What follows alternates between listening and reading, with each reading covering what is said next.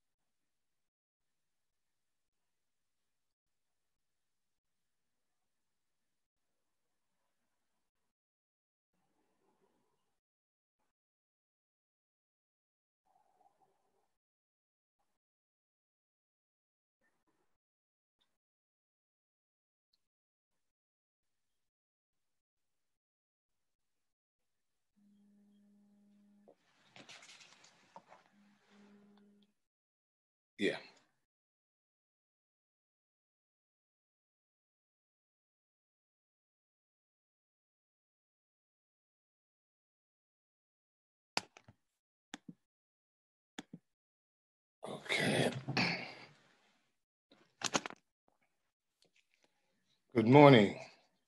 I'm Councilmember Miller. Uh, I, Daneek Miller, and I'm the Chair of Committee on Civil Service and Labor.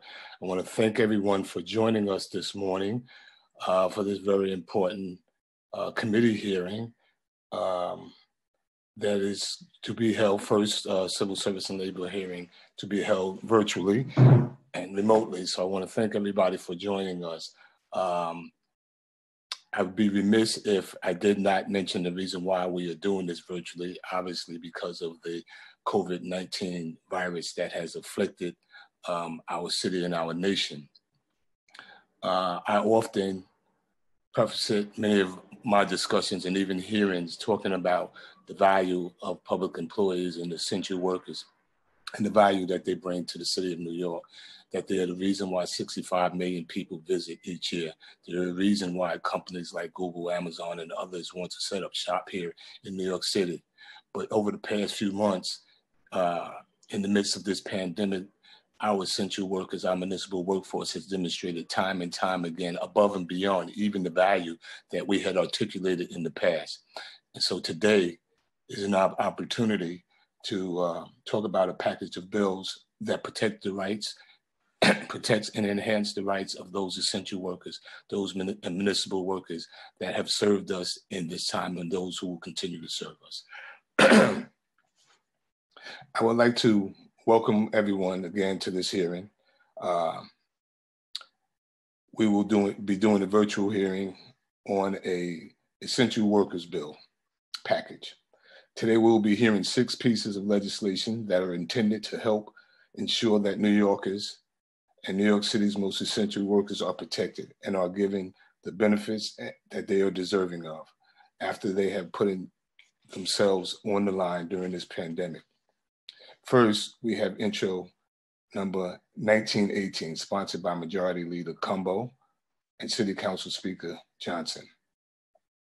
It is a local law that would require employees to pay premium pays to essential workers. Then we have Intro 1923, sponsored by Councilmember Ben Kallos and Speaker Johnson. It is a, local law for just cause employment protection for essential workers. 19 Intro 1926, sponsored by Councilmember Brad Lander, is a local law that would expand worker coverage to independent contractors in the city's Earn Safe Sick Time Act. A pre-considered reso by myself and Councilmember Joe Borelli is a local law that would extend survivorship and health benefits to the family of those municipal employees who have passed due to COVID-19 contracted during the course of duty. Then we have Resolution 1285, sponsored by Councilmember Brad Lander, is a resolution calling on the state to clarify the test and classification of workers of in, as independent contractors. And then finally, uh, we have a pre-considered resolution, again by myself and Councilmember Borelli, calling on the state legislature to pass and the governor to sign legislation which automatically classifies deaths of municipal employees who died from COVID-19 as in the line of duty. This package of bills, sponsored by myself and colleagues, is in direct response to the challenges and the risks facing, faced by essential workers over the past few months during this devastating time of us in our city. New York City has been the epicenter of COVID-19 pandemic with over 170,000 confirmed cases and over 13,000 deaths. To respond to the rapid unimaginable spread of the virus, New York State on March 20th, Governor Cuomo issued a New York State on pause executive order. This executive order mandated that all essential workers be closed, or, or all non-essential businesses be closed, and gave guidelines for what should be labeled as essential businesses. Businesses that are considered essential remain open during the pandemic, and so their employees are essential workers must continue to work as well. As a result of many essential, many essential workers deal with drastically increased exposure to COVID-19 as part of their occupation and forced to comfort this risk daily, basic essential workers are faced have faced heightened levels of exposure to COVID-19. They are overworked and often underpaid and have little job security in some cases. Doctors and nurses who are, who, who are considered essential workers have, for example, been warned or even disciplined, even fired for speaking out against workplace concerns about the coronavirus precautions inside of the hospital. In industries, in some industries, there is not enough protection uh, or, or personal protective equipment being supplied to protect the frontline workers and certain businesses continue to put their essential workers at risk by not being transparent about the number of COVID cases uh, that have occurred within the workplace. To compensate essential workers for, for this increased personal risk and to provide additional financial security, hazard pay legislation has either been passed, introduced, or proposed in multiple states as well as by the Democrats in the US Senate. The council will hear legislation today mandating hazardous pay for essential workers in New York City for the duration of the pandemic. Taking into consideration the economic impact of such policies, another primary issue for essential workers is whether and whether they have sufficient protective and protections from employment termination during the crisis in New York State is in at will employment jurisdiction, meaning that either employees or employer can terminate their working agreement at any time and for any reason, so long as the reason is not illegal or for no reason at all. An alternative to the employment at will doctrine of that is just cause, in which an employer must provide a sufficient proximate reason for terminating employment. Today, the council will hear testimony on legislation concerning just cause protection for essential workers. This bill would offer essential workers an extra level of workplace protection against being fired or having their hours reduced without justification. Additionally, one of the largest groups of workers that are often left out of the conversation about worker protection and benefits independent is benefit, independent contractors. Independent contractors are also known as gig workers, face a unique set of challenges regarding employment benefits during this pandemic. Independent contractors having been some of the hardest hit economically since independent contractors may not work regularly or consistently for given employer. They are often legally classified as employees, consequently, not legally classified as employees. Consequently, these workers are unable to claim most benefits offered by employers, such as health insurance, unemployment benefits, and pension plans. During the pandemic, this has also made it difficult for independent contractors to file unemployment benefits. In today's hearing, the committee hopes to hear about how to make certain that these essential workers are protected and not forgotten during the un these unprecedented times. Finally, on February 11th of this year, the City Council extended health coverage to families of all of those municipal employees who have died in the line of duty or who have died of an illness or injury related to 9 11. Municipal employees who are considered essential workers risk exposure to virus every day. As a result, multiple have died from this illness while having their city or helping their city. These workers should not be treated differently from those municipal employees who have passed away in the line of duty in the past. The council thus will hear legislation that will similarly classify the deaths of municipal workers due to COVID 19 as line of duty deaths and extend survivorship health benefits to their families. The committee thanks the administration, advocates, and the stakeholders for being present and testifying today. We hope to hear from both sides on each and all of these bills in order to improve all of the legislation uh, and to protect the cities and its essential workers. I'd like to thank my staff, Chief of Staff, Mr. Ali Rasulinjad, uh, my Legislative Director, Brandon Clark, and Senior Advisor, Mr. Joe Goldblum. I'd also like to thank Central Staff, uh, Committee Counsel Nuzat, and um, Elizabeth, John, and welcome to the team, Thomas. And with that, I will pass it over to committee counsel.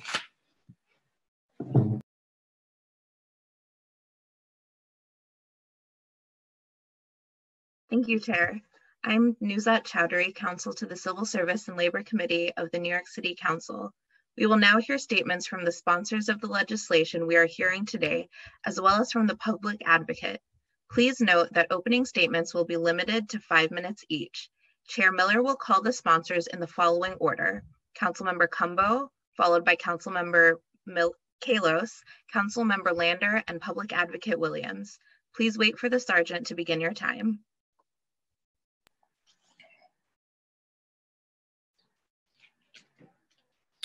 We will now hear from Majority Leader Cumbo.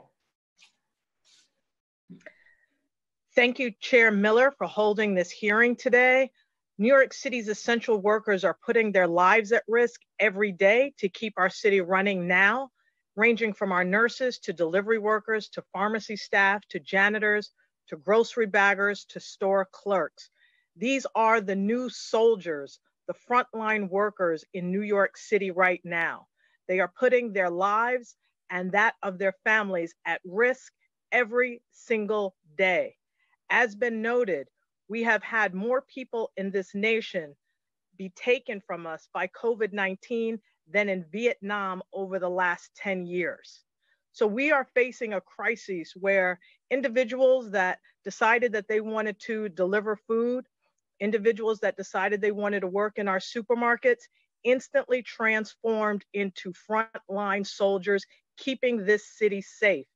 every time they walk outside of their house, they have to wonder, are they going to contract COVID-19 and are these going to be their last days?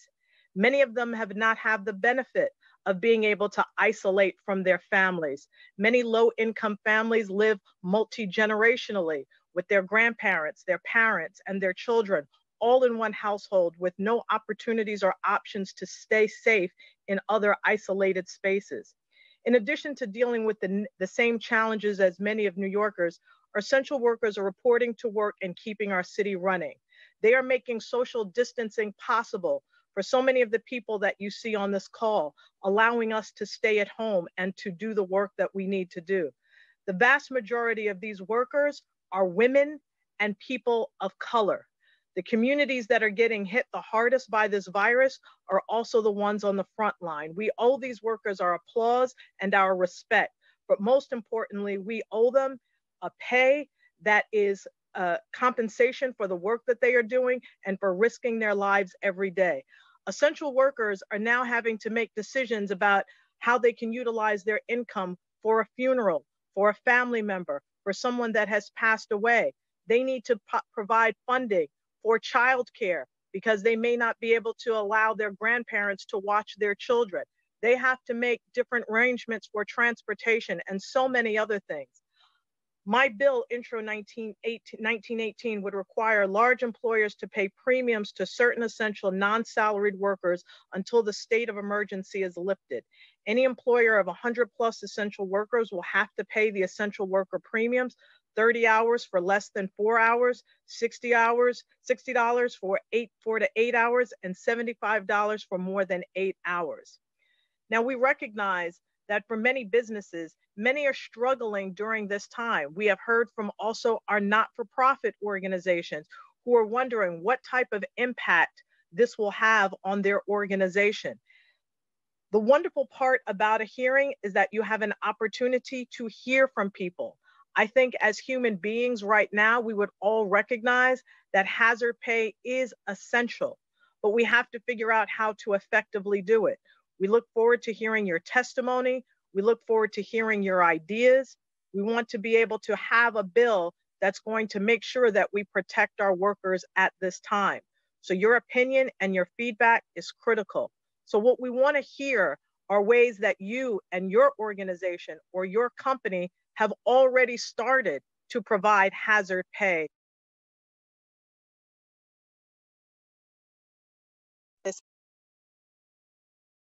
think this could actually happen and what you are willing to do and what you are willing to sacrifice in order to meet us halfway. I want to also make sure that we find the right balance because we cannot leave workers out in the cold. Protecting and improving working conditions for those is a moral imperative that we cannot ignore.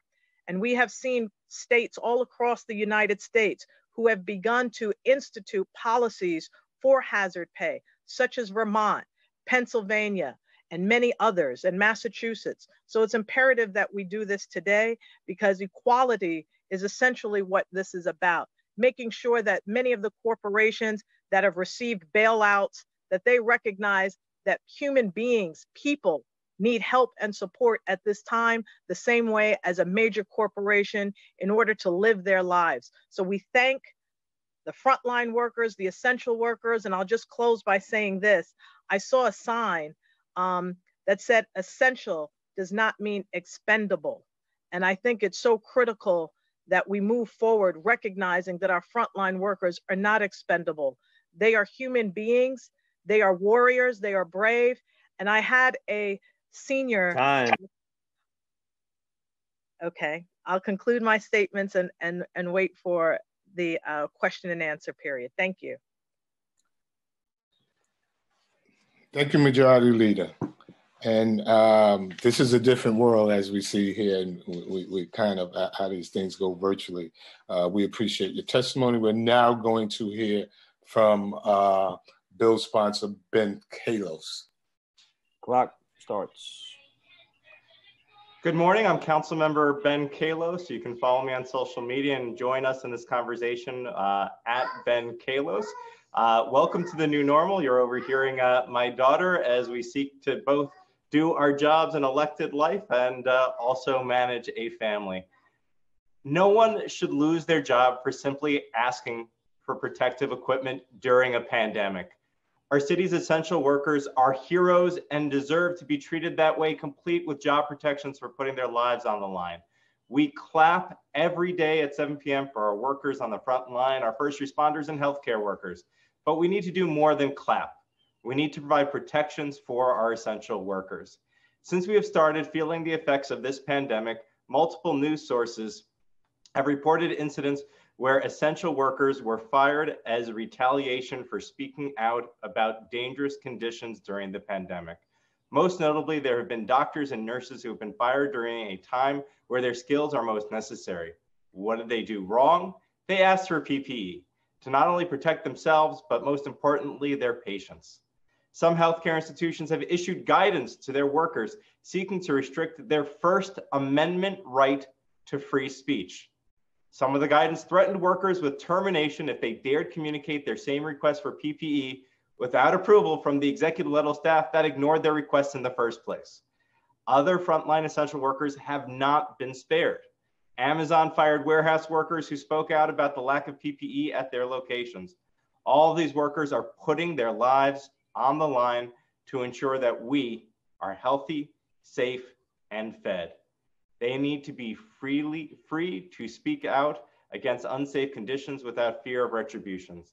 Introduction 1923 that I authored with Speaker Corey Johnson and Council Member Lander creates just cause protections for all essential workers, from those in healthcare to those in our grocery markets or making deliveries, and everyone defined as such by executive order or action by the governor. Under this legislation, essential workers would be protected from retaliation or termination due to speaking out or even asking for COVID 19 protections without a just cause. The legislation would only apply during a pandemic such as this one, and as I hope will be amended during any future state of emergency.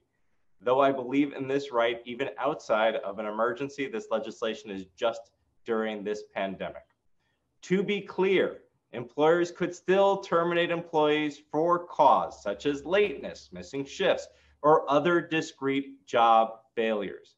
Those making the unfortunate choice of laying off or furloughing employees would still be allowed to do so. But terminating or laying off just one employee or a group of employees that happened to ask for PPEs or who spoke out would be protected. I want to thank Civil Service Chair Daneek Miller, Speaker Corey Johnson, Councilmember Brad Lander, uh, Majority Leader Cumbo, and our brothers and sisters in labor for joining us in our fight to protect our essential workers.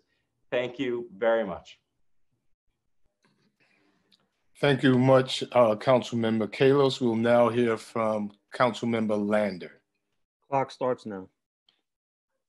Thank you, Chair Miller. You have been a true champion for our essential workers and public workers for a long time now, and obviously everybody's seeing the need for it these days. Um, at 7 p.m. every night, we go out and we bang pots and pans and clap and cheer and shout our gratitude to the nurses and doctors and healthcare workers who are in our hospitals, to the grocery store clerks keeping us fed, to factory and warehouse workers, to food delivery workers. It really is one of my uh, favorite moments, one of the really few good moments of this crisis, because we genuinely are grateful. And I know everyone on this call is grateful. But so many of those same workers lack the basic workplace protection, sick leave, pay, and dignity that all workers need. Those food delivery workers bringing you your takeout meals, they don't have paid sick leave to take a paid day off when they're sick. We saw Amazon workers fired for speaking out so egregiously that even an Amazon VP quit because he knows it's wrong. And yet, nurses and healthcare workers still have gag orders from their hospitals. And, you know, I think it's worth noting that many of the lowest paid essential workers would make more if they went on pandemic unemployment assistance than being out on the front lines of this crisis. The pandemic has exposed the fragility of our deeply unequal economy. Workers who have long been treated as disposable are now being cheered as essential. 75% of them are people of color in hard hit communities across the city.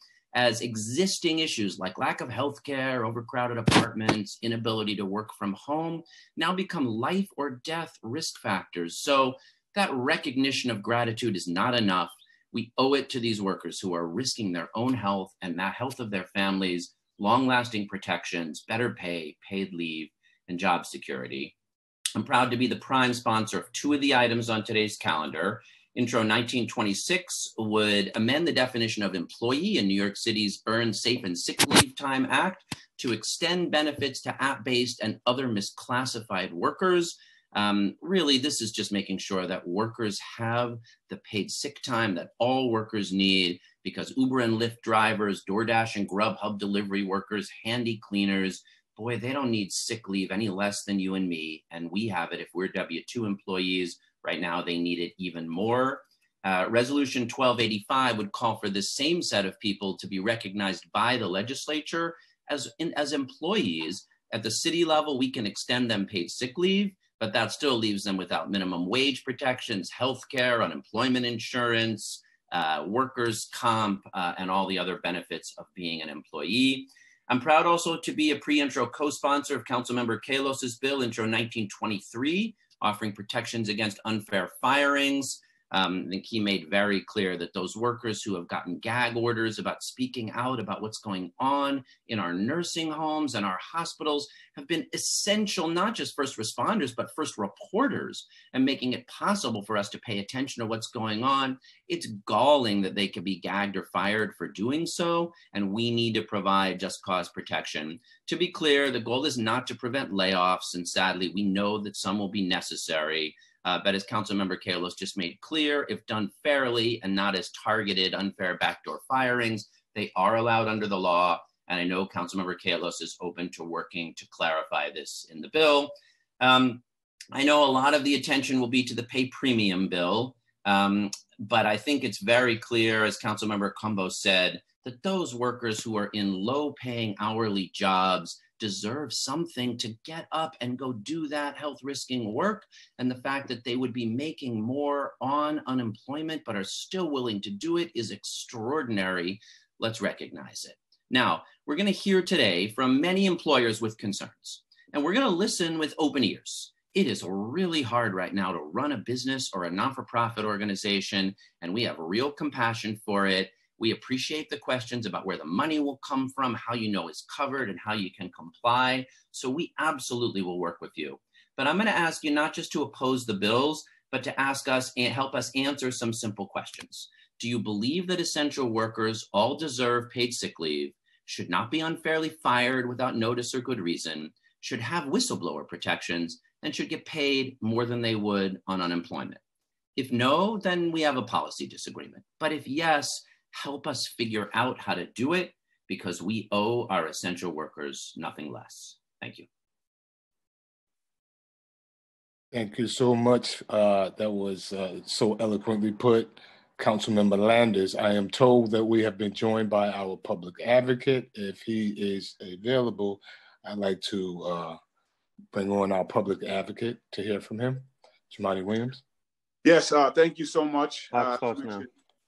Can you hear me? Yes. Uh, thank you so much. My name is Jumaane Williams, public advocate for the city of New York. Thank you, uh, Chairman Daneek Miller uh, and the members of the Civil Service Committee, uh, the Speaker, and the entire Council uh, for holding this hearing today to explore legislation to address the relief packages and benefits of our essential workers and municipal employees. I, of course, first, like everyone, want to take a moment to thank our frontline and essential workers uh, these individuals are not only maintaining the health and safety of New Yorkers and keeping the city running, uh, but they are also putting their lives on the line while doing so. There are currently over 1 million essential and frontline workers in New York City. These are our healthcare workers, our grocery and drugstore workers, our public transit workers, our postal workers, our trucking and warehousing employees, our New Yorkers working with the children, the homeless and family service industry, and our workers who are providing cleaning services as we know, these workers are overwhelmingly people of more color. As was mentioned, uh, Governor Andrew Cuomo put a pause order in effect, one that frankly was too weak, too late, uh, was not bold enough. But with these orders uh, that were put in place by our leaders like Andrew Cuomo and Mayor Bill de Blasio, they split this city into two. One where people who could stay home uh, and could have deliveries made to them. And the others were for the rest of New Yorkers, who were 75% people more of color. They were reclassified as essential workers, had to go to work, were told they couldn't stay home. And on top of that, were told that you couldn't get any protective equipment as you went to and from work. And on top of that, were told that the communities that you came from would not be tested, even though the virus was running rampant uh, in those communities. So we lift up all the voices in any social or socioeconomic status, people who are suffering all over the city, but we must lift up those who are suffering uh, even more and needlessly so because of the actions, not just from the president, but Governor Andrew Cuomo and Mayor Bill de Blasio.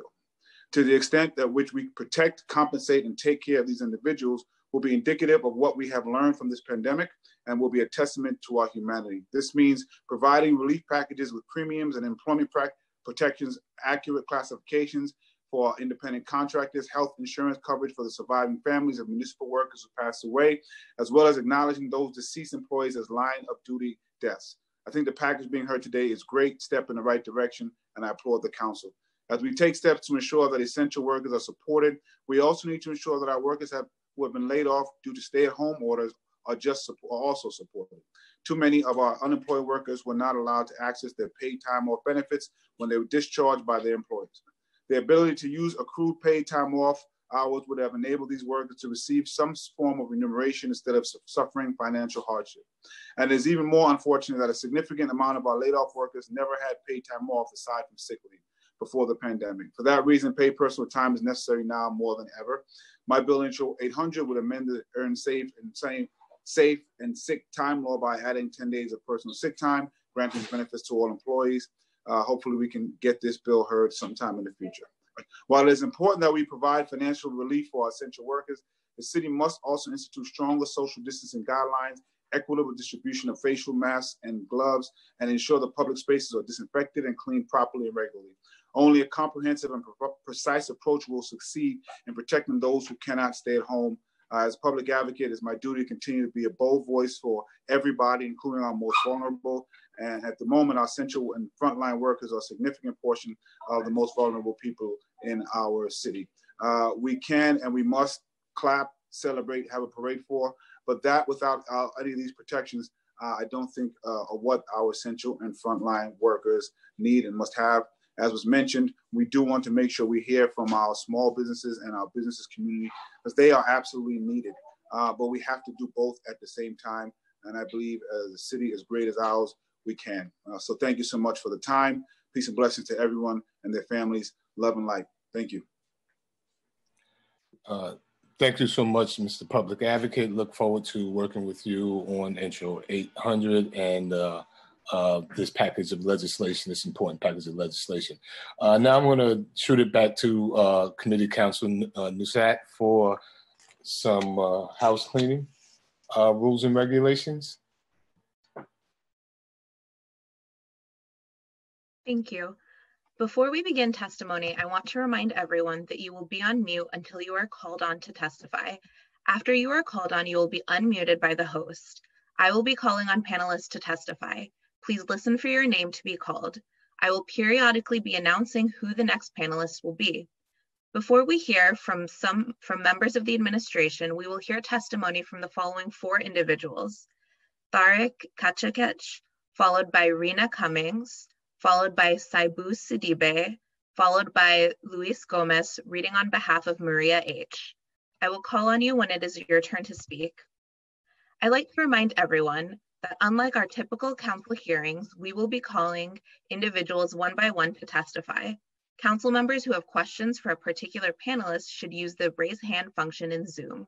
You will be called on after the panelist has completed their testimony.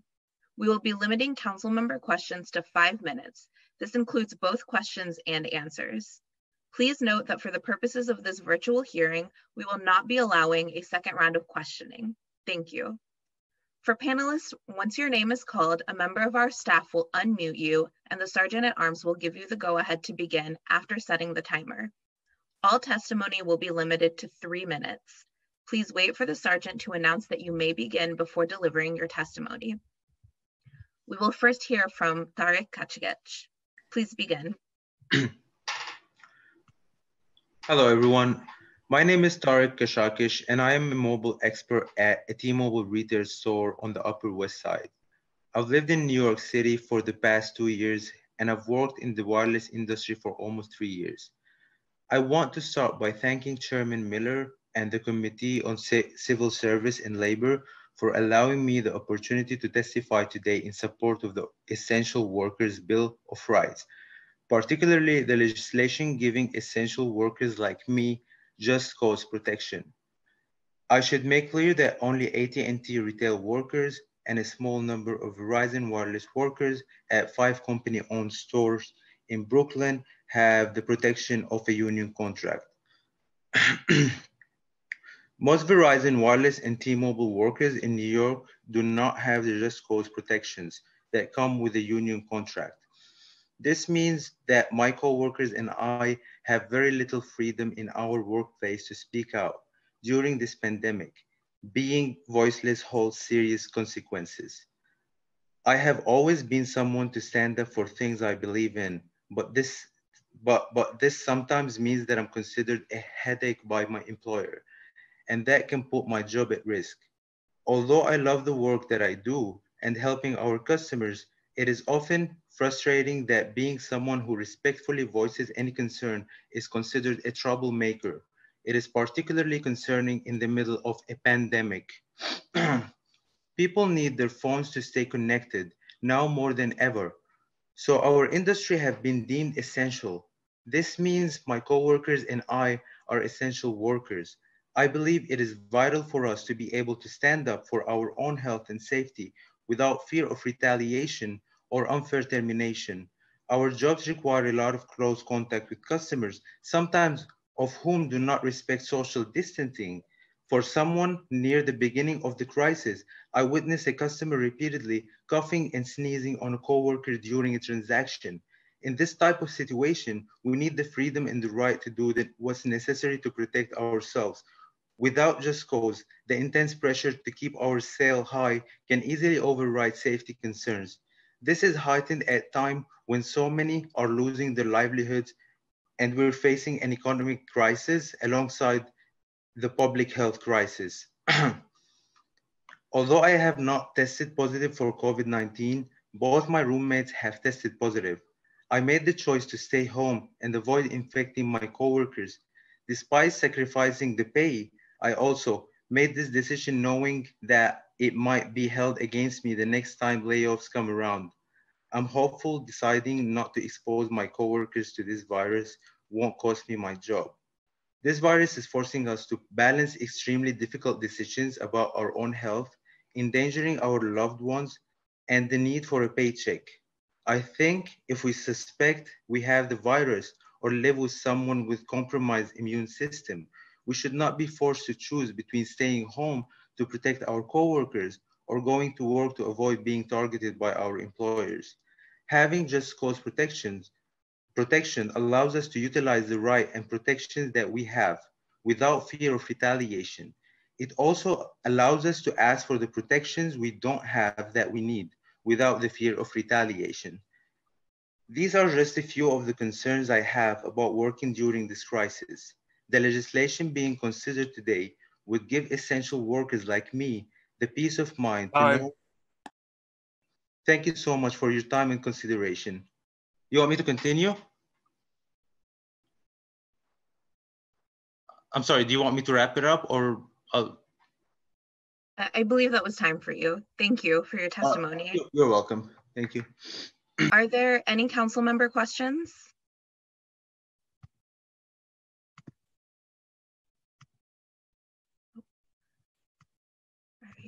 Uh, now we will hear from Rena Cummings. Time starts now. Good. Good morning. Um, I'm really grateful for the opportunity to give my testimony. My name is Rena Cummings, and I've been an Amazon employee um, since the warehouse opened here. On, on um, it's called JFK 8 on Staten Island, New York. I am a single parent of two children, and I have been working at Amazon for over a year and a half.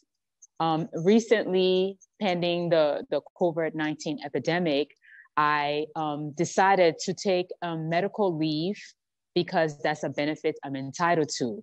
All of my coworkers are not entitled to that benefit, unfortunately. So I'm here today to speak up on their behalf. I decided to take medical leave to protect my family because I'm the sole breadwinner. Every day I get text messages from the warehouse stating how many people have been infected by the virus. Um, I count up to 50 plus in counting. Um, Amazon has failed to protect us uh, um, as far as PPE, equipment, and other resources. I um. Thank you.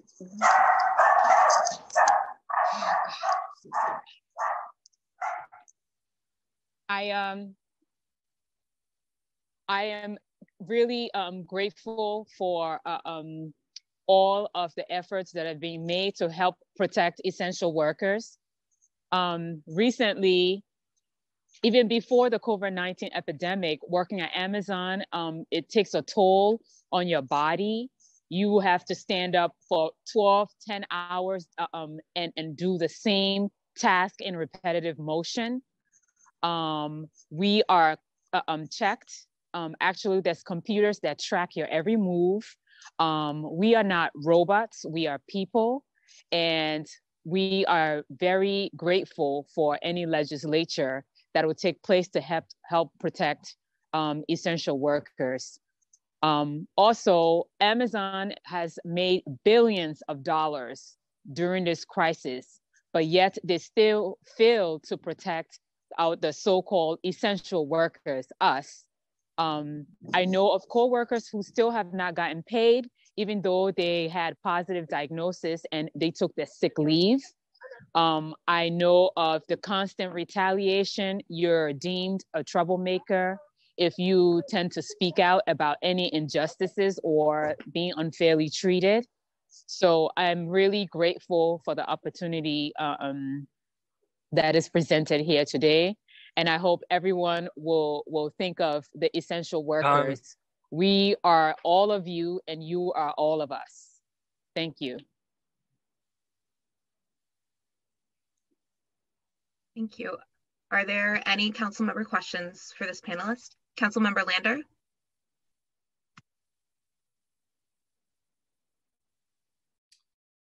Thank you very much, and uh, thanks to both of the speakers so far for speaking. Rena, uh, thank you for being here. We know that the work at JFK 8 is very grueling. I was out there with you um, a couple of months ago. Uh, you mentioned at the beginning that some Amazon workers um, lack even the opportunity to take a paid sick leave. I'm guessing you're referring largely to Amazon Flex, who are the some of the drivers who deliver and drive for Amazon. Um, uh, I wonder, you know, if you kind of know of any of them, uh, or if you have a sense, it's my sense they've become a very large uh, employer of independent contractors. And in addition to all the conditions you're describing and the need for workplace protections, that there actually are a set of Amazon uh, workers who even lack the ability to take a sick day. Oh yes, absolutely. There's um that absolutely there's workers in the warehouse. If you work part time, you don't really accrue sick time. You're not entitled to sick time. Even though, uh, um, you know, you have to, to they're, they're, they're, they're um, mandating you to work. They call MET, which is mandatory extra time on a weekly basis. So you're working full-time hours during the epidemic, but you're not entitled to sick time. And then the other thing I wanted to ask you about was I'm sure you've seen that Amazon Vice President Tim Bray uh, quit yesterday. Uh, yes. Disgust at the firing of Chris Smalls and other workers. And I, I, just wonder if you wanted to comment on that. It says quite something to work at a company where even a vice president resigns over the resigns absolutely. You know i've always um, um, complained um, i've been protesting against amazon since six months after i got there and i i've, I've been saying this and it, it's, it's sometimes it saddens me that it took this epidemic to bring to light some of their business practices but i'll take what i can get. And i know chris i've met chris smalls. He's a very nice man and i thanked him for standing up for people that he doesn't even know that says a lot about his character, unlike what Amazon is making him out to be in the press. So, yes, I am aware of the situation. Well, I want to thank you because we're trying to pass a law that'll give you an additional protection against being fired for no reason in the way reason was. But absolutely knowing, that that happens means you are showing an awful lot of courage to come today and do this in public. And on behalf of the city council, of your coworkers, and of people in New York City, I just want to say thank you for the courage for doing it.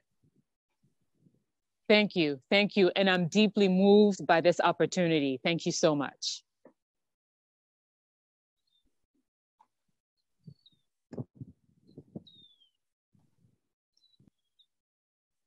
Right, thank you. Um, now we will hear from Saibo Sidibe. Time starts now.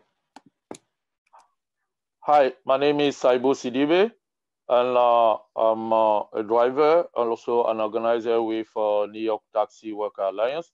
Uh, I've been driving since uh, 2002, and uh, right now I'm a part-time driver with Uber. And today I'm here to really tell the counselors, you know, the suffering all drivers are going through. You know, we are working and we're trying to feed our family but with this uh, corona situation, the COVID-19 situation, drivers today are most exposed. They're the one uh, taking nurses uh, to work. They're the one taking all these uh, frontline workers every day. They expose themselves. They even pick up six people to take them to hospital, make sure that, uh, you know, they, uh, they're positive or not. But the, the sad part is today uh, you see drivers like they don't have anything. Like you have to work. You know, uh, drivers today don't have uh, uh paid sick leave. They even right now struggling for uh, unemployment. Those who decide to protect their family.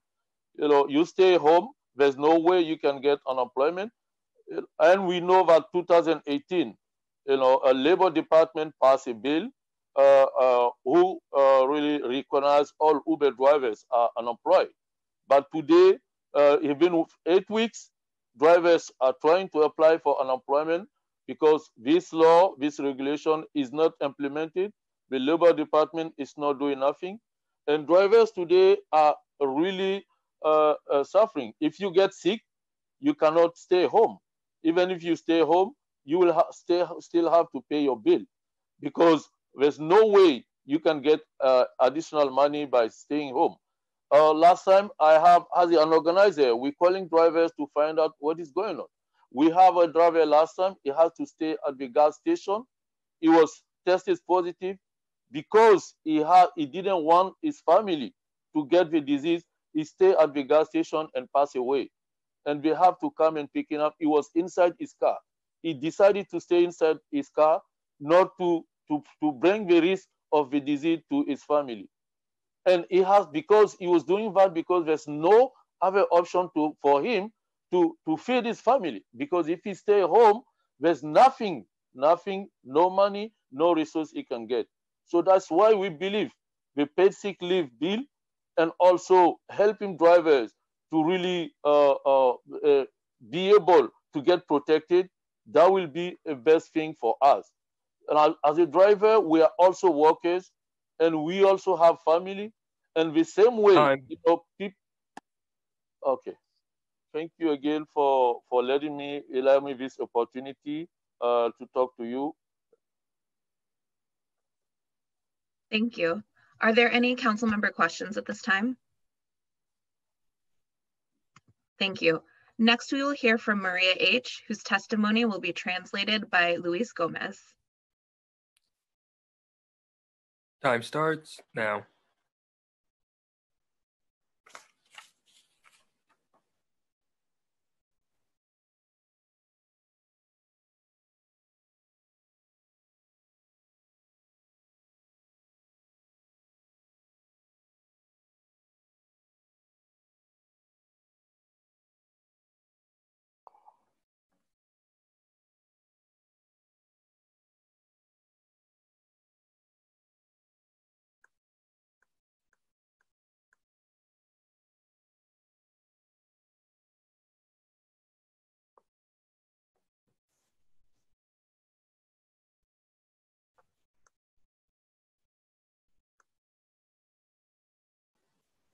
Hello? Hi, you can hear me? Hi. Um, gracias, concejales. Buenos días. Mi nombre es María Hernández. Soy miembro de la Asociación de Trabajadores de Salones de Uñas de Nueva York, que cuenta con más de 800 miembros. Hoy estoy aquí porque me gustaría compartir mi experiencia trabajando en, uno de, en una empresa de manicura y pedicura basado en la web. La compañía ofrece manicure y pedicure en fiestas, hogares y oficinas. Aunque la compañía controlaba la relación laboral, estableciendo precios, pro, programando, programando citas y co cobrando pagos. Me dijeron que yo era una contratista independiente. Um, good morning. My name is Maria Hernandez, and I am a member of the New York Nail Salon Workers Association, which has over 800 active members. I am writing this testimony because I would like to share my experience working at a web based manicure and pedicure company. The company offers manicures, pedicures at parties, homes, and offices. Even though the company significantly control the work relationship by setting prices, scheduling, and assigning appointments and collecting and distributing payments, they classified me as an independent contractor. Al principio pensé que este modelo de negocio sería un cambio positivo de, de tener que sentarme dentro de un salón de manicura por turnos de 10 horas. Durante estos largos turnos, yo y otras trabajadoras estábamos expuestas a muchos riesgos de la salud y malas condiciones de trabajo y no contamos con el equipo de protección adecuado. A lo largo del tiempo en la industria, al igual que más del 80% de mis compañeras de salones de uñas, también fue, fui víctima de robo de salario. Después de todas estas malas experiencias, pensé que cambiarme a este nuevo tipo de modelo de negocio beneficiaría a mi familia y a mi salud. At first, I thought this business model would be a positive change from having to sit inside a nail salon for 10 hour shifts. During these long shifts, I and other workers are exposed to many health risks and bad working conditions and are often not provided with the proper protective equipment. Throughout my time in the industry, I, like over 80% of my fellow nail salon workers, also experienced wage theft. After all these bad experiences, I thought that switching to this new type of company would benefit my family and my health. Sin embargo, una vez que comencé a trabajar para esta empresa, me di cuenta rápidamente de que había calculado mal los beneficios de este nuevo tipo de modelo de negocio. Los salarios al, inicio, al inicio eran más, más altos, fueron atractivos, pero tuvieron un costo. Rápidamente descubrí que había riesgos impresivos para la salud por hacer manicures y pedicures en los hogares y oficinas de los clientes, tener que hacer manicures y pedicures móviles sin tener el equipo adecuado como sillas elevadas para protegerme. Please continue your testimony. De los dolores de espalda o iluminación adecuada que protege de tener que forzar mi visión inmediatamente comenzó a afectar mi salud física, pero debido a que las compañías me clasificaron como una contratista independiente, no tenía derechos a ningún beneficio otorgado a los empleados en particular la, compensa la, compensación de trabajadores y los días de enfermedad pagados, y la compañía no se hizo responsable de mi salud ni de la salud de otros trabajadores. However, once I started working for this company, I quickly realized that I had miscalculated the benefits of this new type of business model. The upfront higher wages were attractive, but it came at a cost. I quickly found out that there were unforeseen health risks of doing manicures and pedicures in the homes and offices of clients. Having to do mobile manicures and pedicures without having the proper protective equipment, such as elevated chairs to protect my back from pains, or the proper lighting that protects from having to strain my vision, immediately began to affect my physical health. But because the company classified me as an independent contractor, I was not entitled to any benefits afforded to employees in particular workers' compensation and paid sick days, and the company took no responsibility for my health or the health of its other workers.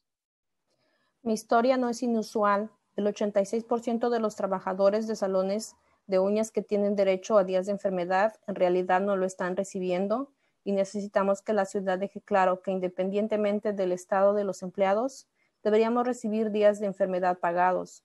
Cuando a los trabajadores se les niegan los días de enfermedad pagados, tenemos que decidir entre quedarnos en casa y perder el sueldo o ir a trabajar enfermos. Esto no solo es un riesgo para nuestra salud, sino para la salud de nuestros clientes y el público en general. My story is not unusual. 86% of nail salon workers who are entitled to paid sick days are not actually receiving them. And we need the city to step up to make it clear that regardless of employee status, we should be getting paid sick days. When workers are denied paid sick days, we have to decide between staying home and losing pay or going to work sick. This is not only a risk to our health, but also the risk of our clients and the general public. The coronavirus pandemic has shown us that leaving workers unprotected damages public health. Most workers in our associations live in the areas that have been hardest hit by the pandemic, and returning to business as usual when the salons reopen is not a safe option. Workers must be able to stay home when they are sick, and this bill would provide some assistance, assurance that I could take care of myself and my family without putting others at risk.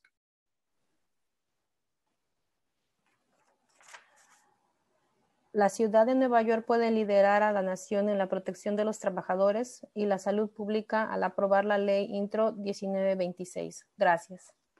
New York City can lead the nation in protecting workers and public health by passing Intro 1926. Thank you. Thank you. Are there any council member questions?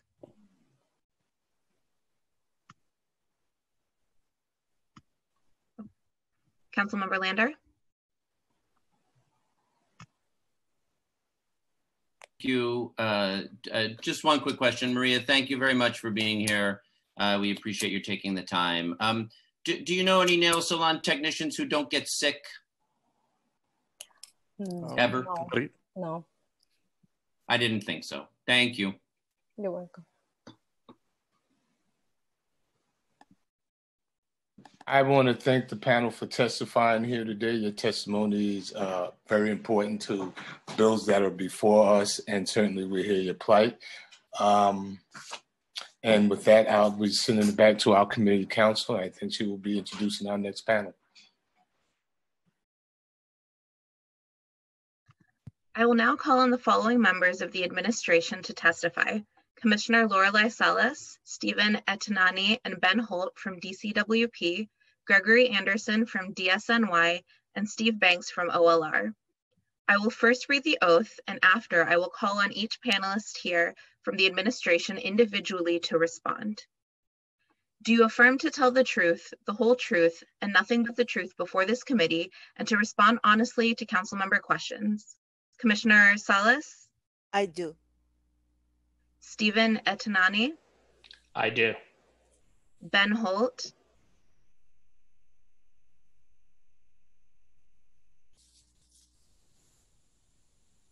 Gregory Anderson, I do. Steve Banks. I do. Is Ben Holt still there? Yes, I'm sorry. I had a uh, trouble unmuting, but I do. Thank you. Commissioner Salas, you may begin when ready. Thank you. Good afternoon, Chairman Miller, members of the committee. I am Lorelei Salas, Commissioner of the Department of Consumer and Worker Protection. Today, I'm joined by Ben Holt, who is the Deputy Commissioner for the Office of Labor Policy and Standards, and Stephen Antonani, Executive Director of External Affairs. First of all, I just want to say I hope that you, um, you and your loved ones are all staying safe and healthy during this crisis. Um, and it is my pleasure to testify before the City Council today. Since the beginning of this crisis, hundreds of thousands of working New Yorkers have seen their incomes abruptly shrink or disappear as schedules have been shortened and jobs have been eliminated, leaving them financially burdened and vulnerable. Even as many of us shelter in place and try to go about our lives at home, essential workers, those who tend to or provide vital services every day to their fellow New Yorkers, continue to serve on the front lines of this pandemic and keep New York City going. Our thoughts and gratitude are with them, not only this past May Day, but every day. Thank you for the risks you have borne to carry New Yorkers, New York through this crisis. The crisis continues to shine a light on the socioeconomic inequality in the city. Workers in jobs with the greatest exposure, such as healthcare, retail, and food industries, are from the communities of color in our city, often immigrants earning low wages. Many have limited access to health insurance or paid personal time for themselves to rest and recover, or simply be with their families. This administration and the City Council have been at the forefront of protecting workers. The paid safe and sick leave, fair work week, and freelance isn't free laws, to name a few, are today, especially during this crisis, helping. They are helping the worker who feels ill to stay at home. They're helping the worker who suddenly has their hours reduced. They're helping the freelance worker who has a right to be paid for their work. We are facing immense and unprecedented challenges, though. As folks are aware, COVID 19 has unleashed both public health and economic crisis, and the city and the state will face difficult fiscal times ahead. Despite this, the mission of my agency to protect and enhance the daily economic lives of New Yorkers to create thriving communities will continue, now more than ever before. DCWP has and will continue to enforce New York City's workplace protections on behalf of essential workers on the front lines and non essential workers either working remotely or newly unemployed. During this crisis, it is critical that these protections help to lessen the burdens of the pandemic for our city's most vulnerable workers. From the early days of the crisis, our agency received more than a thousand complaints and inquiries from New Yorkers regarding their rights and protections as well as their obligations as employers. To respond to this high volume, after the governor announced New York State on pause, we worked quickly to adjust our capacity and capability to work remotely and cross train staff on intake procedures and new laws at the state and federal levels so that we could continue serving our role as a central hub for private sector workers in our city paid safe and sick leave, um, a worker's right during this pandemic to stay home if they or their loved ones are sick, protects not only sick workers themselves, but their co-workers, employers, consumers, and other members of the public. During the pandemic, DCWP's Office of Labor Policy and Standards developed new enforcement procedures to respond to the unique needs created by this crisis. First, we have implemented a fast track process to resolve COVID 19 related cases as quickly as possible. Rather than using our traditional enforcement process, including requesting and reviewing documents and other information that takes time to collect, an attorney conducts quick fact finding, reaches out to the employer to inform them of the claim, and presents their um, findings with the aim of quickly resolving the worker's issue. This approach can shorten the enforcement process dramatically and facilitates obtaining restitution for workers and access to safe and sick leave. Since February 17th, DCWP has secured more than $150,000 in restitution for workers. That is money in the pockets of New Yorkers that need it most. Second, DCWP has taken additional steps to ensure that enforcement of workplace protections during the current evolving crisis is equitable and in good faith. As such, DCWP is exercising prosecutorial discretion to ensure it is fairly taking financial hardship into account when considering civil penalties for small businesses. Instead, we are prioritizing returning money owed directly to workers and utilizing consent orders to promote future compliance. This approach makes the best use of our enforcement resources and accounts for the financial strains all New Yorkers are experiencing. Third, DCWP has adjusted its intake and referral practices to ensure we are providing guidance and referrals on both pre existing and new state and federal laws impacting workers and employers during this crisis. This has been particularly important given the volume of new information and laws relating to workers that has emerged since March. State executive orders, state and federal emergency sick leave benefits, expanded family leave, and expanded unemployment insurance benefits among them. DCWP's written guidance is a guidepost for workers and businesses alike, covering leave and benefit laws at the city, state, and federal level. This resource is available on our website in more than 10 languages. DCWP regularly distributes this guidance and other educational items through social media, emails, and virtual outreach events we have continued our work communicating with the community, stakeholder organizations, and elected officials to mitigate uncertainty through weekly briefings and teletown halls. Since March 12, DCWP has held a weekly informational briefing for more than 340 worker stakeholders to provide updates on the agency's efforts during the pandemic. Overall, we have held 78 teletown halls conferences, and Know Your Rights forums. Our staff will continue working diligently to ensure New Yorkers know that we're here to support them during this crisis and beyond. Every hour of every day, essential workers are keeping our city going, caring for the sick or elderly, preparing and delivering food, and providing a range of other critical services for New Yorkers citywide. Their work supports all of us. And the bottom line is that without them, the city's problems would be even more urgent.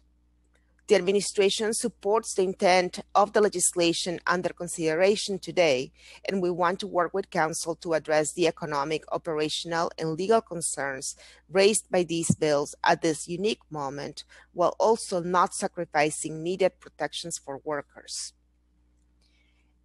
Turning to the specific legislation at hand, Introduction 1918 would provide premium pay to an estimated 800,000 essential workers in New York City. DCWP echoes the call for premium pay for our essential workers. However, we do believe that the Trump administration has a responsibility to New York during this time of crisis, a responsibility to our workers and our entrepreneurs, to provide this premium pay for those who are on the front lines of this pandemic. We appreciate the Council's advocacy for workers and want to work with you to ensure our essential businesses do not shoulder these costs on their own and their workers get premium pay for the risks they're taking the federal government must step up and provide tangible economic support for premium pay, given the economic crisis that both essential workers and essential businesses are living through. Intro 1923 would extend just cause job protections to more than 2 million essential workers. DCWP believes that just cause is a next step in innovative policies that can protect vulnerable workers. However, at this time, given the fiscal and operational strain we are under as we focus on COVID 19 related priorities, it would be challenging for DCWP to absorb new regulatory responsibilities. That said, we are willing to work with the Council and discuss this further. Intro 1926 of the legislation under consideration today Intro 1926 has perhaps the longest term impact by expanding the definition of employee to cover additional workers under the city's paid safe and sick leave law. Our preliminary estimates show that this legislation could extend coverage to more than 140,000 workers. We would like to work through the legislative process with Council to ensure we're able to establish clear standards for workers and businesses and a workable mechanism for the new community of workers this bill contemplates to be able to access their leave. We also believe that this legislation serves as an opportunity to update our paid sick leave law to align with the recently passed state legislation.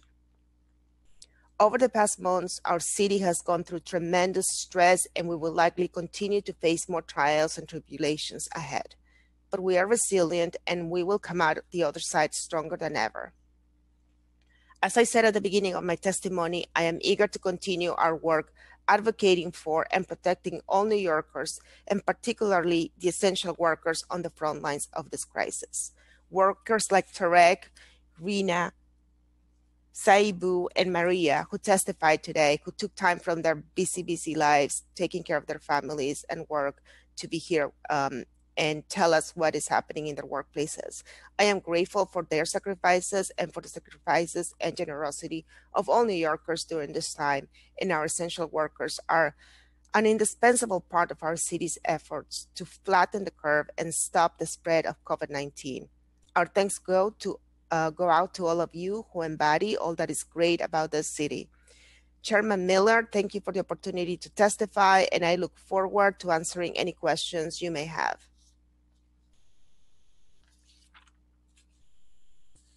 Much, Commissioner. As usual, it was a pleasure to see you uh, in this time, and uh, a pleasure to working with you. And and and absolutely look forward to your your weekly briefings. They've been very helpful Although I would say that um, I, I, know that your agency, like many other city agencies, have been absolutely overwhelmed as it, it, you've been tasked with uh, overseeing these protections uh, of, of, workers and, and workers' rights. Um, with that being said, I, I think that um, you, you're saying that you support um, you find you find these uh, uh, legis- uh, legislation and policies to be uh, potentially uplifting and and supportive of, of workers and and will enhance our essential workers uh, in this time of, of, of COVID nineteen. Uh, just taking it into consideration that this is a package of COVID nineteen uh, a, a, bill. So let, us frame it within that context and, and say that there is a um, um, that this these things are time sensitive, right? That people are, are are in the need for food and clothing and shelter and and these protections uh, right now. Um, what is it that uh, your agency is doing specifically to expedite that and, and kind of and, and, I get that um, your agency is already overwhelmed, but is, is there is is there something um, that you're doing special? Have you uh, um, increase the workforce to address the uh, COVID nineteen specifically, and and um, how does that tie into the legislation that is being introduced today, which I I, I, uh, am interpreting as a a support from uh, the the your agency and administration. Thank you, Chairman Miller, for, for your question and for your um, your continued support for the work that we do at the agency. Um, and so, yes, we, we definitely support the intent of the legislation. As I mentioned, with respect to the different bills, we have certain concerns and would love to keep talking to the council about how to make them workable. Um, so I'll say a couple of things. Um, we have not had, um, we have not added any additional resources to our agency during this crisis. What we have done, though, um, as you have heard from my briefings every week, we have been super, super uh, busy uh, handling handling the demand of uh, complaints around price gouging. And with respect to the Office of Labor Policy and Standards, the hundreds of, of calls and inquiries that are coming in uh, from workers and employers, right? Workers needing to understand their rights under the various mm-hmm. levels of benefits with the different governments and um, and also employers who want to understand their obligations. And so um, we have prioritized the enforcing the laws, the key protections in the books right now in New York City that will um, help workers um, both um, stay home if they're sick, right? So paid safe and sick leave has been a um, a very important life-saving benefit, right? It's a benefit that we need to get um, complied with right now, today, not two months from now, three months from now. So what we have done is we have um, adjusted our resources to make sure that we are both being very responsive to workers. So we cross-train staff to be uh, able to respond to the the avalanche of intake um, inquiries coming in um, and making sure that workers understood um, whether uh, the rights are under paid sick leave. Um, and also we have a fast-tracked handling of complaints filed during this uh, emergency, um, state of emergency period. So for instance, um, our investigators and attorneys work closely together to make sure that once we get a complaint from a worker who is not getting paid sick leave, um, that we immediately reach out to the employer, that we immediately try to get the case to a resolution, right? If we are prioritizing getting the worker uh, their paid sick leave um, um, benefit, we're prioritizing making sure that the, their co-workers are also feeling safe um, when workers, you know, get to stay home to take care of themselves, right? Um, and you know, in many cases, taking into account, um, it's more important for us to get uh, workers the benefit today and uh, and getting the employers in compliance. So so we are definitely have been able to adjust our resources to be very responsive to workers. We want to make sure that with all of these different levels of benefits that fortunately we have had state and federal action to provide uh, emergency paid sick leave, but it can be very confusing for workers to navigate this process. Um, so we have become um, uh, a trusted source uh, of both information and and um, response to to complaints, um, and we continue to make sure that we are up to date in in all the new developments of the law, so workers can get from us. Um, uh, what exactly it is that they have um, a right to do in this time of crisis um, our guidance that we have put together for both workers and employers has been translated into several languages because obviously we know that a lot of the essential workers right now um, providing services are immigrant New Yorkers who um, are in the front lines and who need to understand their what rights are there to protect them. Thank you. So, so one, one of the things that I know that myself and many of my colleagues have been receiving inquiries around uh, kind of navigating the minutia of, of, of, government, city, state, and federal agencies in particular as pertains to um, uh, on, on, the new policies uh, uh as relates to unemployment insurance and, and, things like that. How do we? I, I know it's, it's, it's on the site. Um, how do we navigate these these these uh, these new opportunities for uh, non-traditional workers that are now being included within some of these benefit packages. Uh, what kind of support um, in real time uh, is the agency providing? So um, we have participated in a number of teletown halls that have been organized both by um, by members of this of this committee, members of the council, by elected officials from the state, um, and um, we have been uh, also um, both being addressing questions from traditional workers, right, uh, who have access to some of these benefits like paid safe and sick leave laws and and um, fair work week laws, but also have been in in um, venues where we've had uh, large numbers of freelance workers, gig economy workers that have participated and have um, been trying to understand again um, what access to benefits they have right now during this time of crisis. And so eh, traditionally, freelance workers and gig workers had not been able to um, were not eligible for unemployment insurance benefits, but now there is some important relief for them. So that's being a very important, um, very, very important uh, piece of information to communicate to workers. And we have tried to use uh, both our strong relationships with other community-based organizations and um, the freelancers union for instance and also work with other city agencies that have um, very very um, like strong collaborative relationships with these groups like the mayor's office of media and entertainment for instance held a couple of town halls just last week and we had over a thousand freelancers sign on to each one of those so we know that the information is coming to to workers, right? Um, but again, it is um, you know making sure that freelance workers know they can get unemployment insurance benefit. They may not be eligible for paid safe and sick leave right now, right? But undocumented workers are eligible for paid safe and sick leave. So there are. It is is very confusing. It's hard to navigate. And again, our goal is to make sure that this information is accessible to workers and that you know they don't have to waste a lot of time just trying to figure out by themselves what it is that um, that is out there to help them. Thank you commissioner. You're welcome.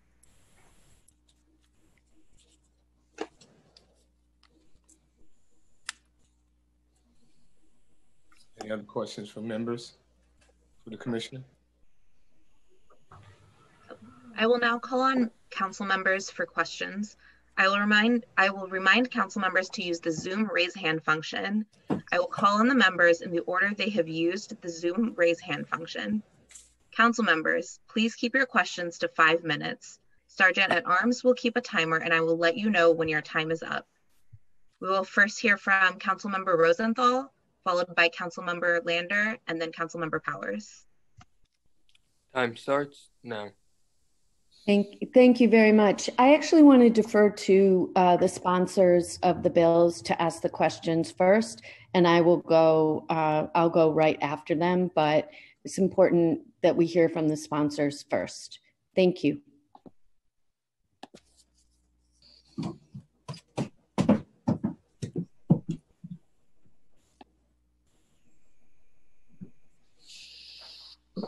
Councilmember Lander. Time starts now. Councilmember Rosenthal uh, and Commissioner uh, and Deputy Commissioner Holt. It's it's really good to have you here, and I want to appreciate the work that you've done over the last set of years building the Department of Consumer and Worker Protection and the Office of Labor and Policy Standards, so it can show up in this time of need for essential workers. And I'm grateful for what you guys are doing and how fast you pivoted to be able to do it in this time of crisis. I know it's you know it's a big challenge, so thank you. Um, let's see, starting on the safe and sick leave expansion, I appreciate your willingness to your general enthusiasm for the bill and your willingness to work with us to get the details right. Uh, without going into too much detail, the, the bill takes the approach of using the ABC test to identify those workers whose work, you know, working conditions and workplace are controlled by their hiring party um, and holding them responsible, whether they're Uber or Lyft or DoorDash uh, or nail salon techs. Uh, broadly, um, does that approach make sense to you as the way to cover the set of workers who need safe and sick leave in New York City? Yes, thank you, Council Member, for, for the question and for um, for your support for workers and for the work that we do at the agency. Um, so um, I, I, actually think, uh, you know, we heard from Maria testifying as to the conditions in the nail salon industry. And, um, and as you know, I, I used to work for the Department of Labor and uh, we've seen so many cases of misclassification that it's not secret that many many workers are currently misclassified as independent contractors when they really should be treated as employees.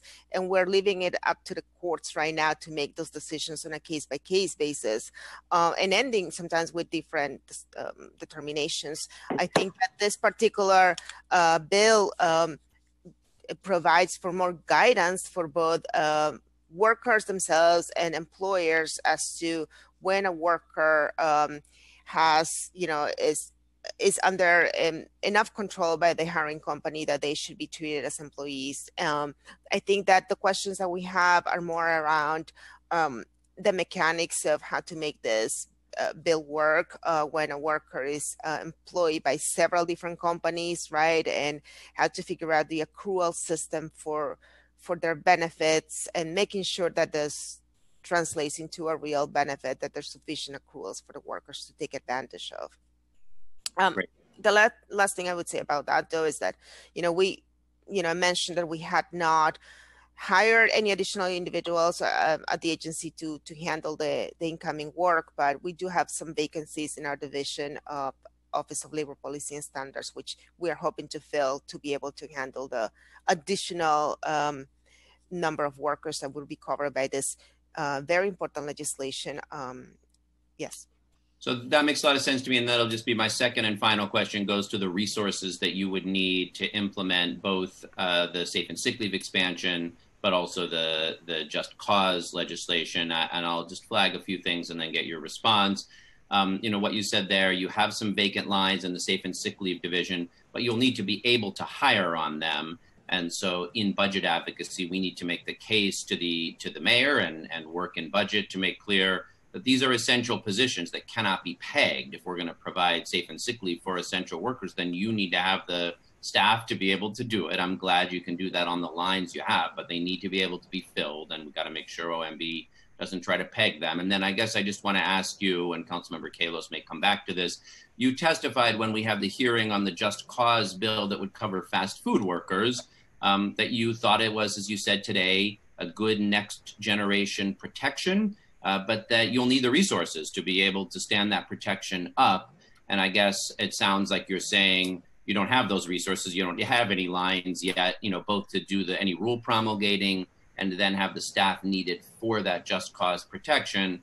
Um, it seems to me the same thing is true. Like protecting essential workers is essential government work. And so we'll need to make sure in the budget, if we want to pass these bills and provide these protections, that you have the resources that would be necessary uh, to make them meaningful. And, and I'd appreciate your response.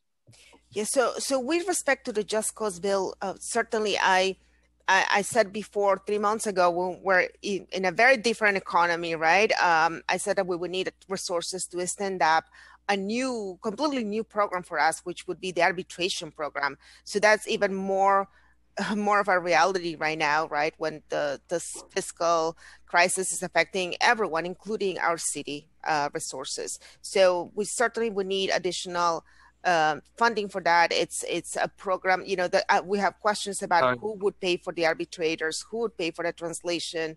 Uh, so it's not work that we are currently doing. Uh, it's not work we can just absorb within the current enforcement um, programs that we have, um, but would need to be part of the consideration as you finalize the language in the, in the legislation.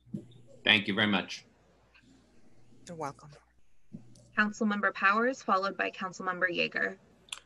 Time starts. And, and thank you to uh, Chair Miller, thank you to Councilor Kallos, Lander, and everybody else working on legislation today.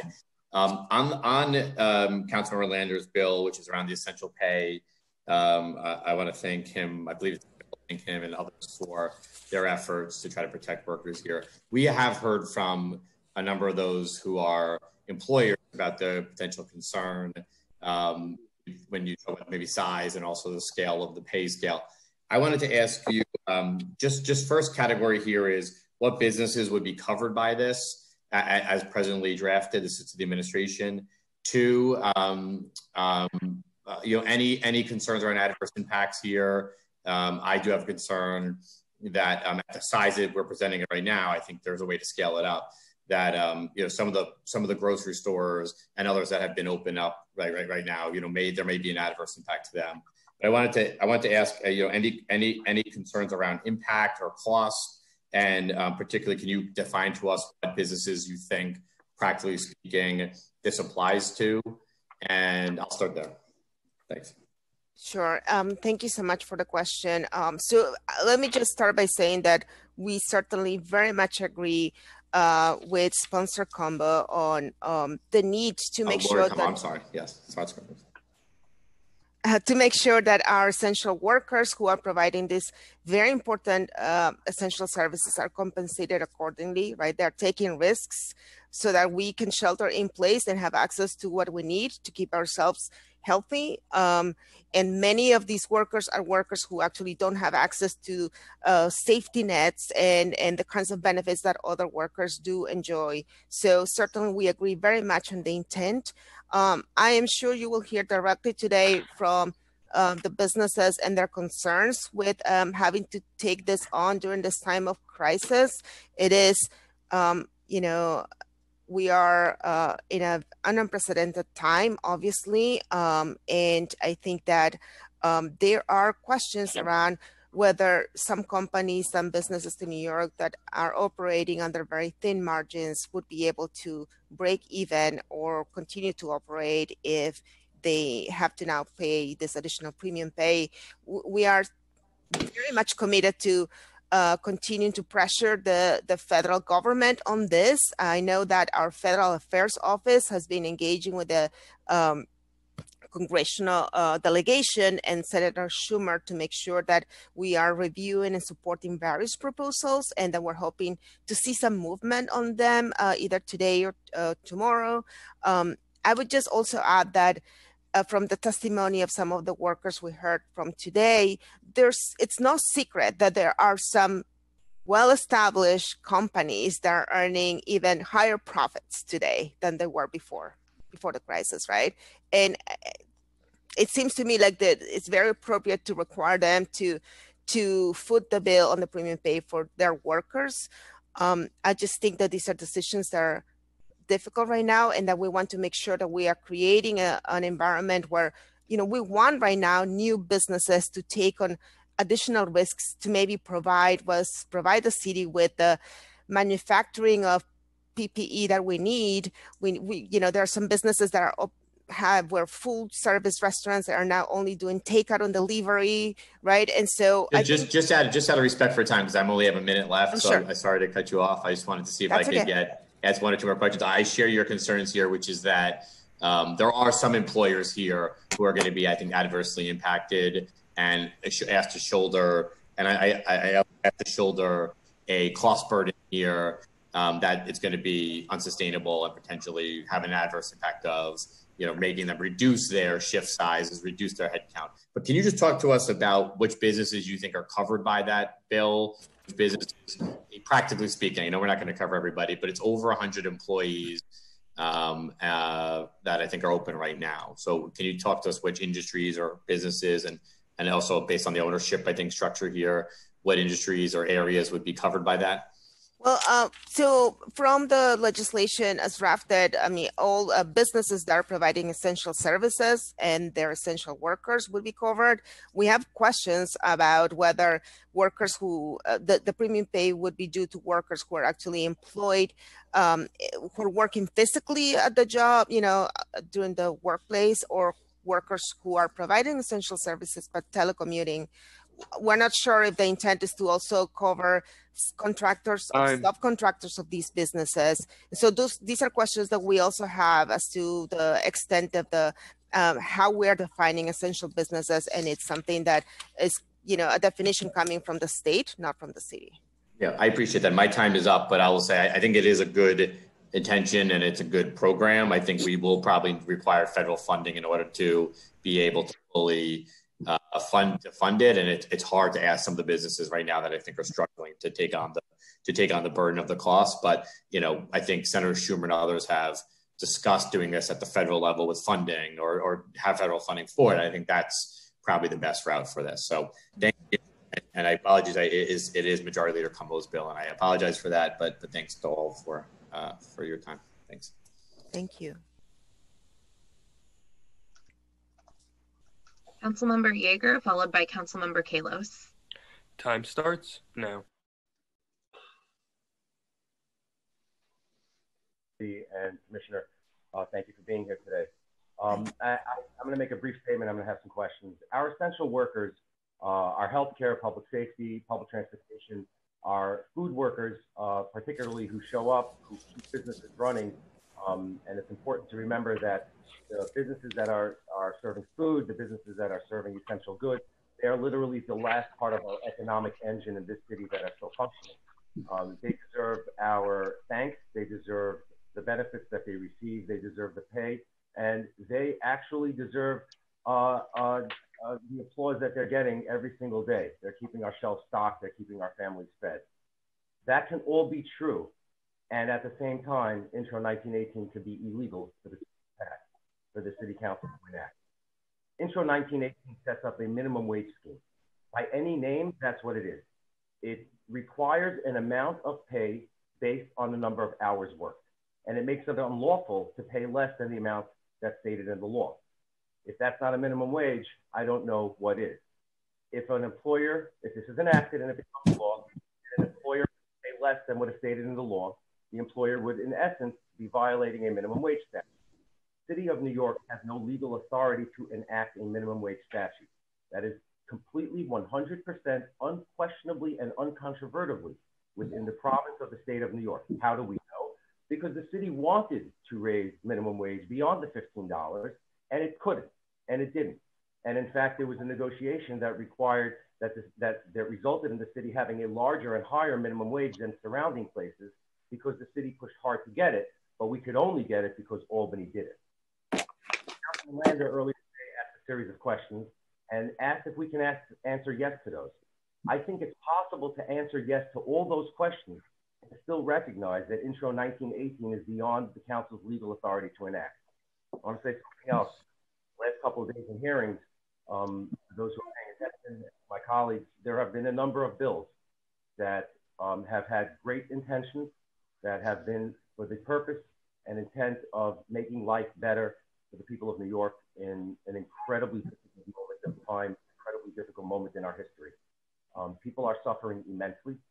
Uh, they are uh, both economically, financially, obviously, but um, uh, in terms of the people that they've lost, uh, uh, in terms of their neighbors, their friends, their families, uh, spiritually, our spirit is down in the city. We do have to do things to make their lives better. It is possible to want to do those things. It is possible to find the things to do. And to recognize that there are some things we want to do that we can't legally do. And with only two minutes left, Commissioner, I'll turn to you and ask you, have you studied Intro 1918? Uh, do you have a legal opinion from your agency, uh, from counsel to your agency, whether or not the city has the legal authority to enact this statute? Uh, thank you, council member, for your question. Um, and so, uh, what I would say right now is that I'm the law the law department has been having discussions and phone calls with the council to discuss um, any concerns with the language in the legislation. So i am going to leave those discussions to the law department and the council. Um, um, they'll be in the best place to hash out um, you know what um, what language seems appropriate I may, Commissioner, and I only I only have a few seconds, so I appreciate the answer, but I, I do want to state the following. Um, that's not the best place for a law to be written and for a law to be aired. And with all due respect, and I appreciate what you're saying, for the law department to have offline, off the books, secret conversations behind the scenes with members of the council staff about how to draft the law while we're sitting here having a hearing and, and your agency can't tell us whether you are legally allowed to enforce this law if it were to be enacted. Um, it seems to me to uh, be perhaps not on your part, uh, at least a dereliction of someone's duty, maybe us in the council uh, more than anybody else. But the city, the city corporation counsel is our lawyer. It's the city's lawyer, and we do deserve to have an opinion uh, from from them or from you as to whether or not this law will be enforced if it were to become law. As I stand today, sit today with 25 seconds left, so you can take whatever time after the bell goes. Um, I, I am hearing that you are not able to tell us that you're able to enforce it. Um, no, no, that is not what I said. Um, but I did say that the law department and the council are working to make sure that uh, whatever language ends, up in the bill is uh, it passes legal muster. And I would say we are you know used to having legal challenges to to many of our laws in the books but we have uh, to date being able to actually survive a lot of those legal challenges so i am confident that we'll arrive at, at good language. My time is up. I thank you very much commissioner. Um, i thank you for being here. I'll have more questions for uh, future witnesses in this hearing thank you mr chairman. Thank you. Councilmember Kallos, followed by Majority Leader Cumbo. Clock starts now. Thank you uh, to the chair and to everyone involved in this hearing. I want to also thank Councilmember Rosenthal for deferring to sponsors, and I ask that she be put back on the list since she was initially first, right after Councilmember Cumbo, another sponsor. Uh, Commissioner Salas, in your testimony, uh, you uh, raised hesitation regarding just cause legislation. Uh, my, my daughter is in the background. This is the uh, new normal, but so just to figure out where we have commonality. Uh, so Commissioner Salas, if a person is working as an essential worker, they don't have access to PPE, and their employers out there saying, "Oh no, no, we're giving access," um, and that that employee is safe, should that employee have a protected right to ask for PPE?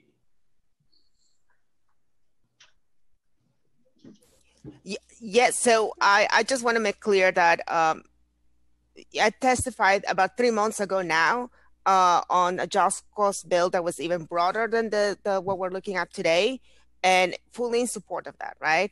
Um, okay. and and so so I, I'm not changing my testimony with regards to uh, the okay. benefits so, and protections. Yes. Okay, and then the so then the, the your your testimony you said uh, it would be challenging to absorb the new regulatory responsibilities. Uh, can you just expand on that further for no longer than 30 seconds?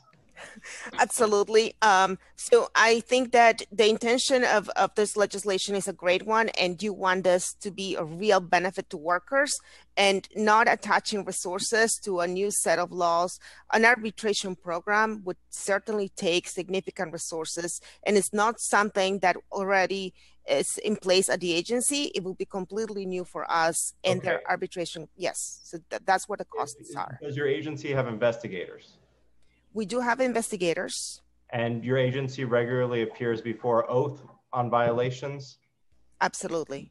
Uh, what if the legislation were to move the uh, arbitration unit and mediation unit over to OATH so that uh, you can continue to act as a uh, investigatory and prosecutorial body and have a, a, a judicial body handling the arbitrations and any cases? You know, I believe that there's definitely um, um, discussions we can have to make sure that this ends up being a strong, strong bill, but also uh, takes into account the resources that it will take to happen. So yes, I mean, I think that that seems like a um, already something that we, we we're currently doing, right? Appearing before OATH. So it's it feels like a more feasible program for us to take on um, but we'd love to keep having the discussions because the devil is in the details, obviously. Uh, and I guess one other thing, the your agency already has a lot of workers' protections that you're overseeing, whether it's paid sick or others. Uh, we've gotten a lot of outreach from anyone who runs a business, from for-profits to nonprofits, and th- their concern is uh, if they do a if they do a across-the-board furlough or they they're they are only doing deliveries, so they have to lay off the wait staff, or uh, they're a, a whatever it is, they're they're a big company or a small company. They're they're a nonprofit doing business with the city. The city cuts SYEP.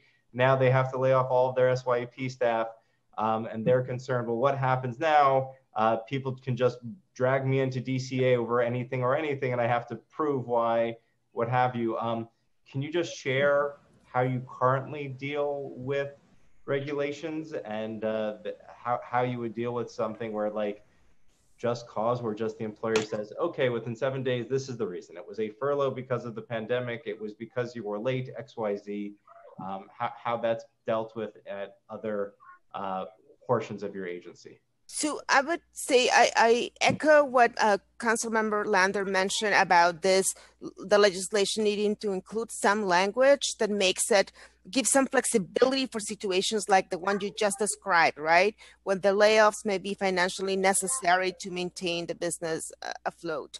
Um, but in reality, like we are used to handling retaliation cases, sadly, way too often. We've had over close to 800 re- retaliation cases at the agency in the last few years.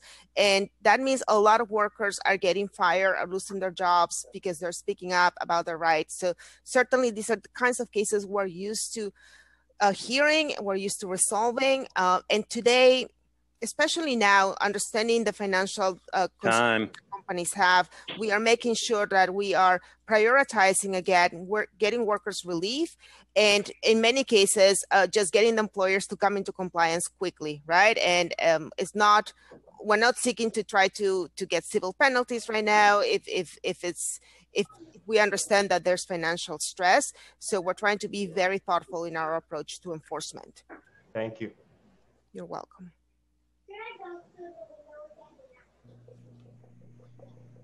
Next, we'll hear from Majority Leader Cumbo, followed by Council Member Adams.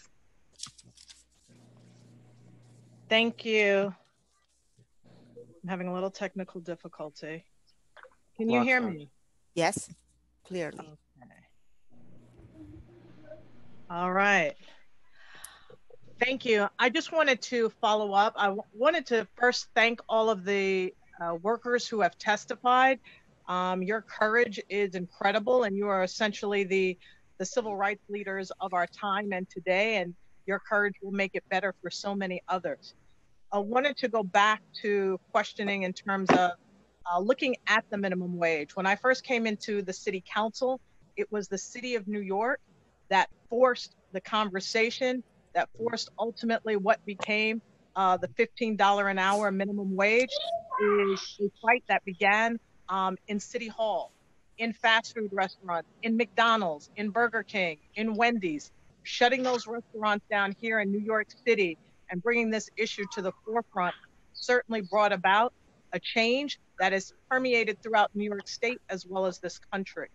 And so, my question um, you mentioned in terms of the federal government's response. Uh, with the federal government's response in terms of uh, with uh, Intro 1918, what other opportunities or spaces or places can we see um, this particular legislation enacted? Where else could the support come from? And also wanted to follow up, how do you think not-for-profits, um, what responsibility do you believe the city, the state, or the federal government or not-for-profits have in terms of uh, implementing 1918? Thank you. Um, thank you for the question. And thank you again for for speaking up on behalf of all, all our heroes in, in New York. Um, so uh, certainly, I, I think that again, this this is um, this is a moment where we can um, we can take take the advantage that there are conversations being had right now um, on both sides of the aisle about including some kind of hazard pay premium pay um, in the the next upcoming stimulus bill. So I think you know we should definitely continue to put pressure there um, because it is about um, local workers responding to a national crisis. Right, this crisis is much bigger than New York City, and and we need the help. We need we need the workers to get paid accordingly, but we also want to make sure that some of the businesses that are struggling to keep up and stay open that um, don't see this as a disincentive for continuing to doing business in New York City. Um, um, I think that you are absolutely right that these are moments where the city can be leading, uh, not just with legislation, but also with being very vocal. Um, you saw the response, the quick response we got this this time from the state and federal governments to implement paid sick leave laws, right? That weren't in the books for a long time. Only the city had paid sick leave protections for the last like five, six years.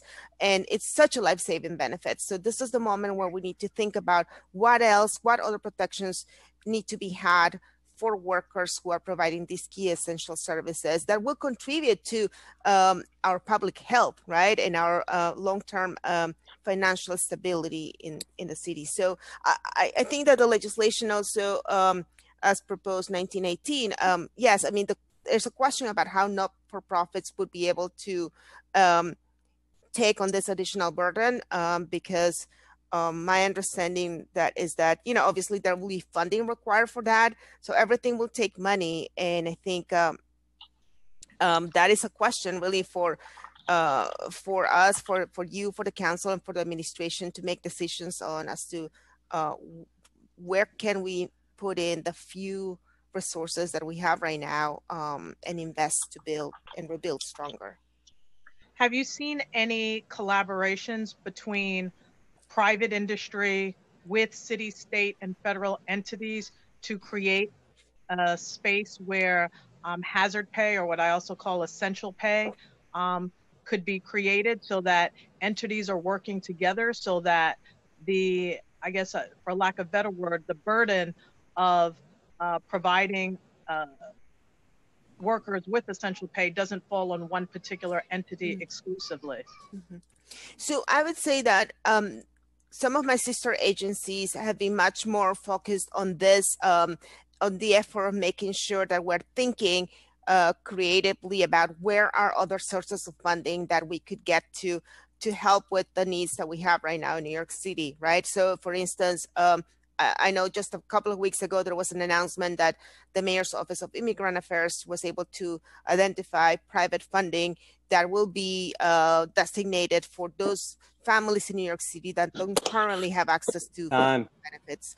Uh, so there are definitely opportunities, and um, I know the Small Business uh, Services uh, Office is also thinking about what are where are the gaps in funding for our small businesses in New York City who may be too small to qualify for any type of uh, federal loan program or grant program. So certainly we need to continue to have discussions and partner closely with the um, private sector and with foundations on this. Thank you. You're welcome. Councilmember Adams, followed by Councilmember Rosenthal. Clock starts now. Thank you very much. And um, thank you to the chair for this very important hearing. Thank you to all of my colleagues for your legislation, um, something for us all to take a look at um, to protect our very valuable workers who have indeed been uh, uh, ignored um, during this pandemic. So, um, Commissioner, it's good to see you. Um, I'd just like to probe a little bit deeper uh, into the questioning that the majority leader just asked regarding 1918 and the impact uh, on nonprofits. How do you see uh, um, improvements uh, to this legislation surrounding nonprofits? Nonprofits that have, um, since the pandemic, have been extending themselves to their workers, um, already providing uh, uh, uh more uh, overtime, wages, et cetera. Um, nonprofits who are fundraisers themselves. How do you see this bill impacting them, and what suggestions, if any, would you have to improve it? Mm-hmm. Uh, thank you so much for the question, and I, I, I wish I could say I have a, a, great answer for that. I'm, I'm not sure that I do. I mean, maybe some colleagues in my, in my office can uh, jump in and help me out here. But uh, the one thing that I would say is that we, uh, as, as an agency that um, already contracts with several nonprofits, right, as vendors who provide very, very essential services through our Office of Financial uh, Empowerment. For instance, the free tax preparation services and the financial counseling work, which right now are, uh, we find it to be uh, venues where people in our communities are able to access information they need. Uh, and it's super important that we continue to provide those services through our vendors. Um, certainly, there isn't a plan right now to add additional funding in in the budget to then uh, pass on to these vendors, right? And so if if the law if the legislation includes them as providing essential services, being essential businesses, um, I'm not really sure what would happen. Right? I'm not sure that they'll be able to um, to meet these uh, premium pays and compensate their own workers. Um, I don't have an answer. I'm sorry, uh, Commissioner. Would you ever recommend that nonprofits be excluded from the legislation?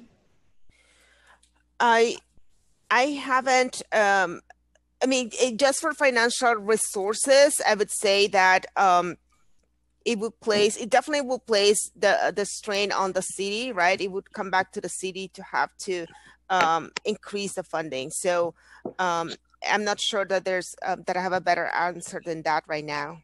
And and council member, this is Steve Ettannani. I I think all of these questions are extremely well founded and, and well articulated, but I, it really just also underscores the need for the federal government to step in. Absolutely. Um, uh, that I think solves so many of these problems, and you know, I, I give a lot of credit and kudos to to uh, this administration in terms of working with um, our congressional delegation to ensure that any second, third order, fourth order stimulus packages from the Congress include um, premium pay. I couldn't agree with you more. And um, uh, being from Southeast Queens with Chair Miller, we are very much in touch with our Congressman, Congressman Meeks, who has been a champion uh, for us and continues to uh, to do so. So I absolutely agree with you. And um, thank you for your testimony today. Thank you so much. Chair Rosenthal, uh, sorry, Councilmember Rosenthal, and then we will go back to the chair. Clock starts now. Thank you so much. Um, I really want to thank the speaker and Chair Miller for having this incredibly important hearing. Uh, government has a critical role in protecting and supporting all of these workers.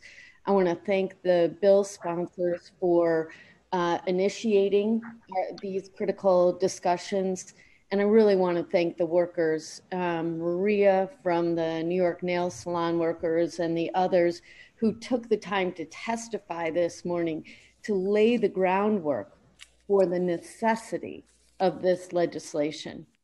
I am in full support of the intent of this legislation.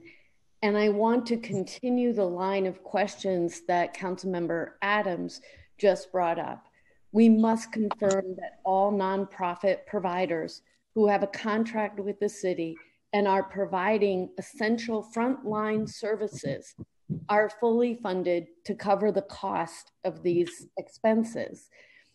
Now, I understand the response about waiting for the federal government to come through with the money. And however, as I've said res- repeatedly, you know, of course we have to be efficient with our resources. Our our revenues are down around $10 billion. Um, however, the city cannot uh, be intimidated into passing an austerity budget. Um, funding to support the ideals of these bills must be guaranteed by all levels of government so that the nonprofit providers who are the frontline essential workers, along with grocery store, nail salon, the workers at Amazon, um, and including the additional staff that will be needed by Commissioner Salas's agency, uh, as you mentioned, for the increased demand for financial empowerment services um, as we move along here. I strongly urge that we collaborate with the human services sector in particular in either amending these bills uh, as they are the ones who directly support our city's most vulnerable um, by supporting domestic violence survivors, people with dis- disabilities, people who are undocumented, people who are homeless and hungry. Um, or we have to add the funding as a critical component as a part of this legislation. Um, we cannot financially burden these organizations any more than we already do. So, what I'm really wondering is if there's a representative from the administration here at this hearing who can tell us the city's plan to address the impact of this legislation on uh, our New York City nonprofit human service providers. And I would like to hear from them their willingness to support uh, financially this critically important legislation.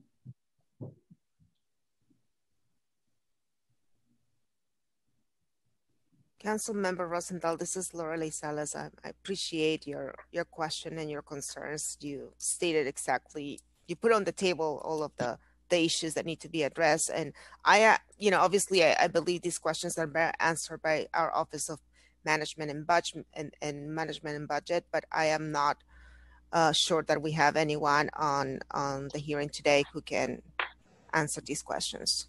No, Commissioner, I very clearly, I, I was clear in, in my question in noticing that you're not the person mm-hmm. who can yeah. answer. Mm-hmm. But the administration knew we were having this hearing. It's a sort of obvious question. Um, and I just want to clarify that the administration did not have anyone prepared for this hearing to answer that question. Is that accurate? And so I'm council here to put you in the position to answer that question.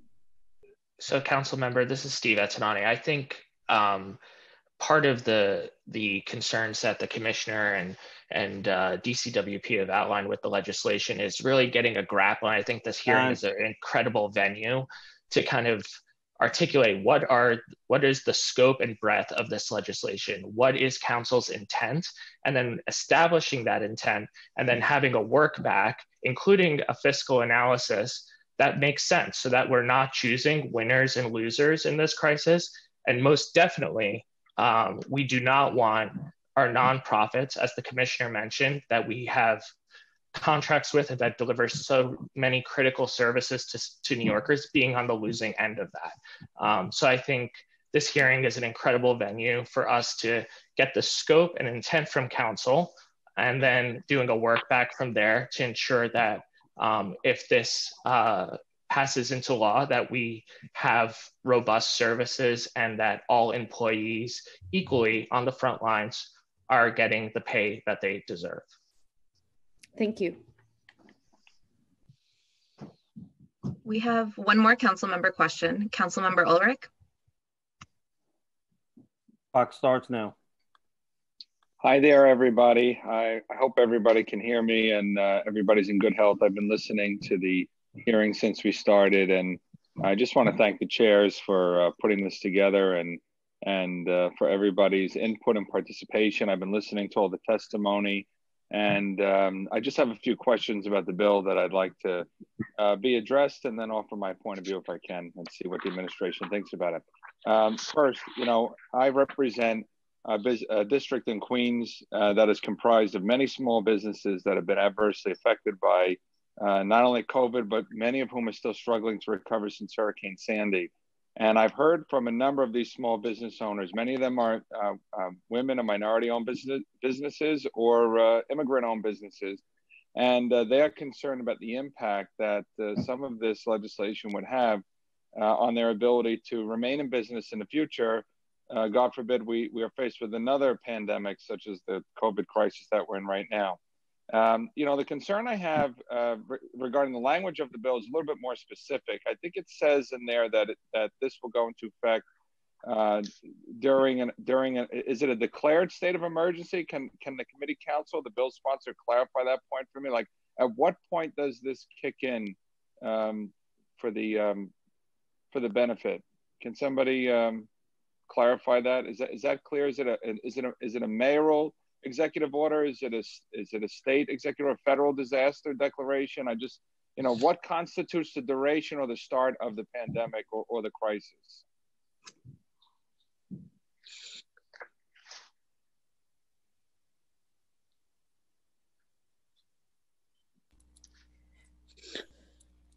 Is there someone from the council who wants to address this um, well, I guess all right. Maybe I'll I'll let somebody look into that while I I sort of digress here.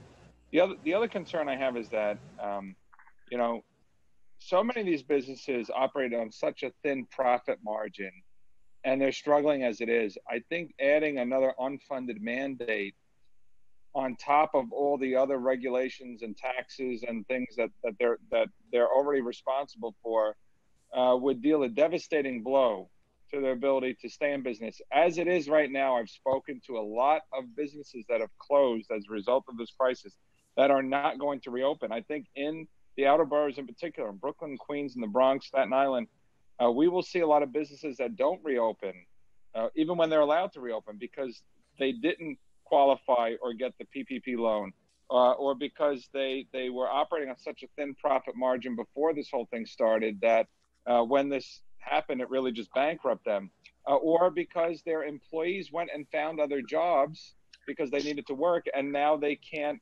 uh, go back to the place where they used to work. Uh, that is a real um, crisis that a lot of small businesses are facing right now in the city. And, and I understand the intentions of these bills is to help the frontline workers and the people that have been there for us. But, but I don't want that to have such a negative impact on the small business community in the city uh, that they are not able to fully recover. And as a result, when we fully reopen the economy, and God willing, that happens soon, and God willing, we get a vaccine, and God willing, things get back to quote unquote normal, that those businesses will be able to open. I don't think a lot of them will be able to reopen because I've spoken to so many of them, and they're concerned about their situation now, and they're very concerned about uh, some of the some of the impacts that that these bills are going to have on their ability uh, to stay in business during a crisis and then continue to stay in business thereafter. So I'm very concerned about it. I think the nonprofit community is very concerned. I know my colleagues have expressed that already. That's a real concern that people have. There seems not even to be a mechanism in the bill for a, a business or an industry to get a waiver. Okay, if a certain percentage of their revenue is totally reliant upon uh, government contracts, for instance, or grant money or other things like that there's no waiver, there's no opt out. It's pretty much this broad stroke of, you know, we're going to impose these unfunded mandates on all these industries and all these uh, business uh, businesses throughout the city. I, I, just think it's very, very. Um, I think it again. The intentions are good. I just think it's very uh, problematic for the business, the small business community, not the big guys, not the big corporations. But for the small business community in the city that are already struggling, I, I don't think that this is going to be very helpful to them. And I just want to say that on the record and express that. And I would like uh, some of those specific concerns about the language of the bill addressed if I can uh, have that Time. done by the committee counsel. Councilmember Ulrich, I would just say quickly that at least with respect to Intro 1918, uh, the essential business is, is defined by the executive order from the state, um, from the New York State Department of Economic Development. I do think that uh, in the legislation, it is not clear when this le- this particular legislation would sunset, but I know that the city council committee working on this can give you more information.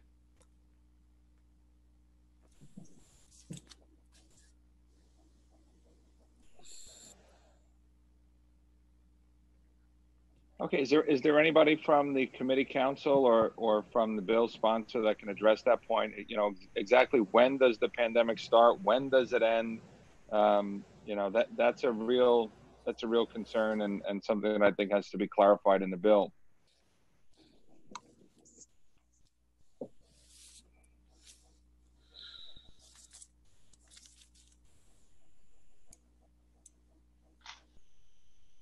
Okay, I, guess nobody's able to uh, to answer that right now, but I, I want to thank the chairs again. I want to thank the sponsors of the bill.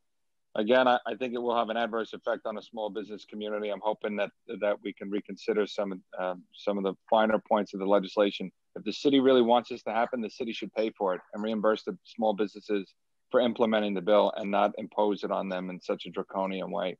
But again, I want to thank everybody, and I look forward to hearing everybody else's comments. Uh, Councilmember Cumbo. Uh, thank you so much. Uh, Councilmember Ulrich, um, this, this bill was based primarily on the governor in terms of the timing. So when we look at it, we're looking at it from the time and the place in which Governor Cuomo issued Executive Order 202.6 or New York State on pause, which mandated that all non-essential businesses be closed and also delineated guidelines for what should be labeled an essential business. So this particular, if you're referring to uh, 1918, um, the timing is working, I would say at this point, roughly with uh, the governor's office in terms of um, how they are mandating uh, when closures happen and when we restart. So this was basically based off of Governor Cuomo's pause. But what I also want to say is that the challenge that we continue to deal with is that while you stated that many businesses are going to, after you know we reopen or come back online, that a lot of businesses are going to find that they're closed. But uh, my challenge is if we continue to do business as usual, um, not giving workers their protections, we're going to come back and a lot of workers are going to be dead. So it's really this, you know, very real situation in terms of a closed business or a dead staff or dead employees. I think what we're hearing in terms of what a lot of people are uh, discussing today is that there um, that there needs to almost be a, a, bifurcation of this legislation in terms of um, we recognize that the mom and pops uh, cannot sustain or survive with this legislation as was mandated but we have to be able to look further and beyond that. And it was discussed in many ways that the larger giants, like the Amazons of the world, who are making a lot of money, we need to figure out how do we capture them in this legislation while also figuring out more creative ways um, to assist those organizations who do have essential workers but have not financially benefited at this time. So these questions are definitely uh, helpful um, and guiding us how we can uh, come to a stronger understanding of what type of legislation we need to put forward. Thank you for that.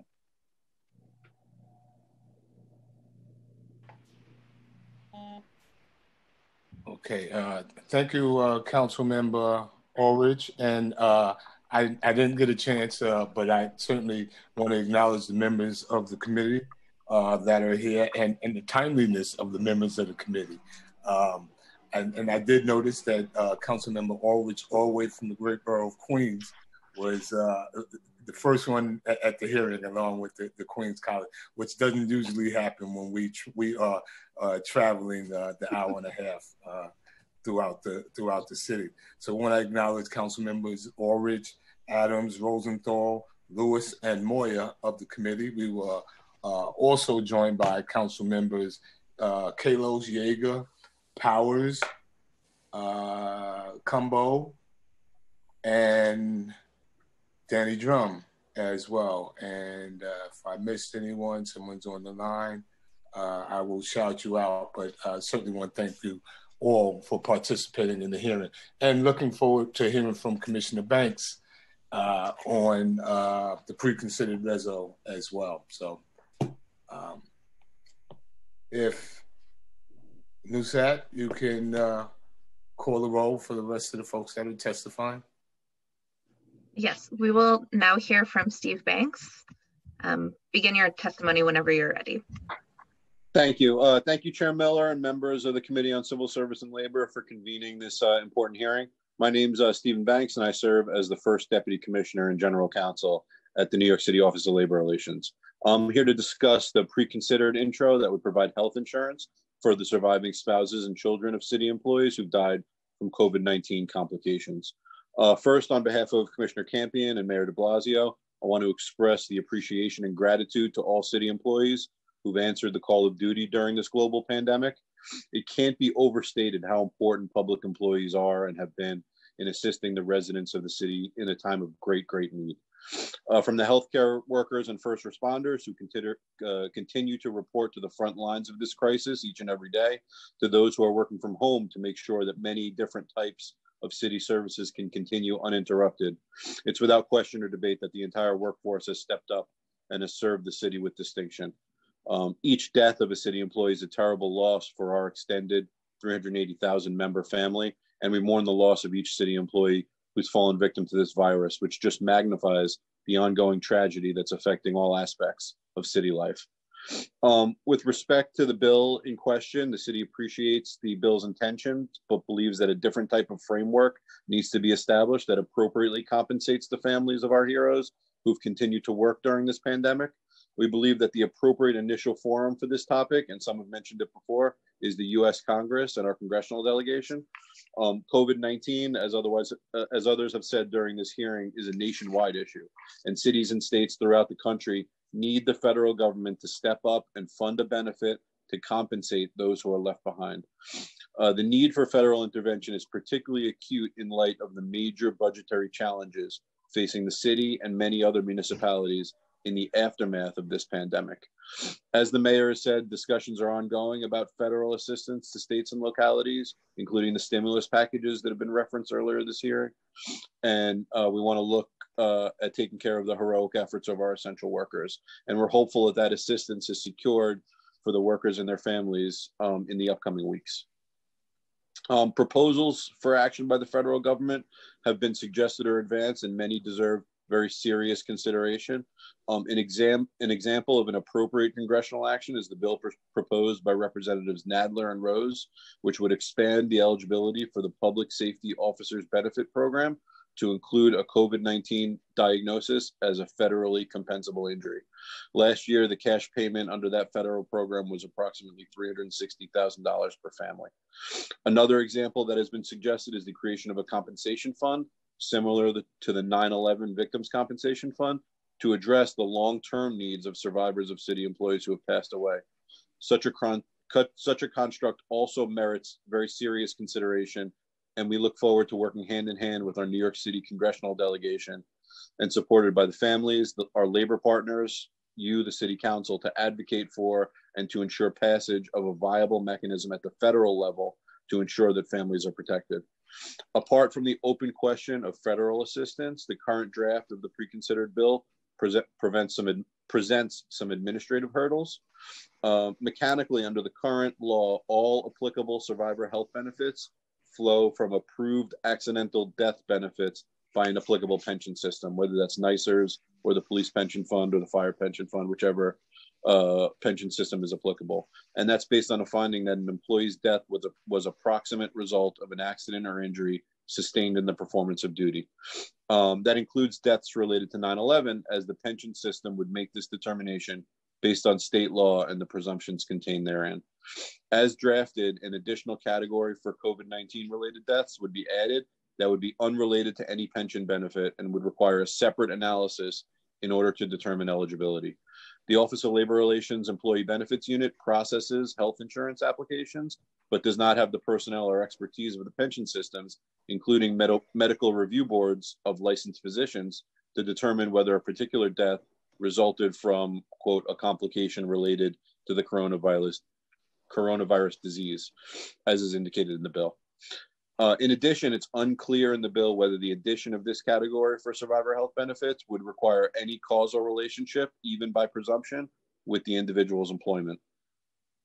I want to thank you again for holding a hearing on this very important topic, which has sadly impacted too many of New York City employees' families. I want to again express the appreciation and gratitude to all city employees who've answered the call of duty during this global pandemic and to mourn those who we have lost. And we will continue to do all we can to support our workforce and the family of those who have passed away. We recommend that federal action be taken as soon as possible, as it represents the most appropriate initial focus of this important effort that would provide a solution on a broad nationwide scale. We look forward to working with the council, the families, labor, as well as our partners at the state and federal level to follow a path that thoughtfully addresses the important topic of compensation for the families of employees who have died from COVID 19 and I want to thank you for the opportunity to testify today. Thank you.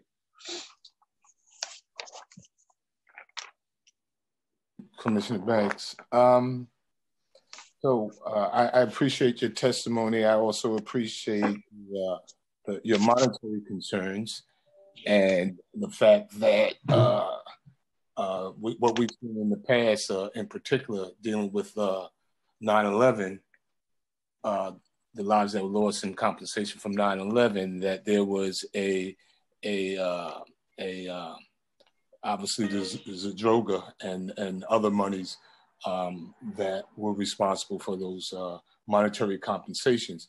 Um, but historically, uh, I think over the past six years, we've done five or six um, uh, pieces of legislation that provided for uh, health benefits for surviving uh, dependents of members killed during the line of duty. Most recently, uh, um, NYPD, tra- uh, traffic enforcement, DOT, DEP, and, and, and others.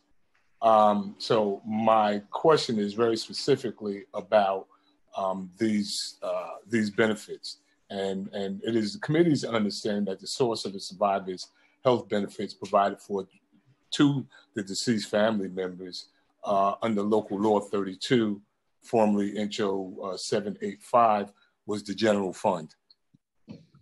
Um, and, and, and, I know you mentioned something about individual pension funds, um, but I, I, would like to, to, to, dive in that as well.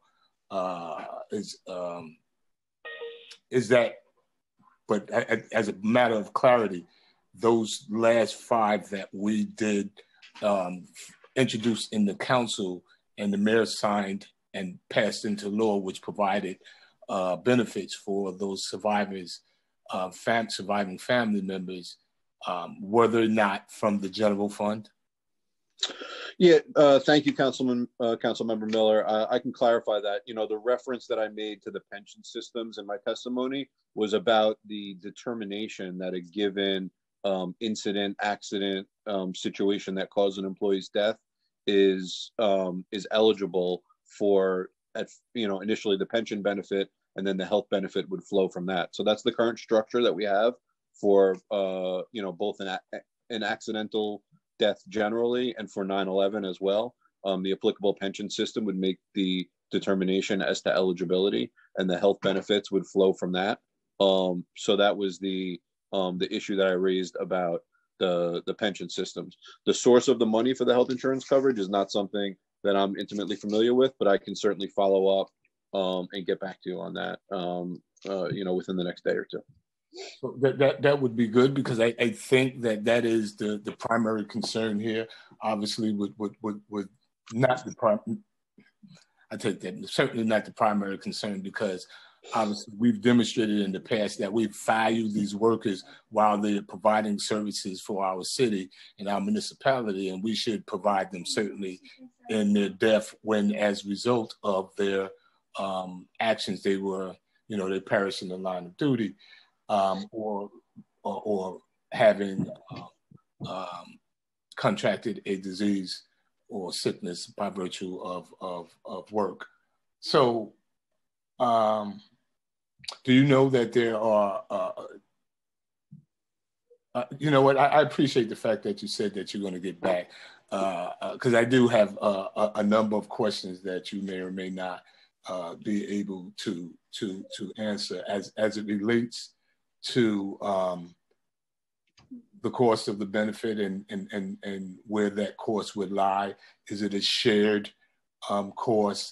Certainly uh, we cannot put a, a, a cost on, on, healthcare. And, and, and the other thing is, um, in this moment, what happens is is is that you know uh, before we find ourselves before we come out of this pandemic, there are families that are going to find themselves without benefits because they have lost their loved one, and and certainly that is not something that the city wants on on us to bear. there are families out there who loved ones have sacrificed, made the ultimate sacrifice, and we cannot provide health benefits for them uh, in the interim. And and I don't foresee. Uh, by the way, that's a uh, anything monetary would would would merely uh, pay for COBRA. Uh, uh, an extension of the benefits, but I think that it is the responsibility of the city to be able to continue those benefits as we have done in the past.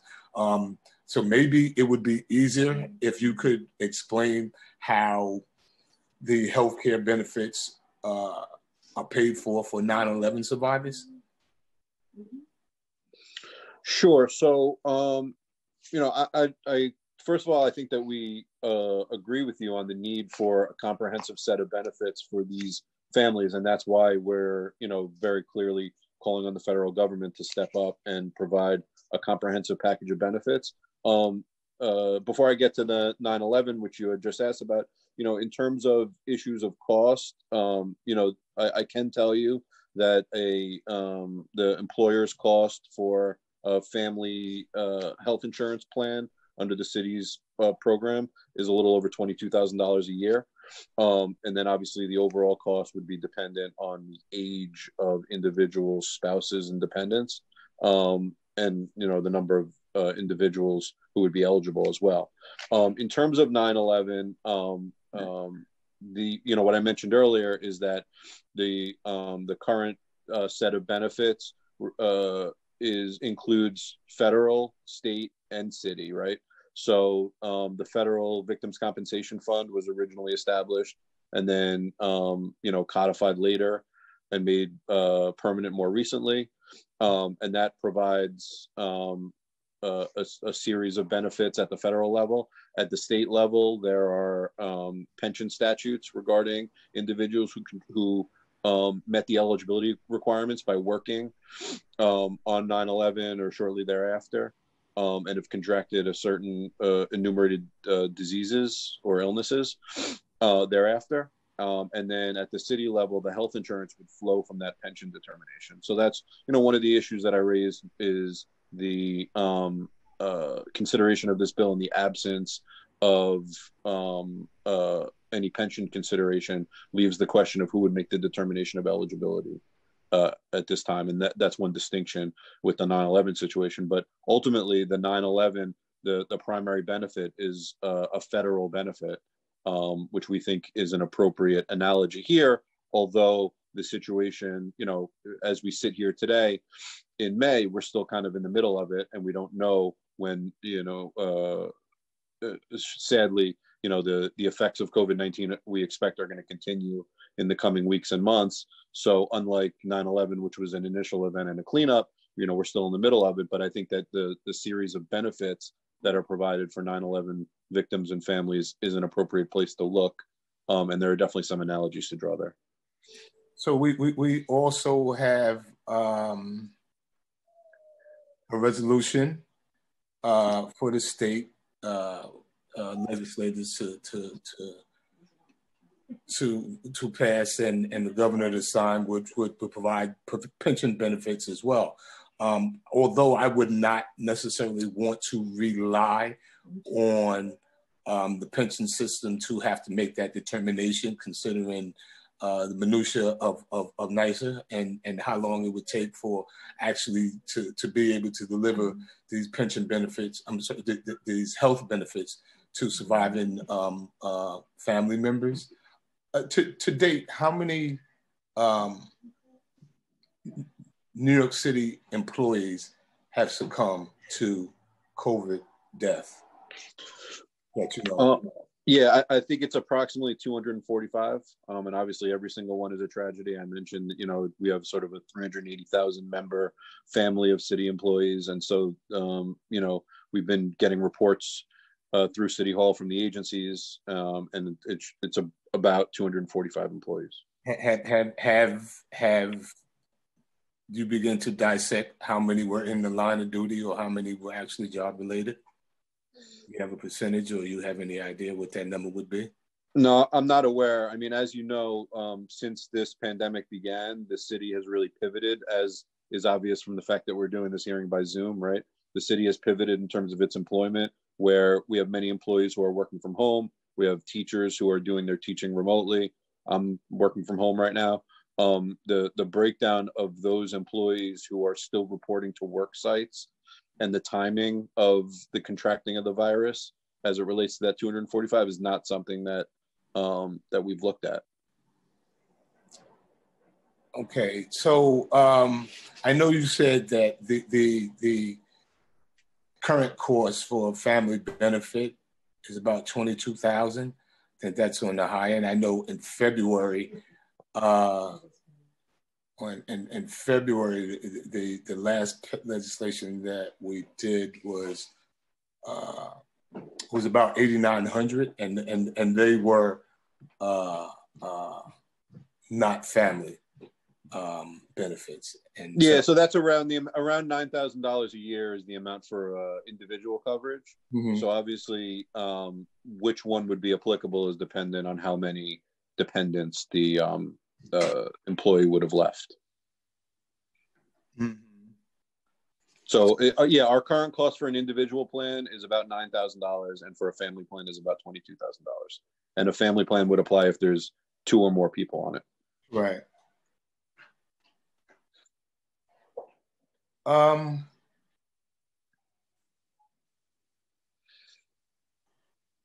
Could could could you just as a matter of clarity, what what would be considered uh, it, it, it, as as mentioned in in other legislation, and I know you you were listening intently, and how do we define essential workers? How do we now define uh, line of duty? Uh, would you would you be willing to leave that determination solely to to the presiding pension system, or should the, the city have a uh, uh, play a role in that in providing uh, uh not just uh, access to information to determine that, but ultimately, um, you know, in that judgment of whether or not the, the, the person uh, had lost their life due to COVID 19. Yeah. So what I will say is that I think under any structure, it should be a medical determination, right? I think that um, often these questions about the connection between um, an incident or an accident and um, what caused someone to die is, um, you know, is very specifically related to what happened. Um, so I know that each pension system has a medical review board that looks at cases, whether they're disabilities or claims for an accidental death benefit and mm-hmm. makes those decisions. Um, so they certainly have the capacity, and that's kind of the structure we've used before. Is that there's a de- determination made by the pension system that someone's eligible, for example, for an accidental death benefit, and then the health benefits would flow from that. Um, so you know whether it's that structure or another one, I think that you need licensed physicians to be able to make an educated connection between the job and um, the injury or illness. Okay. Um, are they are there any additional benefits uh, uh, that would be due a municipal employee by virtue of uh, what is considered to be a in the line of duty death? So yeah, I mean, there certainly are, you know, leaving uh, where COVID falls aside, and you mentioned that there, you know, is a resolution that talks about some of the state bills. You know, there are existing benefits which apply to, um, you know, what's commonly known as an ordinary death. If someone uh, dies uh, while they're in service, right, without having retired, um, or if it's a line of duty death, you know, the um, the the benefits are different. There's layers of benefits uh, depending um, on a number of factors, but um, there are benefits in place, whether it's an ordinary death or a line of duty death. Do you know the difference in in, in the in the two? Could you explain? Yeah, I mean, just bro- just broadly speaking, um, the ordinary death benefit is generally a lump sum um, and is commonly three times the employee's salary that would be paid to the surviving family. Um, if someone you know uh, happens to have died while in active service, uh, line of duty death benefits are generally uh, uh, flow for a longer period of time as a, a replacement for a pension benefit. Mm-hmm. Um, it might be in some instances 50% of the employee's salary or, or 100% of the employee's salary, and that would uh, flow to a beneficiary for the remainder of the beneficiary's life. So that, that's the general difference. And there's a lot of nuances in the state pension law depending on tier and classification and all that sort of stuff. Is there a difference between uniform forces and uh, and and and and the non-uniform uh, employees? Yeah, I, I don't want to speak out of order. I, I, believe that there are differences, but it also might depend on the tier as well. So, I mean, if there's a specific comparison or question that you have, I could take that back um, and do a little bit of research. But I, I believe there are differences um, between uh, some uniform staff and some civilian staff, but there's going to be other nuances as well. Yeah, that you, you know that that is it, it's important to the committee as we move forward, and we want to know because, uh, quite frankly, we know that uh, the makeup of the city workforce, uh, particularly those who live within the, the, the confines of New York City, are, are people of, of, of color, um, and and there are, as we have seen in the past, uh, there have been uh, pension disparities as as uh, that have manifested themselves in times of crisis, as in so many others, um, as in people who, which was the reason why we did the the the, the 9/11 extended, which extended it to the non-uniform uh, services.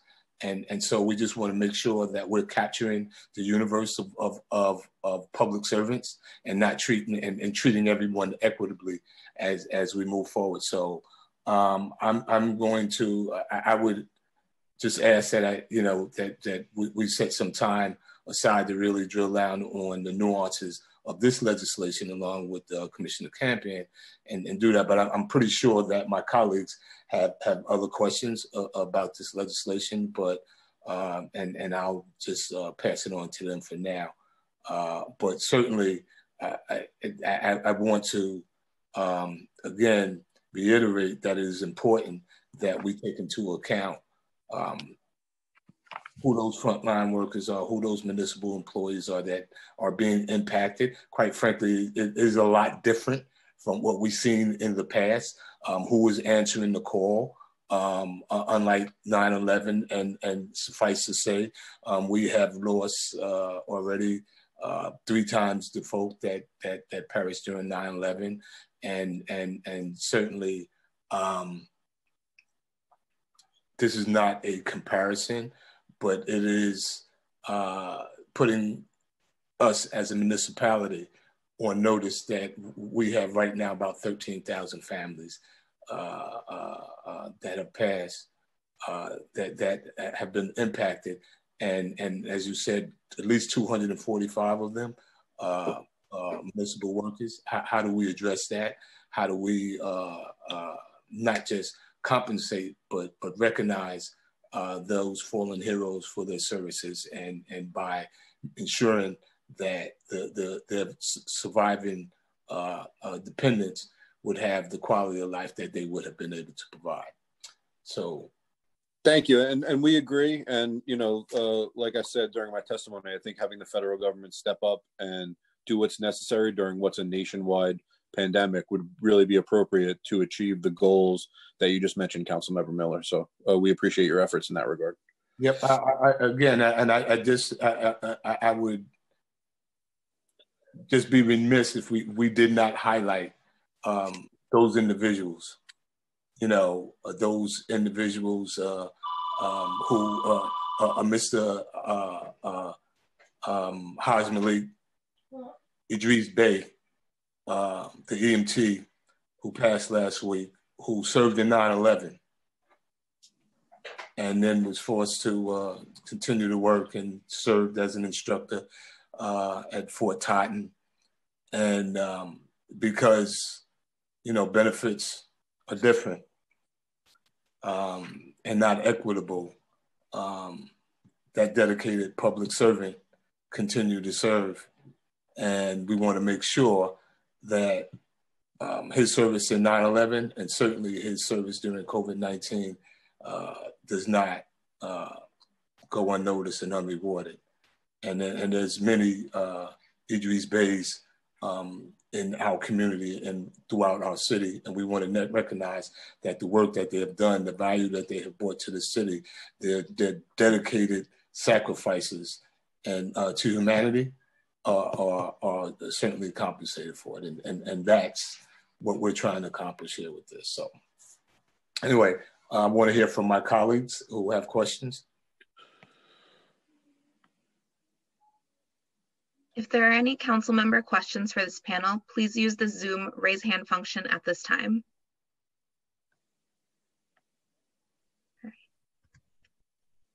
Seeing no questions, we will now turn to public testimony. Once more, I'd like to remind everyone that unlike our typical council hearings, we will be calling individuals one by one to testify. Council members who have questions for a particular panelist should use the raise hand function in Zoom, and you will be called on after the panelist has completed their testimony. For panelists, once your name is called, a member of our staff will unmute you and the Sergeant at Arms will give you the go ahead to begin after setting the timer. All testimony will be limited to three minutes. Please wait for the sergeant to announce that you may begin before delivering your testimony. The first, the first four panelists will be Detective Paul DiGiacomo, Gloria Middleton, Oren Barzilay, and Mark Henry. I will now call on Detective Paul DiGiacomo. Time starts now.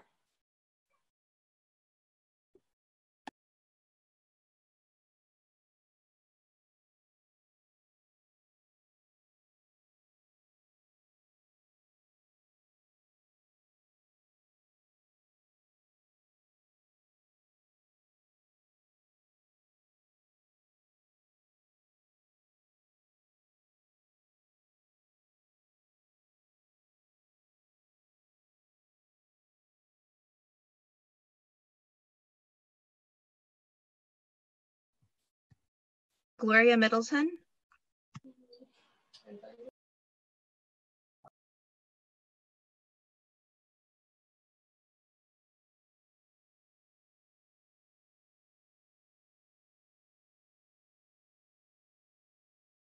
Uh, the detective appears to be muted.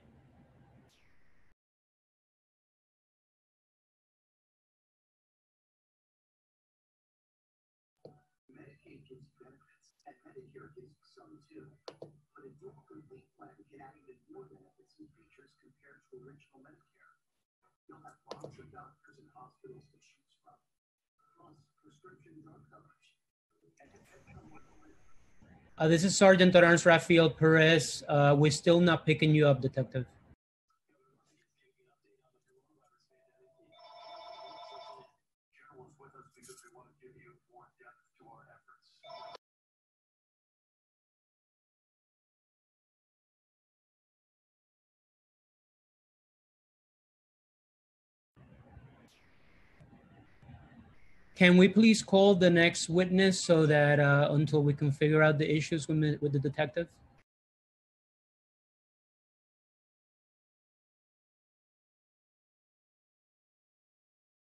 Gloria Middleton,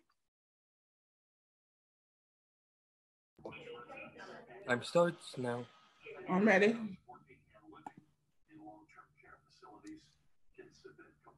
Can everyone hear me? Yep. Please begin.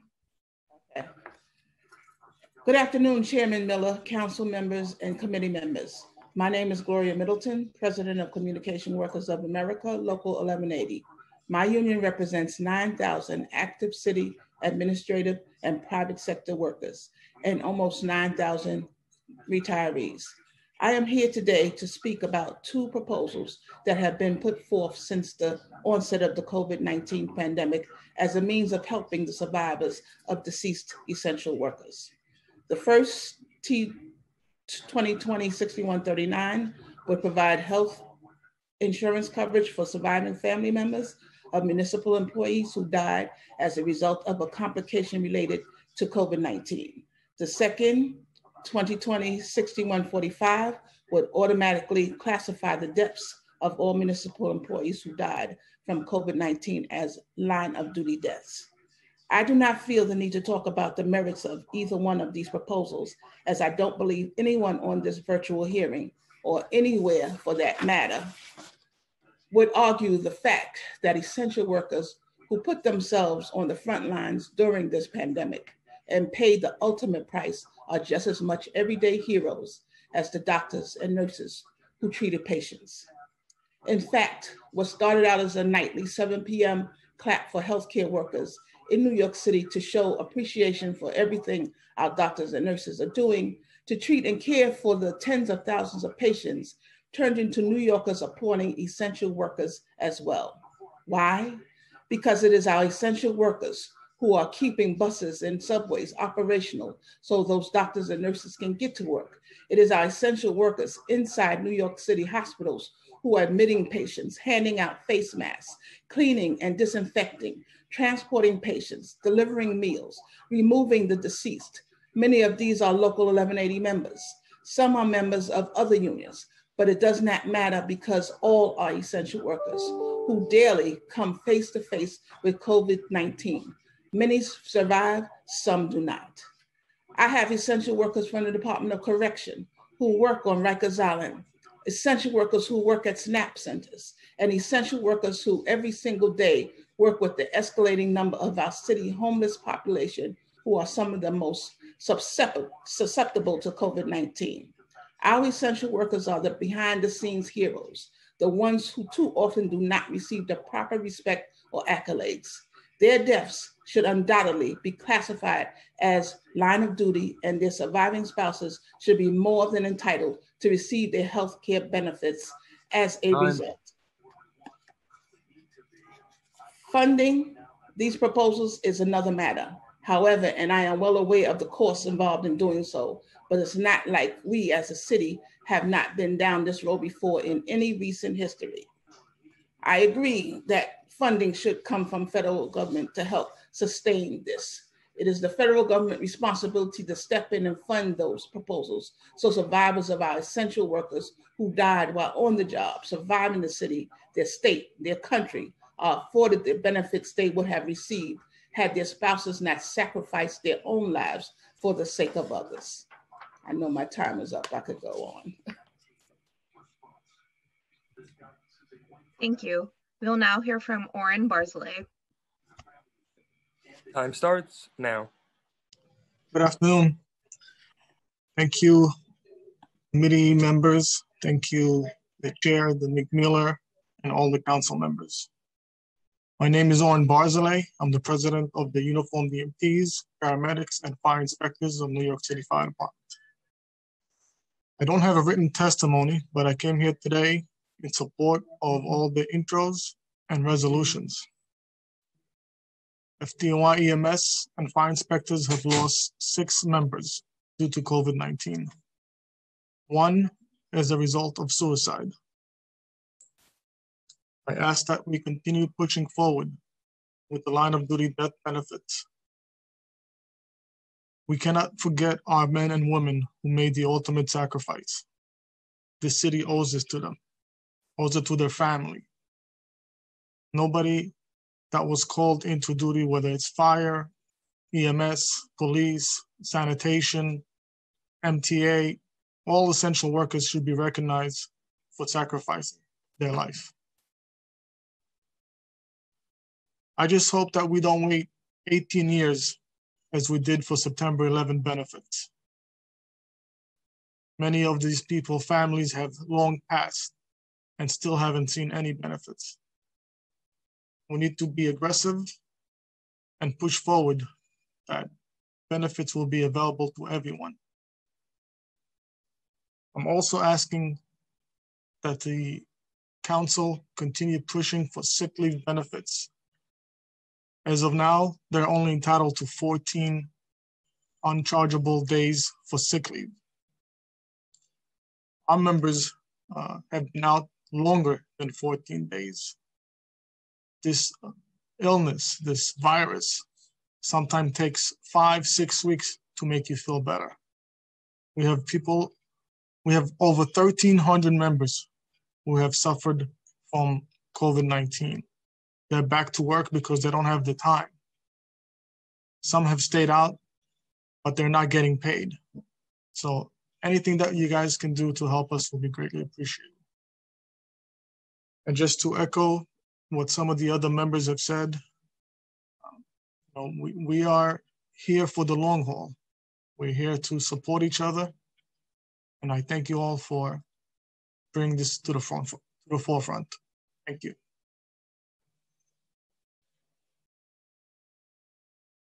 Thank you. Uh, we will next hear from Mark Henry.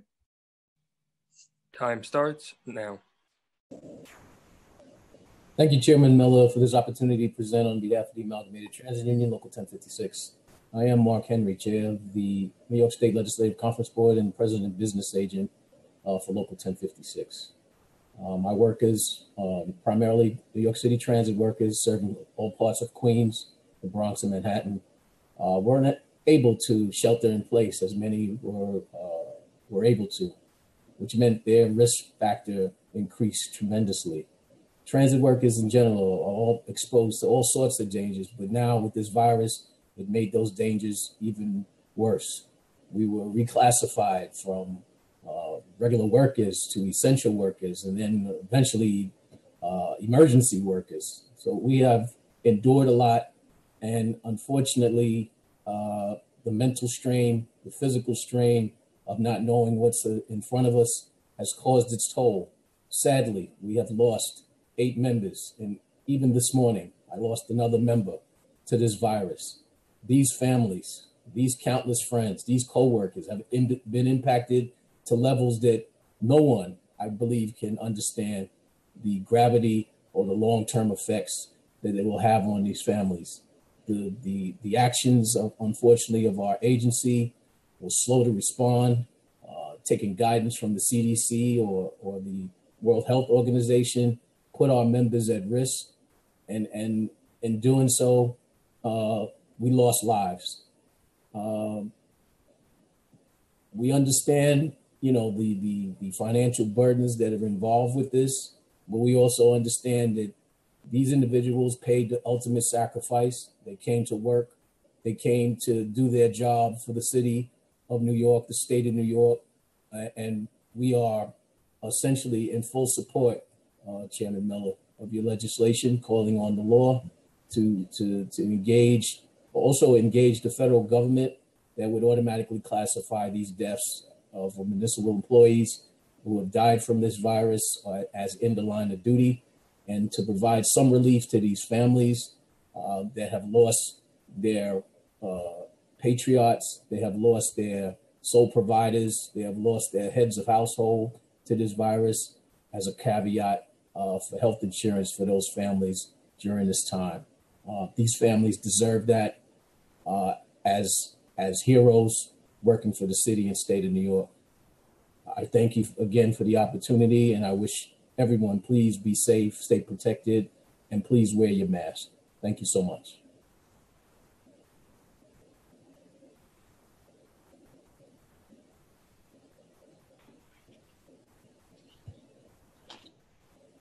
I'm here for any questions. Is is is is Paul back? Paul. Yeah. Uh, Veterans Endowment. Oh, I'm sorry. And we can call him when he becomes available. Okay. Uh, I just, once again, I, I, I You want guys have me muted. Uh, There you go. Can you hear me now? There you go. Okay, are we uh, okay now? Absolutely. All right, thank you.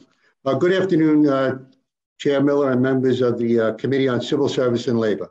I am Detective Paul DiGiacomo. I'm president of the New York City Detectives Endowment Association.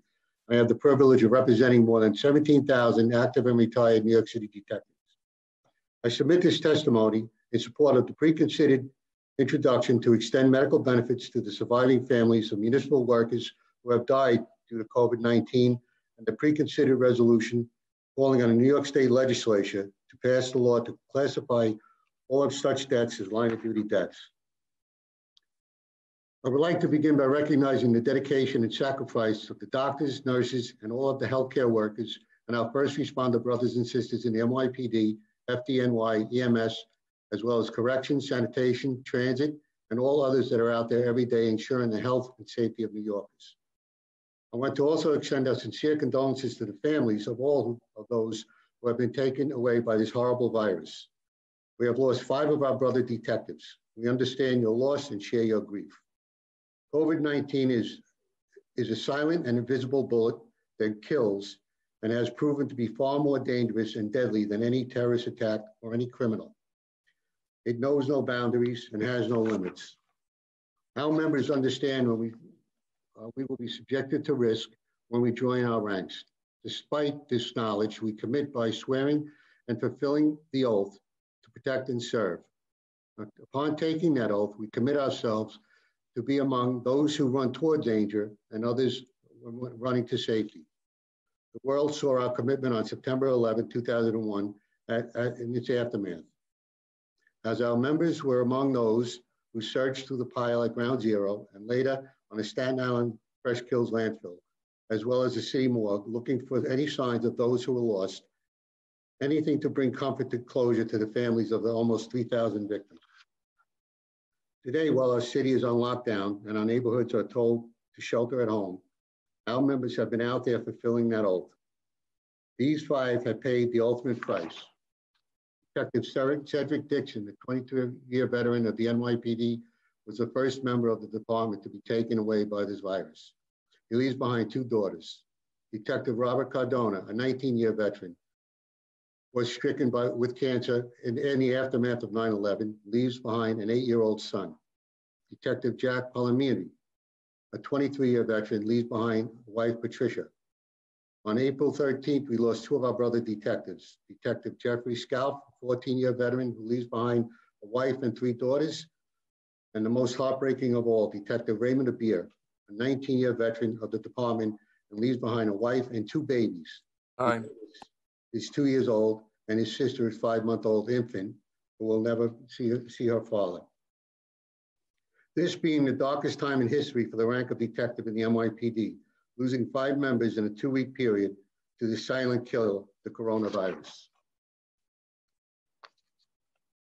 Just as we protect the surviving families of detectives struck down by a perpetrator's bullet, we must protect those families who fall victim to COVID-19.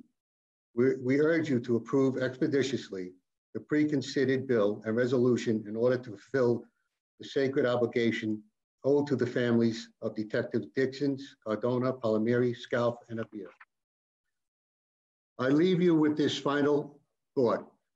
These detectives who tragically died were not only putting themselves at risk as they served as New Yorkers across the city, they were likely to bring this deadly virus home to their loved ones. In fact, some of them did. And as we have this hearing today to ensure the families of our fallen get everything that they so much need, they currently have no health benefits to help them as they fight a sickness or took that took their husband, father, or son. Our heroes in New York City deserve to have those loved loved ones taken care of. They certainly earned it. Please take this all into, into consideration in your decision. Appreciate your time and thank you. Uh, Thank you, Mr. President, and and thank you to uh, all of these presidents that uh, work uh, representing these frontline uh, municipal workers, these New Yorkers um, that have uh, continued to sacrifice and, and representing those who have made the ultimate sacrifice. I do want to kind of say that I've had the opportunity to work with all each and uh, each one of you, um, as well as some of your predecessors, and and and I, I know that immediately in the aftermath of 9/11, you know, we went to work and and as Oren said, it took 18 years. In some cases, it it, it, took less. And it, but um, the resiliency of of uh, the men and women representing uh, these uh, labor unions and, and these workers uh, were, were, resilient in, in doing so, and we have to be equally resilient in, in doing this. And so um, uh, we will use the work that we've done in the past, certainly to rely on what we're doing. This is an extender of what the work that we did in this past February, extending 9-11 benefits, and, and hopefully this is, is, is the, the, the framework and the catalyst uh, uh, for, for how we um, ensure that the, the, families of those that were lost uh, have the benefits that, that give them the quality of life that they so richly deserve and and and as well as the pension piece. So I, I know that I can continue, uh, depend on your continued support, uh, be it here or in Albany. Looking certainly going to continue to look forward to working with each and every one of you, and, and thank you to all of your members for the work that you do each and every day. Uh, the sacrifice that are being made, and, and my office and the Committee for Civil Service and Labor remains open uh, for conversation and to work with in, uh, each and every one of you, as as well as the, new, the, members of the New York City Council. It is always a pleasure um, to work with those who are serving our community and give give our city such value. So uh, thank you, and um, I don't know if any of my colleagues have questions. If not, we will go on to the next panel.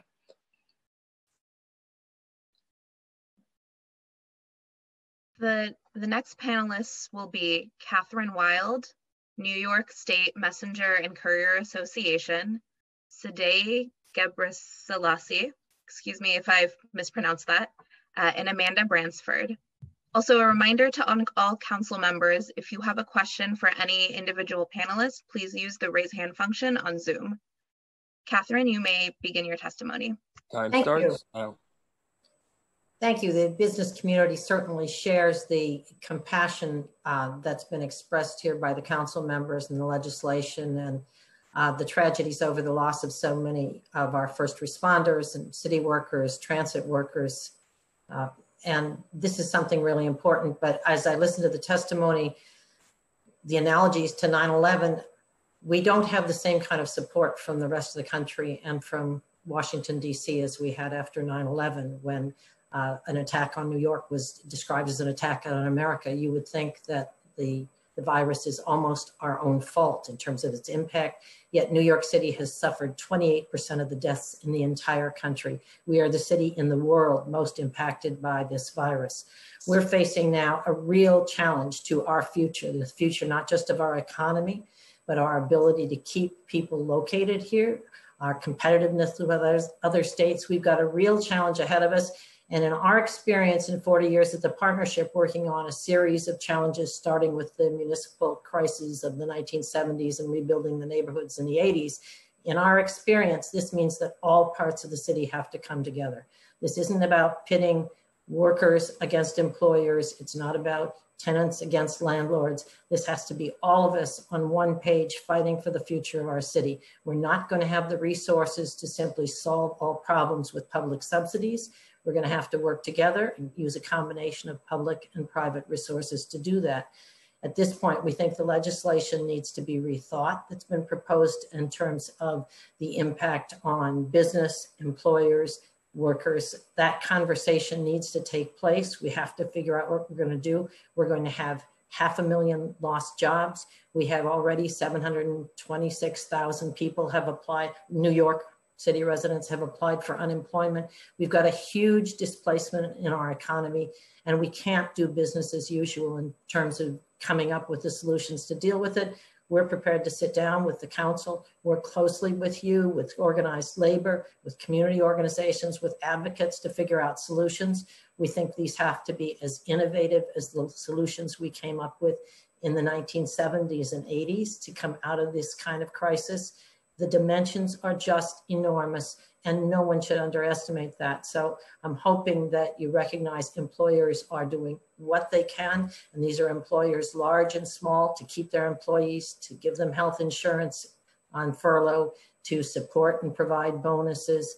There's a lot of effort going on, but people are stretched very thin. We're going to lose tens of thousands of businesses in this process. It's going to be very hard to rebuild our city and our uh, neighborhoods, and we're going to have to do it together. Thank you.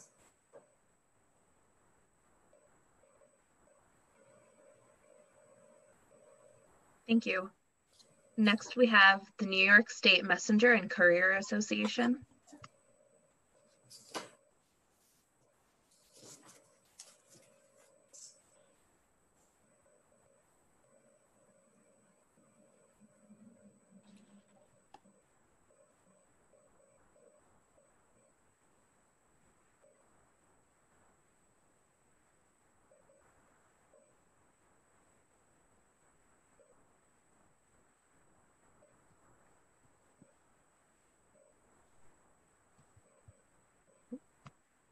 Can you hear me now?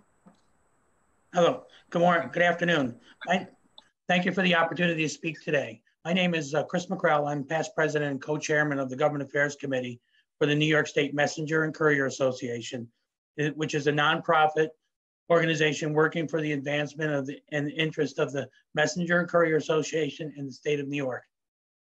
We've been doing that since 1945. We are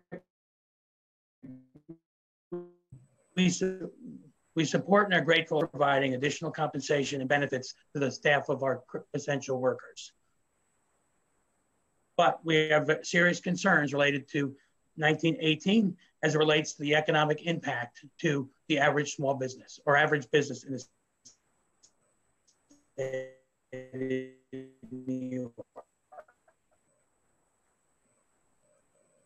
in its simplest form, 1918 at a weekly cost of 37,005. This level of additional cost is just unmanageable for the average business in an already downturned economic time. We also have concerns as relates to uh, 1285, but we also would like to offer a solution that could easily uh, support some of the concerns that the council has as relates to misclassification.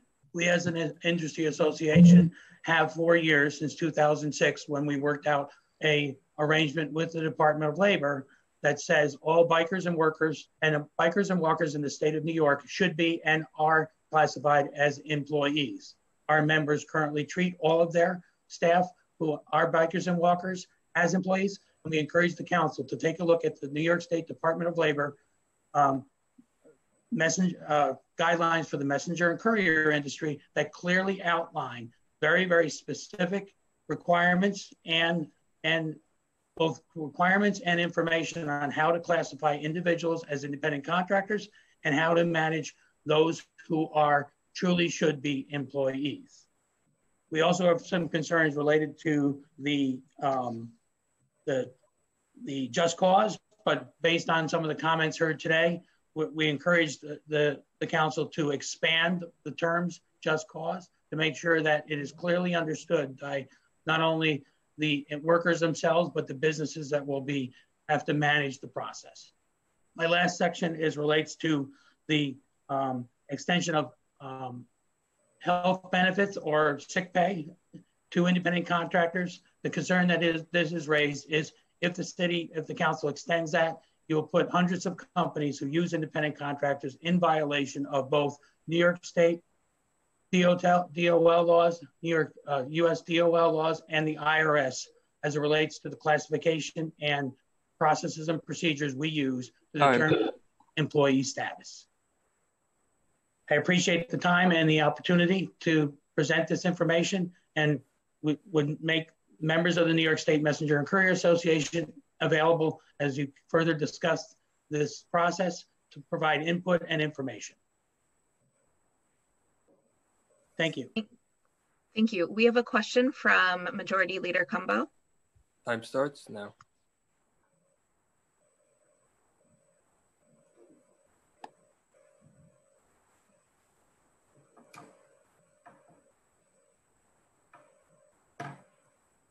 Hi, can you hear me? Uh, Yes. Yes, ma'am. Thank you. How are Well, you I- Thank you so much. Um, and I appreciate your testimony on behalf of the messenger um, and couriers that are all throughout New York City right now. My question is throughout the state, rather. My question is while you have concerns with um, Intro uh, 1918, I saw in others you had some suggestions. Do you have some suggestions in the way of hazard pay? And forgive my ignorance on this, but also has your have your uh, messengers and couriers as well as your overall organization is this an industry that has been hit hard during covid or is this an industry that has done about the same or better? Um, as a, overall, as a general industry, um, uh, you have uh, winners and losers. I'll be honest. You have some organizations that have have had the opportunity to expand certain levels of their business, but you have also um, organizations and companies that provided messenger or out New York or three the boroughs that has seen up to 90% decrease in in revenue. As it relates to um, hazard pay and or incentives, a lot of our members who have who have increased or are are consist still out there in the marketplace providing essential services on a day-to-day basis have and and are have adjusted hourly pay and have provided additional compensation. A lot of them are are putting together special programs, handing out gift cards, providing all kinds of other incentives, which would be in a what is, which is in a normal course of us uh, operating and trying to operate a successful business and encouraging your staff to be, um, you know, supportive of what you're trying to do. So yes, a lot of our members are currently and providing quote unquote hazard pay or incentive pay to make sure that they continue and recognize their commitment to not only us, but the people of New York. would you say there are more winners than losers at this time Um, your- no, I would say there's, I would say there's more losers, unfortunately, um, than winners. okay thank you You're welcome. We have a question from Councilmember Lander. Thanks very much, and thank you for being here to testify. Um, I just want to, I mean, be correct two things about Intro 926 and make sure I understand what you're saying correctly. So first, to be clear, it would not require anyone to provide health insurance, uh, as you said in your in your testimony, just uh, paid safe and sick leave under New York City's existing earned safe and sick leave law. And it doesn't make people employees for other state or federal provisions. We would not have the power to do that if we wanted to. Um, all we do here is extend the safe and sick leave law and require people to comply. We've required people to uh, not uh, steal wages from independent contractors. We provided a law that required people to pay and Lyft uh, drivers a, a decent wage. Um, none of those put people in conflict with any state or federal laws. So I, I guess I'd urge you to, to um, be glad to take more offline and understand why you think that. But I'm, I'm confident the way we're doing this just relates to complying with the local safe and sick leave law and would not put you into any conflict with other state or federal laws. As it relates to that is a clause that is traditionally used in the classification of independent contractors versus misclassifying uh, or employees. And it's what uh, a clause that we call the, what is traditionally labeled as similarly situated, which basically says if you're providing similar benefits or services to your statutory employees and you provide those to your independent contractors, therefore those independent contractors are now to be deemed employee. So Well, there's a lot of evidence they already should be being deemed employees. So, uh, but I don't believe that uh, extending safe or sick leave will put you in any worse condition for it. That's why we support Res 1285 to clarify this at the state level. yeah, what, basically what we're looking there for do is just have obviously more input, understand specifics of the rules, how it would apply to our members and obviously independent contracts in general. Um, as I mentioned, we feel very strongly that there are probably more than 25 to 30,000 people in the state, uh, individuals in the state of New, in New York City specifically that are misclassified by the quote unquote gig economy. Um, those individuals, based on these guidelines, as I mentioned, should be and should always have been classified as employees. And I encourage the council to take a look at those guidelines and see if there's an opportunity to implement them to, set, to take care of what quote unquote the low hanging fruit. It's there, it's available, it's been in place since 2006. Thank you very much for the testimony. We look forward to following up with you. Thank you. Thank you. I'll next call on Sade.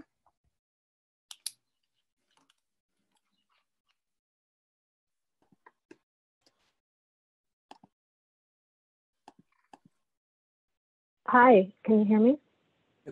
Time starts now. Hi, thank you. My name is Sadega Vasilasi. I'm an attorney at the National Employment Law Project.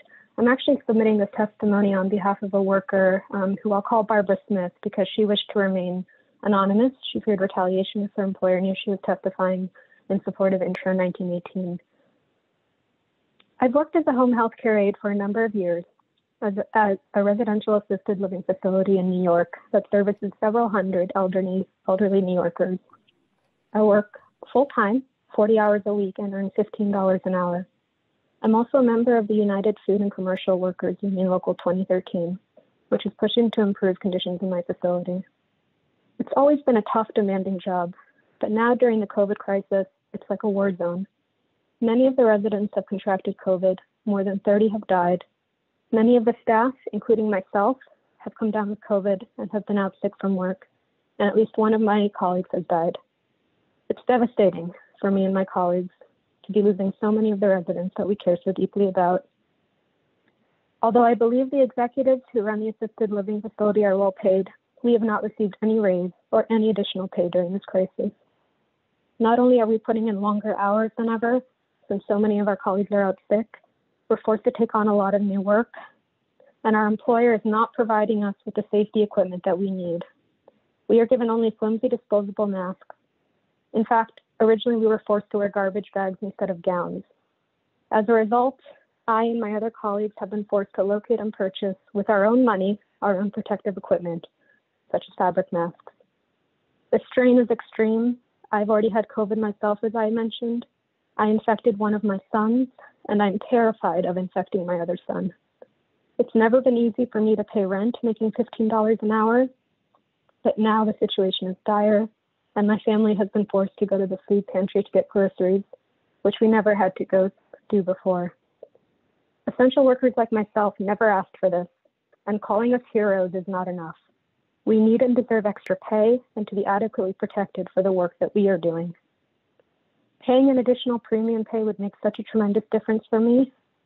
And I and I just want to say too that protecting workers who speak up about dangerous conditions is equally important. Until people started complaining, my employer was not providing PPP, PPE equipment and is still not providing the right equipment. Until workers feel safe speaking up about dangerous working conditions, we will never be able to control this crisis. Thank you so much for the opportunity to testify today. Thank you. We have a question from Councilmember, sorry, uh, Majority Leader Cumbo. Thank you, and I apologize so much for the loss of your colleague as well as um, the work that you all are doing right now. I know it's a tremendous loss to also lose the people that you are uh, working with and caring for. My question is, what would hazard, you outlined this a bit, but to get more into the, the weeds of it, what would hazard pay, or as I say, essential pay do for you? What would that do in terms of your ability to continue to work um, during the COVID-19 outbreak? How would it assist you and what would it enable you to further do? So I think in talking to, you know, I don't, I obviously don't want to speak directly for this anonymous worker beyond the testimony that, that she provided. However, um, you know, I do think there are increased costs, like she mentioned the fact that she had to go out and purchase her own PPE equipment, which is, you know, something that we shouldn't tolerate. But while workers have have to do it, that's extra money um, that they're not being compensated for. the increased grocery costs, the increased, you know, family members being out of work, um, and so having to help provide for them. Those are all very tangible, immediate costs that these workers are facing.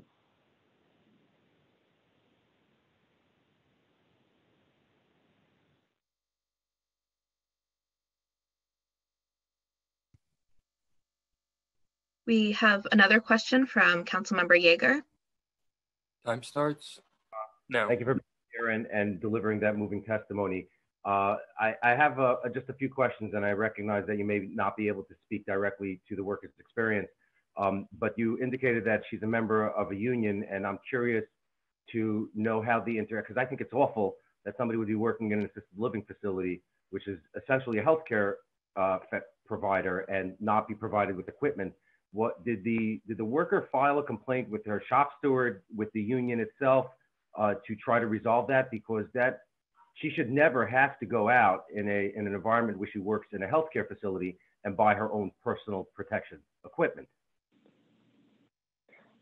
Uh, yeah, I don't I don't know the answer to that direct question. I mean, I do know that I mean, it's not just her, right? I mean, health healthcare uh, workers in numerous facilities, hospitals, nursing homes, assisted living facilities, doctors, nurses, you know, um, all sorts of professions are not receiving adequate uh, equipment, and and a lot of them are buying it on their own or using garbage bags or everything like that. I mean, I think for for for this particular worker making fifteen dollars an hour, that that's that's almost prohibitive cost given all of the other um, essentials that she has to buy. I couldn't agree more, and I think it's outrageous that she had to do it. But my specific question is: We've all heard the horror stories of people in the healthcare industry who had to go out and get their own equipment or were using makeshift equipment. But in, in your particular instance, we're talking about, I believe, a worker who uh, who is part of collective bargaining, uh, has a contract, has the protections that organized labor provides, has a union backing her up, has a shop steward on site, and I'm curious to know how that all worked out to her benefit. I think it, it would help us a lot to understand uh, what it is that is going on beyond the scope of this hearing, which is not related specifically to that. But we want to know, I think, what's going on when um, a worker tells their union uh, that their employer is not treating them properly in this environment. Again, I can't answer specifically what um, because I don't don't know the answer. I mean, you know, intro 1918 would obviously protect um, all workers, union and non-union alike. Well, actually, intro 1918 would not protect anybody. Would oh, I'm sorry. I'm sorry. Yes. Yeah. Yeah. Intro 1918 would create a new minimum wage scheme that in New York City would be unlawful for us to enact. So what we're trying to figure out, I think some of the members are trying to figure out what we, what the city council can do to protect people, what uh, within the within the rights and privileges that the New York City Council has. Um, but as a legislature, uh, the the threshold question for us to get before we debate the merits of a proposal is is it lawful for us to do? This particular bill is not lawful for us to do. I think it would be important for us to find out what experiences people are having and what can we do to help them. And for example, in, in the instance of this employee uh, where they uh, are clearly not getting the protective gear that they need to have to do their job safely. Um, nobody should be treated that way. So that's why I had that question. I really do appreciate your bringing her testimony to us. And, uh, and also I appreciate the, the manner in which she needed to do it for her own protection. Thank you very much. I yield back the time, Mr. Chairman.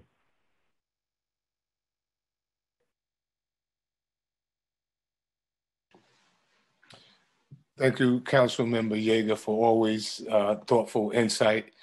Um, and thank you to our panelists uh, for telling your story and telling the stories of others on, on your behalf. I think as council members said that this, this uh, package of legislation uh, not just uh, it really highlights a particular dilemma that we find ourselves in as a city, as a nation, and as a council, and how we responsibly ensure that we're protecting the rights and entitlements of, of workers who, who, who are protecting us each and every day. And I think that that is the overall goal. And and again, I, I appreciate all of the uh, insightful and, and, and, thoughtful insight that we're getting from from our colleagues, and as well as those who are testifying, taking time to testify today.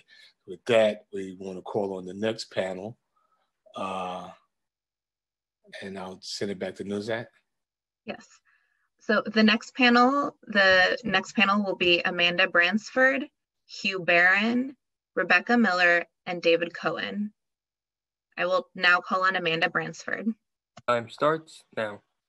Hi, my name is Amanda Bransford, and I'm a workers' rights attorney for Make the Road New York. Um, I'm actually going to be reading a statement on behalf of a Make the Road member who couldn't be here this morning. Um, and the statement has been translated from Spanish. My name is Clemente, and I'm a delivery worker for a restaurant in Brooklyn.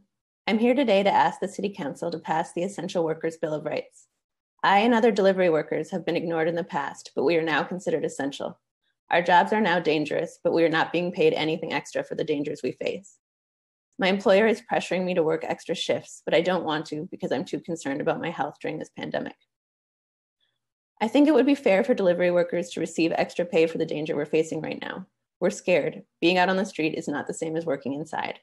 We're working out of necessity because we have to pay our rent and our bills. I would rather be able to stay home like other people are, but it's not an option for me. It wouldn't mean just a week or two without pay. This is going to last a long time. We're still making deliveries for the restaurant, and the restaurant is still making money. A lot of delivery workers are afraid of speaking up about our health and safety needs because uh, the workers could be replaced. Protection against firing us without cause would help us because employers would respect our rights to speak up about safety and health and getting paid what we deserve if the city told them that they had to. When the pandemic started, the restaurant where I work didn't want to give us safety equipment, not even hand sanitizer. We got gloves and masks from volunteers who supplied them to us, not from our employers. I worry about my children, but I have to pay rent. It is not a choice. We as essential workers want to be kept in mind. Right after businesses shut down because of the pandemic, the governor finally legalized the electric bicycles we use to make deliveries after we had fought for a long time without success. The governor finally saw that delivery workers are necessary. All of a sudden, we were important. The city needs us and it can't function without us. We want the city to remember that we are also people and are putting ourselves in danger and that we do not have a choice. I ask that the City Council pass the Essential Workers Bill of Rights to help make a bad situation better for us. Thank you. Hugh Baran.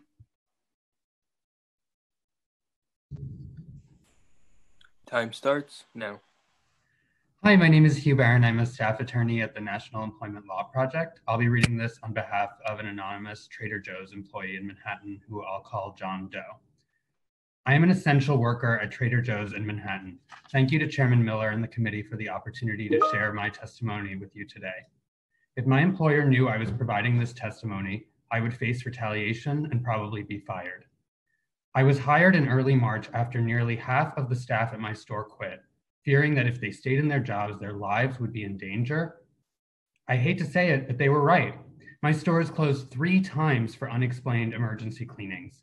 Many staff have gotten sick and mysteriously not returned to work, and at least two workers at my store have tested positive for COVID 19. Just yesterday, my store closed because a coworker tested positive. But Trader Joe's has refused to take steps to safeguard us. For a full month, my store managers told us that we could not wear gloves or masks. Management said they could not provide masks as they were reserved for healthcare workers on the front lines. They wouldn't even let us wear masks of our own. We were even told that if we wore masks, it would be viewed as a sign that we were too sick to work and we would be sent home. Trader Joe's now requires us to wear masks, but they still don't supply enough of them. They're forcing us to dig into our own pockets and get masks to protect ourselves and our customers. But my coworkers and I must keep working because we're living paycheck to paycheck. Recent hires like me don't even have health care yet. So we endure long subway commutes, risking further COVID exposure to keep showing up to work. While we're struggling, Trader Joe's is flourishing. Every week we are told that we have broken new sales records, but they won't do what they need to to keep us safe. Since early April, management even stopped holding staff meetings, so we don't even have a regular space to voice our concerns to them. That's why I'm thrilled the council is proposing to institute just cause protections during, the, uh, during this pandemic. With these protections in place, Trader Joe's could not fire me for speaking up and trying to make my workplace safe. Trader Joe's would have to listen to me and respect me. I'm also pleased the council is stepping up to ensure we are compensated fairly for the risks we are taking on and recognizing the extra expenses we're bearing right now. In March, Trader Joe's said they would create a bonus pool for us, but that bonus turned out to be a mere $200 a month before taxes, about two bucks an hour. The council's proposal, on the other hand, would provide just compensation that recognizes the value and the danger of our work in this extraordinary time. Right now, after taxes, my take home pay is about $1,820 a month. I spend over half of that on rent alone. Under the council's proposal, on the other hand, for the duration of the emergency, I would take home an additional $60 for every eight hour shift I currently work. That's an extra $300 a week or $1,200 a month before taxes. That is serious money I can use to stay outfitted with PPE that I can say use to cover health related costs in case I do get sick. Um, finally, I just want to note that we at Trader Joe's are not unique in needing protection. Before this job, I worked as a residential aide in city homeless shelters. My former colleagues are out on the front line, and I hope that they are also accounted for in this conversation. Thank you for the opportunity to share my story. Councilmember Lander. Time starts now. Questions for you, I think, in your um, uh, role at NELP rather than uh, from the point of view of that worker. Thank you for sharing the testimony. First, I just um, mentioned this in my opening remarks, but I just think it's worth uh, making sure I have right, at least by my understanding, because the CARES Act uh, adds $600 a week to the state unemployment benefit. Um, for folks who have gone on pandemic unemployment assistance, uh, it equates to about an hourly wage of $22.50 an hour. And I don't know exactly what the hourly wage of that worker is, but my sense is there's an awful lot of essential workers who are making less than 22.50 an hour right now. Does that accord with what you're seeing? Yeah, um, and so I, I don't want to speak too much beyond the testimony that as it was written, but um, the rate that this um, employee John Doe makes is $17 an hour at Trader Joe's, which, as we all know, is a you know as he said is flourishing right now and certainly could afford um, to take on more of a burden to pay. Yeah, and I mean, I'm really grateful that NELP and other organizations advocated so hard to get unemployment assistance to be enough to help people eat and pay the rent. Um, and I sure understand the testimony from employers about needing to have a source of revenue, especially if they're nonprofit organizations. But uh, there's something wrong with a world where that worker would make five bucks an hour or more for going on unemployment than for you know showing up on the on the front lines to make sure the rest of us can buy our food yes yes um, i uh, i agree with you and i think um, you know and, and one thing i think people don't necessarily understand about unemployment and the way it works is you can't just you know quit because you feel like it um, and get on unemployment you have to generally if you're unless you're you know terminated um, by the employer for through no fault of your own, you have to show that you had good cause um, to leave your job if you're if you're quitting voluntarily. Um, and so we're certainly working in New York and other states um, to try to expand what what counts as good cause, um, particularly in this time, and make clear that people who face health and safety risks at work should be eligible to go on unemployment um, and to leave unsafe jobs in particular. Um, but that's not necessarily where we are right now. And so workers continue to face these unsafe um, conditions and be paid very low wages for it. Think that puts a, a, really painful irony to the good cause issue here as well that your employer needs no cause at all to fire you, but you would need good cause uh, to quit, even though uh, folks on unemployment are making five bucks an hour or more and you have to go risk your, your health and safety every day. All right, one last question uh, for you. Um, you heard the, uh, the commissioner talk, though enthusiastically in general, about the law, about the challenge at this moment in setting up an enforcement uh, system. Uh, and I know that you have worked at the state level and other levels on, on some creative ways of enabling workers to be able to enforce some of these kinds of laws. And I wonder if you could just share any perspective you have on how we might be able to adjust the just cause law in particular uh, to set it up so that it would be possible to have and have an enforcement uh, mechanism without needing to stand up a whole new division of the Department of Consumer and Worker Protection uh, during the pandemic. Sure. Um, so traditionally, our employment and labor laws have depended on a combination of types of enforcement, both public enforcement by our agencies and private enforcement by individuals. Um, the problem that we're facing, as I think the, the, um, the commissioner's testimony highlighted, is that our public agencies are really quite underfunded and under resourced to meet the demands that are already placed on them. And private sector workers are increasingly subject to significant barriers to enforcing their rights. And in particular, um, two that I would mention here are forced arbitration requirements um, and class and collective action waivers, which require workers to go one by one before secret private arbitrators um, who are usually handpicked by the company to enforce their to enforce their rights under our labor and employment laws. Um, that's one barrier. The other is fear of retaliation um, and fear that you will be fired if you try to enforce your rights or otherwise blackballed or um, or threatened with um, immigration consequences. Um, and unfortunately, our, our laws are not strong enough um, to protect and fast enough to protect workers from that kind of retaliation. So one solution is to create, um, to both of those problems, is to create a public enforcement action, which would allow workers to step into the shoes of the commissioner of the, in this case, the Office of Labor Standards, um, and sue in the name of the city their employers. Um, that would allow them, so um, if I could just finish this point, um, that would allow workers the ability to privately enforce the laws to collect civil penalties, um, even if they're subject to forced arbitration requirements. And those civil penalties, um, 60 to 70% of them would actually go directly back into the Office of Labor Standards um, so that we could fund further enforcement of the law. So basically, the law can be amended so it funds itself. Um, and we are working on um, with a number of our allies who have testified here already today on legislation at the state level, the Empire Act, which would um, create that right under state labor law, uh, under the New York labor law generally. Um, but we, we think that it would be a great way to amend the Just Cause bill um, to provide for such an action to really, which would really address both workers' rights to enforce the law and the funding concerns that um, and, the, and limitations that the city is facing right now. Thank you. Thank you.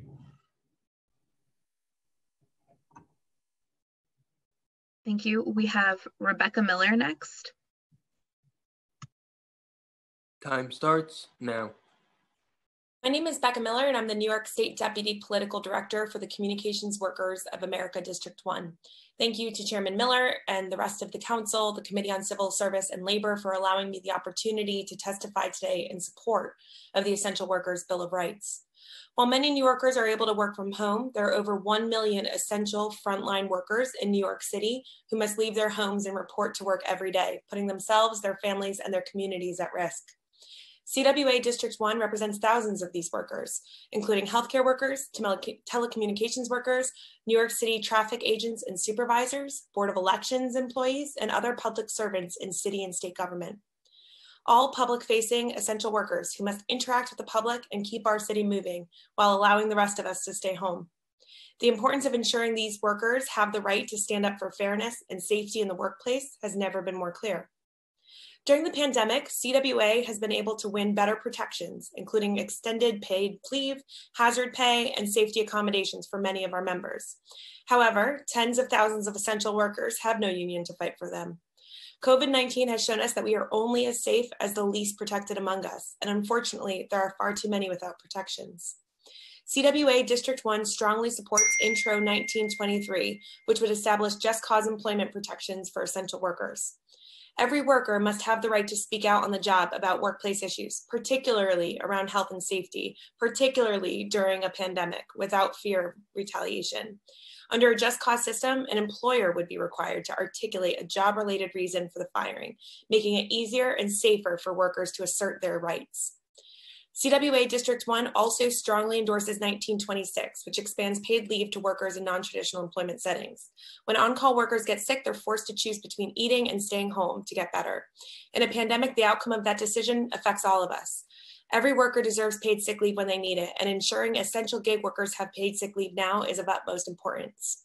I'd also like to say that CWA District 1 supports Resolution 1285, which calls on the state to pass legislation addressing misclassification of the estimated 850,000 workers who are excluded from minimum wage, healthcare, sick leave, unemployment insurance, and many other benefits. Lastly, as the Council is considering Intro 1918 regarding mandating premium pay for essential employees in the private sector, we ask the Council to consider the issue for the many brave public sector workers who are risking their lives daily in service to the city. CWA District 1 represents essential workers in both public and private sectors. Our public sector members include essential city workers like traffic enforcement agents and supervisors, Board of Election workers, city agency administrators and supervisors, as well, as well as city healthcare workers who are on the front lines of this crisis without any hazard pay. Workers being forced to work during these dangerous times deserve more than our gratitude. They deserve to be compensated fully protected. While we're broadly supportive of the concept of hazard pay for essential workers, we worry that workers in the public and private sectors will not be treated equally. We urge the council to examine this issue closely. Thank you.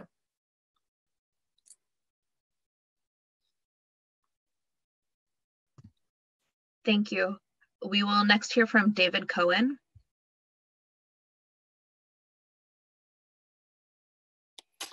Uh, can you hear me okay?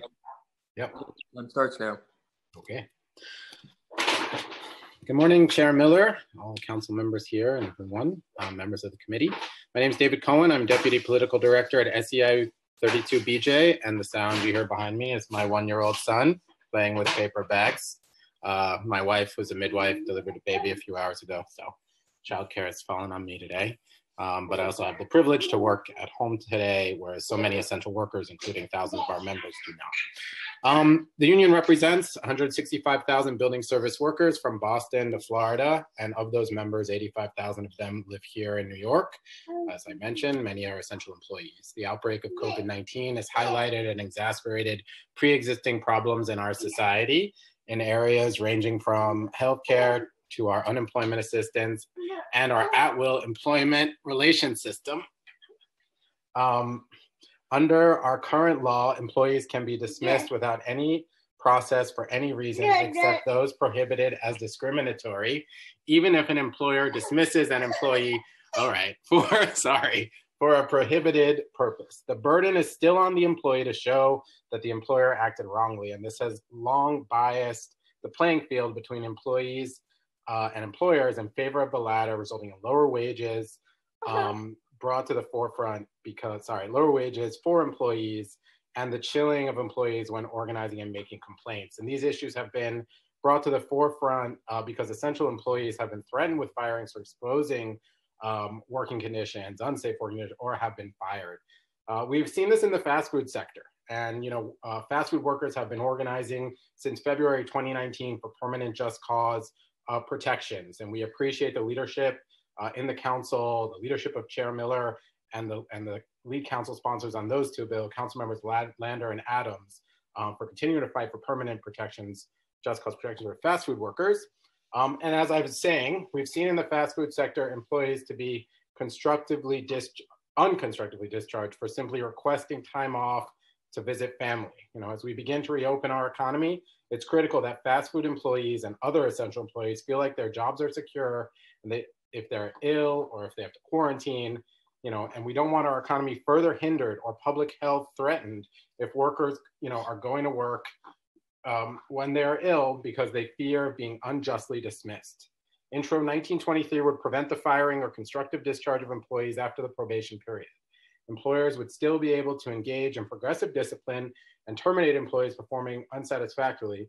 Um, what employers would no longer be able to do is just fire people for no reason. I mean, a, year ago when we launched this campaign, fast food workers were asking, like, give me a reason, you know? And I think it's all essential workers, I think we can all agree deserve a reason um, if they're being uh, let go. Time. Okay. Uh, just very quickly, I also want to speak in support of Intro 1926, which would expand the Earned Safe and Sick Time Act to cover gig economy workers. And we've certainly seen how COVID 19 has exposed how gig economy workers have been excluded from the protection. And I want to thank the Council again for their leadership and also recognize all of the essential workers out there working um, and keeping our city safe and, and doing so much more, giving so much more uh, during this crisis. Thank you.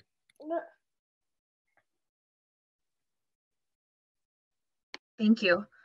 The next panelists will be Frank Kearl, followed by Cassandra Gomez, followed by Alyssa Lovelace, then Brian Chen and Paul Sonn. Frank Kearl, you may speak first. Clock starts now. My name is Frank Kearl. I'm a staff attorney at Make the Road New York in our Staten Island office. Make the Road New York represents over 25,000 mostly Black and Latinx members the majority of our members hail from the five boroughs, with the largest group from the epicenter of the epicenter of the COVID 19 crisis in Queens. Our members are also on the front lines of the pandemic. They're either facing horrific levels of unemployment, many of them with zero access to unemployment insurance and pandemic unemployment assistance, often ineligible even for food stamps. Or they're working increased hours and forced overtime in frontline jobs, cleaning office buildings, washing hospital laundry, delivering food for 12 hour shifts on bicycles with only bandanas across their faces and plastic bags on their hands to serve as protection. These workers return home to close quarters living, risking every day that they're bringing COVID 19 to their multi generational families living in small apartments. The need is acute for PPE, for wages that can help families survive, for replacement income to fill the gaps left by the racist unemployment system that excludes undocumented immigrants. And on the most basic level, workers need their right to speak out and tell the truth, blowing the whistle on dangerous conditions, and they need that right to be protected. For over a year now, I've been meeting with workers from Amazon's JFK 8 fulfillment center and hearing about the backbreaking work that goes into fulfilling orders for the e commerce giant. Before the pandemic, workers in Amazon's facilities already faced staggering injury rates while putting their bodies on the line to help build the world's most valuable company in the world. Amazon's workers are subjected to dangerously fast work rates, achingly long shifts, and perilously high temperatures every day they come into the facility. Injuries are treated by an undertrained healthcare team with band aids, pills, and pain creams before being swept under the rug. COVID 19 has only brought Amazon's mistreatment of its workforce into sharper relief. For the last two months, Amazon has failed to implement, implement sufficient worker protections in its facilities. They've tried to cover up the number of workers who've tested positive. They've failed to implement policies that will allow sick workers to stay home. They've failed to provide sufficient PPE. They have continued business as usual, allowing their facilities to become vectors for the spread of COVID 19, risking the lives of their employees and the safety of our communities. The proposed bills will not resolve all these problems, but they're a necessary first step. Intro 1923 in particular will put a stop to the retaliation against Amazon employees who dare to stand up and demand better. When workers like my clients, Christian Smalls, Derek Palmer, and Gerald Bryson asked Amazon to follow CDC guidelines and shut down JFK 8 for deep cleaning, they were ignored. When they began to organize their fellow workers to demand safer conditions, they were given final disciplinary write ups, fired, and smeared in the press. Intro 1923 will release these essential workers from imminent threat of a vindictive employer and allow them to protect themselves and their families. Our concern with the legislation is that it may need amendment to ensure that employers can't simply wait out the pandemic and then summarily file whistleblowers at that point. No employer should ever be able to silence whistleblowers through retaliation. Make the Road New York represents many of New York City's most vital and vulnerable workers. The city's essential workforce has fallen through the cracks for too long. Our delivery drivers, misclassified as independent contractors, deserve access to paid safe and sick leave. Our restaurant workers deserve hazard pay for risking their well being to keep us fed. Our warehouse workers deserve the stability of knowing that they will not be fired for some fabricated transgression just because they spoke up about unsafe conditions on the job. This is New York City and we're in a crisis. We should demand more from our employers. We should stand up for our workers. I implore you to pass the full package of protections in the essential worker bill.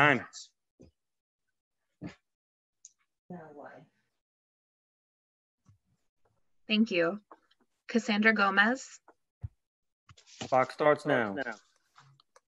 Thank you to the chair and to the committee for giving me the opportunity to speak today. My name is Cassandra Gomez, and I'm a staff attorney at A Better Balance. A Better Balance is a national legal advocacy organization dedicated to promoting fairness in the workplace and helping employees meet the conflicting demands of work and family. Here in New York City, we helped draft the Earned Sick Time Act and negotiated the final terms of the legislation. We urge this committee to move forward with the Essential Worker Bill of Rights package and pass this important legislation. Today, too many workers' rights to paid sick time under our law are clouded by misclassification. Employers who treat workers as independent contractors when they ought to be employees. The rise of app-based platform work and the so-called gig economy has drawn new attention to this to this problem, which has long plagued industries like construction and shipping. Many of those affected are essential workers continuing to work through this crisis, putting themselves in harm's way to allow others to stay home, but operating without the protections they need to keep themselves, their families, and the public safe. Misclassified workers tend to be from the most economically vulnerable communities. They are women, they are people of color, and they work for low wages. They deserve clear coverage under the Earned Sick Time Law, and the proposed amendment is an important step forward. The legislation proposed today would add to the existing sick time law a broad presumption of employment, setting this baseline that those who work for others are considered employees unless they meet clear, specific tests showing they are truly operating as independent contractors. These amendments would make it easier for workers who are classified or whose employment status is in question to show that they are employees entitled to the full protection of the law rather than independent contractors. This builds upon the law's existing strong framework by eliminating uncertainty over coverage and thus better protecting workers across the city. As the epicenter of the coronavirus pandemic in the US, New York City must ensure that all workers have paid sick time, a benefit that has proven to reduce the spread of contagious disease. For many New Yorkers, staying home while sick is only an option if they can still count on receiving a paycheck and having a job to return to return to when they're better. Ensuring that misclassification will not deprive workers of their sick time rights is essential to getting through this crisis and to ensuring that we will be better prepared for handling public health emergencies in the future. By moving forward with and passing the Essential Worker Bill of Rights, the Council Committee will take a huge step forward for our workers and our community.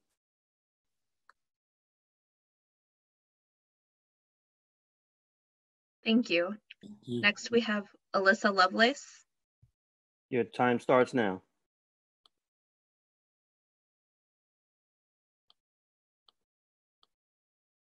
Today on intro. Good afternoon. I'm Alyssa Lovelace, Director of Public Policy and Advocacy for the Home Care Association of New York State. Thank you, Chair Miller and committee members for allowing me the opportunity to testify today on Intro 1918. HCA represents nearly 400 providers, organizations, and individuals statewide, including home care agencies, hospices, and managed long-term care plans that provide care to New York's most vulnerable populations in their homes. Many of these providers and plans are located in the New York City region. HCA most certainly believes essential workers should be granted premium pay during this crisis. However, this pay should be reimbursable to the plans and providers who pay the workers. As written, this legislation would create yet another unfunded mandate placed on the shoulders of providers and the plans. Both providers and plans must already comply with state and federal wage mandates as discussed earlier. For example, in New York City, this includes minimum wage and wage parity requirements that must be passed through to the workforce. Home health aides, nurses, and all professional and paraprofessional staff working in home care, hospice, and managed long-term care have been on the front lines of the COVID pandemic, just like those working in hospitals and other care settings. However, New York City's home care agencies, hospices, and plans that employ and pay these workers are already facing major financial shortfalls, addressing the innumerable daily factors involved in providing care in the COVID-19 pandemic including the exorbitant costs, personal protective equipment, which is still in great unmet, unmet need for home care and hospice in New York City, worker illness, and other severe abnormalities in operations and service delivery patterns resulting from COVID. Additionally, providers and plans are facing steep rate reductions due to the recently enacted state budget and reductions in Medicaid funding.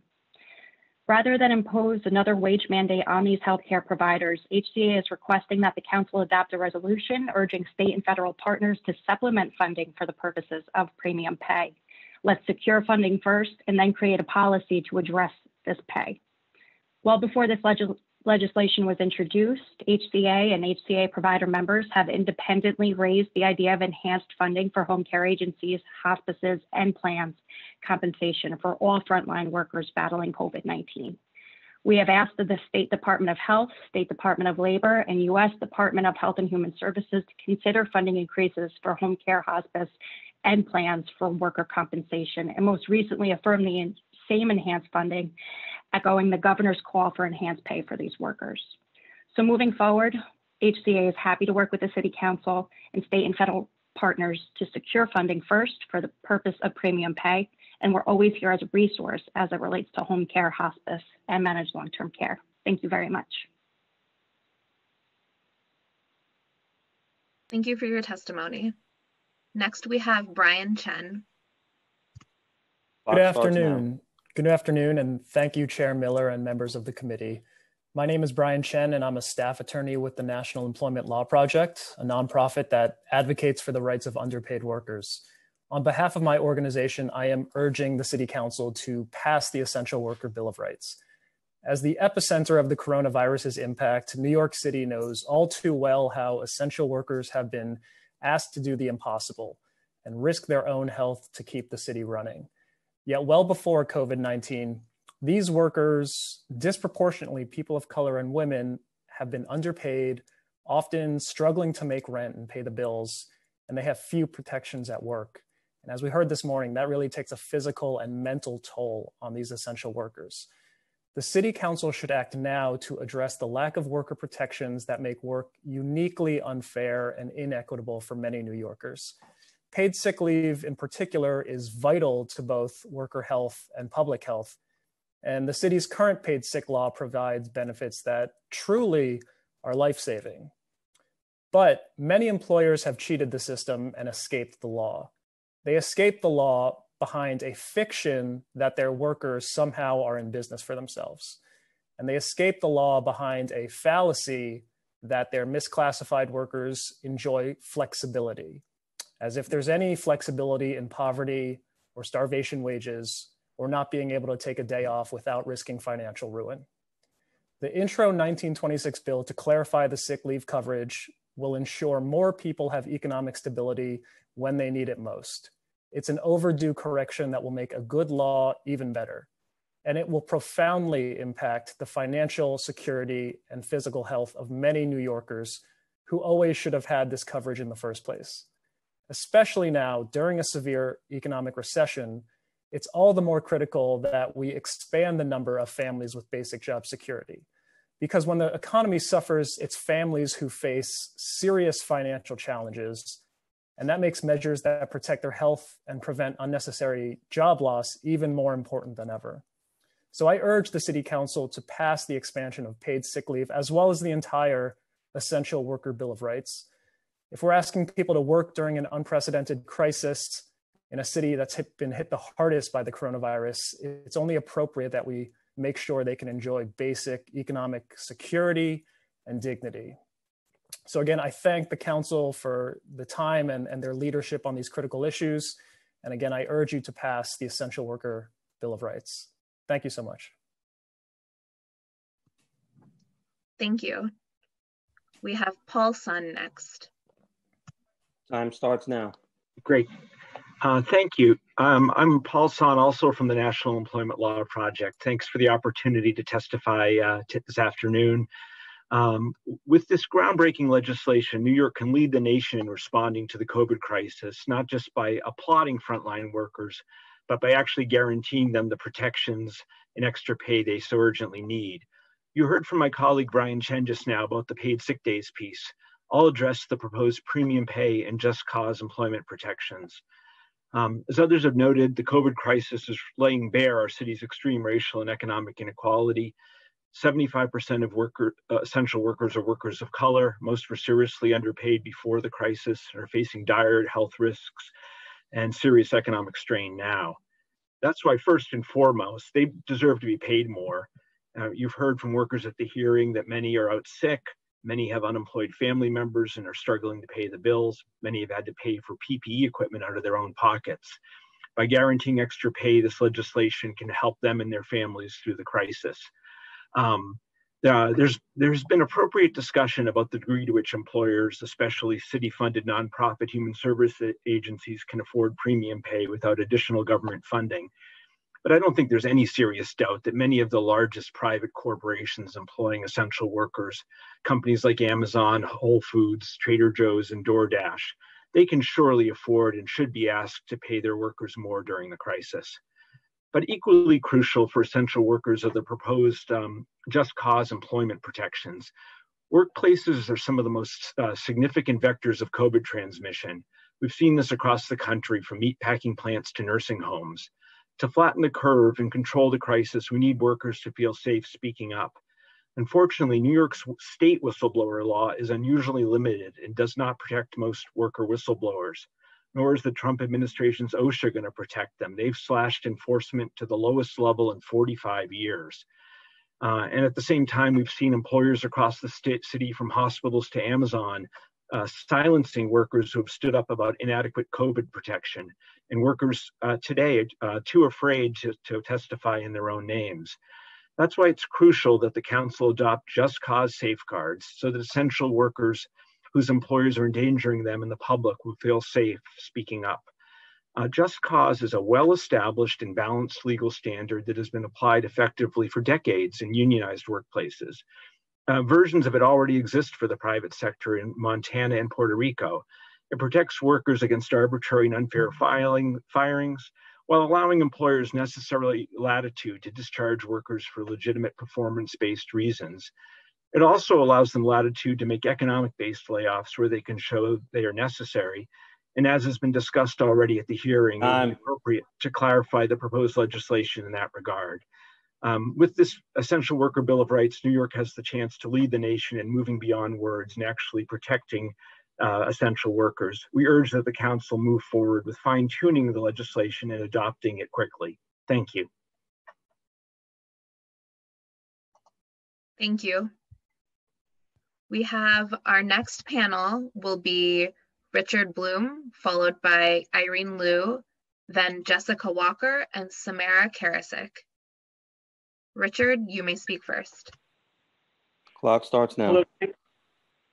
Thank you, uh, Chair and Council members, um, for this um, opportunity to speak and for this great legislation. I'm going to speak particularly to uh, the issues of misclassification, that is Intro uh, 1926 and Resolution 1285, and also Just Cause Intro 1923.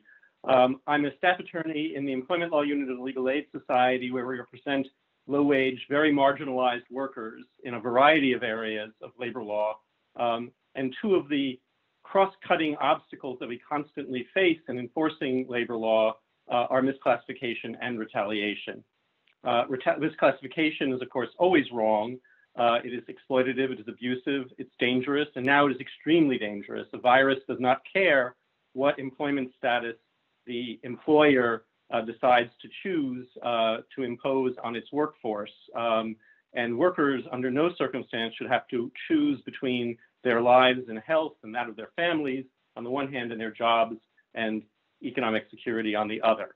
Um, this, unfortunately, is the choice that people face when they are misclassified and do not have access to the wonderful New York City uh, paid sick leave law. Um, the state resolution is crit critical also for the council to prod the state legislature to take this principle against this classification and to apply it more broadly across a range of, of labor laws that the state controls. Um, I don't see any reason to oppose this um, improvement of a great law. Um, it eliminates unfair competition, uh, so the employer community should be supporting it. Um, it is just having employers do what they should be doing anyway, both for the sake of their employees and for the sake of the public. Um, as for retaliation, um, health and safety and, and, all labor protections, but especially health and safety depend on workers themselves raising these issues at the work site uh, and feeling free to do it. Retaliation chills that. Um, and right now, the current patchwork of specific anti-retaliation laws that apply to this provision or that provision uh, are not good enough. The workers left having to prove that the um, abusive, irrational uh, basis for their termination was an illegal one as opposed to a perfectly lawful one. Instead, we should make decision making to be rational and fair. Uh, that's what this bill does. Employers should have to show justification. They should have to show clear policies, clear training, and progressive discipline, um, and not simply um, that they've acted at the moment, in particular, uh, uh, when people have objected to something that they are doing. Um, this is uh, this makes sense. Uh, there's it's not should not be a burden. It's what public it's what the public and workers should be able to count on and what they need um, from uh, from all employers. Thank you. Thank you, Irene. Clock starts now. Today. My name is Irene Lew, and I'm a policy analyst at the Community Service Society of New York. I'll be testifying in support of the Essential Workers Bill, Bill of Rights, specifically Intro 1918 and Intro 1926. The COVID-19 outbreak has revealed the gaping holes in our government's safety net and has laid bare the financial instability of our city's low-wage, essential, and gig workforce at a time when the demand for their services has never been higher. We applaud the City Council for taking important steps to address these disparities. Many essential workers in low-wage industries aren't earning enough to survive in the city, let alone justify the hazards they face on the job. For example, a full-time supermarket worker in New York City has median earnings of only $26,000 a year. Intro 1918 would help ensure that these essential workers are fairly compensated for the additional risks they face so that New Yorkers have the necessities they need to ride out this pandemic. We also support Intro 1926 to extend paid sick days to gig workers and other misclassified workers who have been left out of recently enacted city and state paid sick leave laws. The pandemic has highlighted the absence of a safety net for non-traditional workers, such as Uber drivers, who have few protections despite their increased risk for COVID-19. According to our 2019 Unheard Third survey, more than two thirds of respondents depended on app-based gig work as their main source of income said that they did not have any paid sick time, compared to only 36% of those in conventional employee arrangements who said they lacked this benefit. Applying the ABC test to the city's paid safe and sick leave law is a good first step to more protections for these workers. And we also urge the City Council to pass Intro 1797, which would require the Department of Consumer Worker Protections to create posters for display in pharmacies and healthcare locations throughout the city that inform New Yorkers about their right to paid sick leave. Increasing awareness of new labor standards is an important part of employer compliance. As the city starts to reopen the economy, it's even more important for workers to be aware of these benefits. Pharmacies remain one place we are still going to and can still get information even as a stay-at-home order remains in effect. Thank you.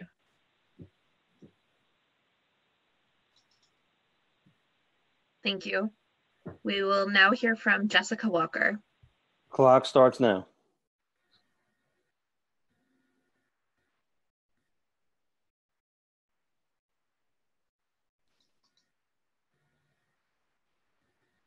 We can't hear Jessica.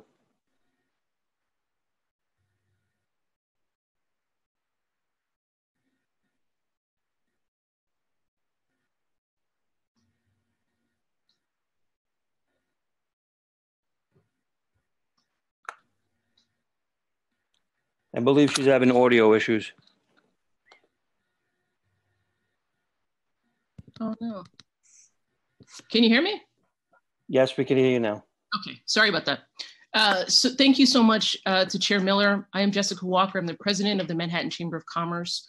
Uh, our chamber and our, all of our members are eternally grateful to all of the essential workers who are certainly on the front lines right now. Um, listen, I you know I've been listening to the entire hearing. There certainly is a lot of suffering happening right now. Um, our chamber, the vast majority of our members are small businesses. Um, we are hearing just the most dire stories uh, that you can imagine. Many of them are on the brink of disaster. When this uh, crisis started, we opened our help desk to any business in need in, throughout New York City, and we've just been inundated. The need is so great. Um, and indeed, we know of many businesses that are actually keeping their door, doors open for the good of their neighbors and the community, even though they are operating at a loss. Um, unfortunately, we have to oppose these bills. The just cause legislation would curb business owners' ability to make tough decisions in order to survive. Our reading of the bill is that they could not even make layoffs uh, that are economically required right now, um, which is definitely a, a, huge problem for, for many businesses, and it could bog many down in arbitration or litigation. We oppose the paid sick leave expansion and the premium pay proposals because most of those businesses uh, are just not in a position to pay right now, um, unless they experience further suffering or, again, um, may have to close. And that's nonprofits, hospitals, supermarkets, small businesses. We're really seeing that across the board. So, um, a few things. First, I want to urge the council to really, the, this legislation. Um, but I also want to recommend that the council really look into helping businesses with um, providing the PPE for employees. Um, last month, Governor Cuomo uh, mandated that all essential businesses had to provide masks for their employees. And that's right on. I think that's exactly right. But there needs to be more employer education. There needs to be more funding for that. And there needs to be help uh, with help businesses get the capacity and find those, uh, find the masks and the PPE that, that uh, is so hard to get right now. Um, finally, I just want to say that I hope that the council will engage with all stakeholders on this. Um, you know, this is tough. Everybody is hurting right now. Everybody wants to come to the table and help. Um, so I hope that you'll you'll take all stakeholders up on that. Thank you.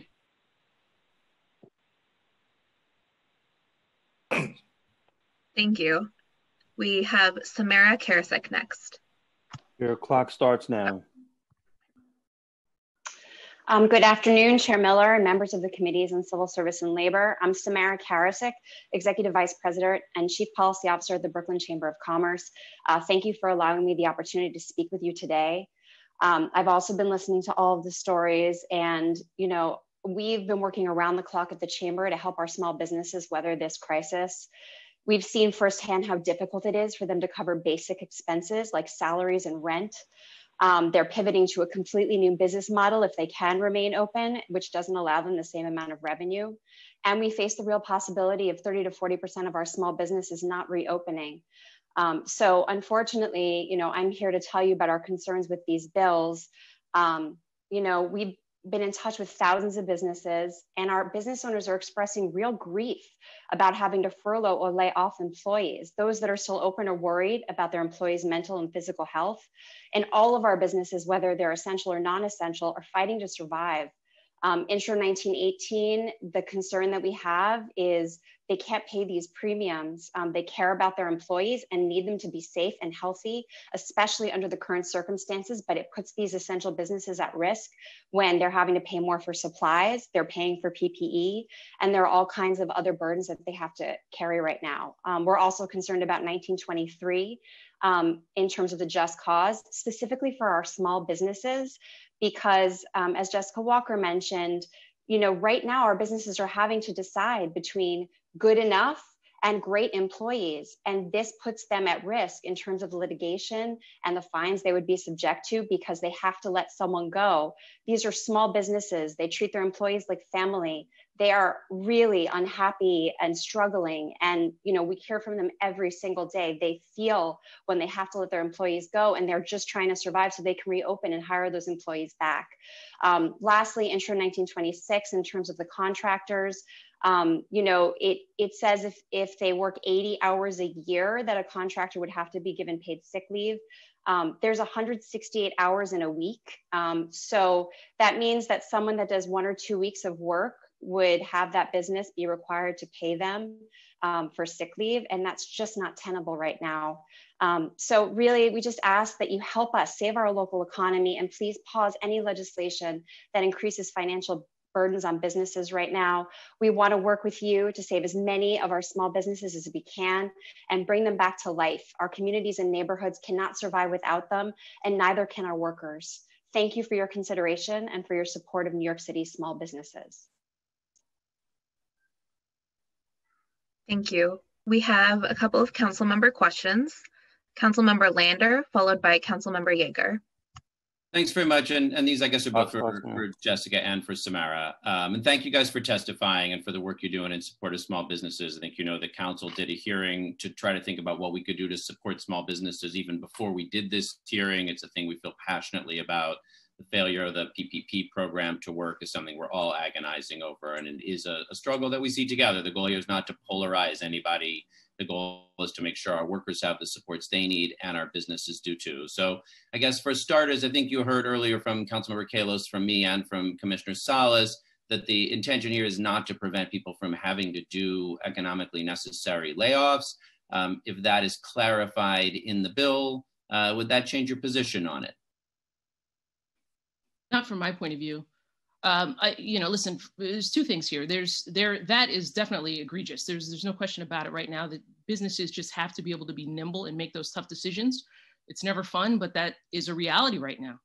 Um, and, and, no one wanted that, and I don't even think the bill currently says it. But there's a willingness to clarify it and, and make it clear that if there's layoffs are necessary, they can be done. What that would leave is just a prevention of people from firing folks without any notice or without any cause. But your position is businesses still, Amazon and Trader Joe's and the businesses we've heard from, need the right to fire people with no notice and with no reason. Well, the bill would apply to everybody, so it's not just those big guys. First of all, uh, but beyond that, um, the to to do to make a lot of um, uh, to discharge to do a lot of discharge if there is uh, if it doesn't fit within that narrowly defined uh, just cause definition in the bill that means the business owner now has to go through arbitration or face litigation um, i don't even know how that would work in this environment uh, and as you heard, the the DCA said that they don't have the um, the you know the the, um, the the these resources that they need to be able to do that. So um, it, you don't have to go through those things before you would fire someone. You can have your policies in place. You fire someone if you have a good reason. If you if they believe they were fired with no reason or no cause, you're right. They would have the right to come back. But all right, my time is ticking, so I want to ask about the sick leave uh, provisions as well, because here too I guess your provision, your belief is that Uber and Lyft and DoorDash and Instacart should not have to provide sick leave to their workers during this pandemic. Well, I think that, listen, what Kathy Wylde said earlier, who's pretty tied into some of these larger, larger companies, um, we are going to be facing some really up a big uphill battle here in terms of maintaining our competitiveness and making sure that companies are going to want to stay uh, in the city that is facing uh, this this crisis right? So your position is that New York City's competitiveness to be attractive to Uber, Lyft, Instacart, DoorDash, and Amazon Flex is so great that we should say it's fine if they don't provide paid sick leave to their workers during. Um, council member, if I if I might jump in here, um, you know, my understanding from reading the bill is that it would apply to almost any contractor that works with any company because of the That's- language. That's absolutely not true, and and I think So where's the ex- where's the exception for any other business? Because there are three criteria that each business would would have to meet, and the way that I read, particularly that first clause, which says there can't be any contract for performance. Um, that one in particular seems to me that it would apply to almost any contractor because you have to sign a contract when you're working with any company. So we'll be glad to follow up with you online and explain more about the ABC test and about how it works. I think the commissioner's figure of about 140,000 workers covers the set of folks that we've been talking about. The ABC test is pretty clear. It's been, you know, used many times before. It covers folks who are essentially misclassified, who are already employees, like that nail salon tech you heard, like DoorDash, Instacart, Uber, and Lyft drivers, Amazon Flex drivers, home health aides who are contracted instead of employees, but otherwise look just like employees. And that's the set of people the ABC test covers. So we'll be glad to work more closely with you on it. But those are a set of people who really should have been covered uh, before. This is more like closing a loophole in some ways. And I guess, you know, I know both of your organizations opposed the original Earn Safe and Sick Time bill covering employees which has that 80 hour threshold, which has the one hour for every 30. It was not my sense that that caused undue hardship to the many, many small businesses or other businesses in New York City. And all we're trying to do here is make sure a set of essential workers out there who are at risk of getting sick right now have the sick leave they need. So we'd be glad to work with you on it, and, and we sure feel for small businesses. Um, but I guess I'd ask you to kind of work with us as well and find a way that we can move forward to do some Um, work here. Thank you. Um, I, I have a question for the chambers, and and and that is, um, do you know what percentage of of, of your memberships have uh, been able to have received funding and support from the CARES Act or the uh, Paycheck Protection? Yes. Um, so for the first round, we heard back from about 350 businesses. We just issued a new survey yesterday for the second round of funding. Um, so the first round was about 84% of our businesses did not receive funding. Um, and then when we sort of isolated for MWBEs, that went up to 90% did not receive funding. Um, in this round, thus far, we're seeing that preliminarily our businesses are doing better, but it's still not working for far too many of them. Um, and you know we're looking at all kinds of different funding mechanisms to help our small businesses. We just launched a campaign today, Bring Back Brooklyn. Um, we're doing our own fund through our community development financial institution for the small businesses that we all care about that are getting locked out of these programs. You know, I think it's not working for New York City, where rent is much more than 25% of what businesses need, and also for so many of our businesses that don't know when or how they're going to be able to reopen. They're very nervous should they accept a PPP loan and then not have it forgiven because they can't bring their workers back. Should they bring their workers back only to have to let them go again? Um, so we're we're really struggling with the way that these bills have rolled out, and we'd be happy to talk to you further. We have a ton of data, and we're continuing to collect as much as we can to advocate for these. And and, and are the chambers providing uh, technical assistance and leveraging this as well? And and we're still at those numbers of 84 and 90 percent. Um, I'm, I'm sorry, I'm not sure what you mean in terms of resources. We are all working around the clock to talk to the businesses. We have one of the most comprehensive COVID 19 resource pages for small businesses at brooklynchamber.com. Um, we have an input sheet. We have a map of restaurants that are open for business, and we're asking more to work with it. We work with all the business improvement districts and merchant associations. I mean, there's so much that we're doing. Um, we'd love to work with you guys on anything that we can do to fix these federal programs and make sure that our small businesses can survive because we're already seeing that it looks like 30 to 40% of them may not be able to ever come back. Okay. Thank you. Councilmember Yeger. Clock starts now. Thank you very much, Mr. Chairman. Um, my question as well is uh, uh, for both chambers, uh, Ms. Uh, Karasik uh, Ms. Walker. Um, uh, with respect to 1918 and the minimum wage scheme, well, maybe this is not a question for you. Maybe this is just a reflection, and then you can jump in if you think you need to.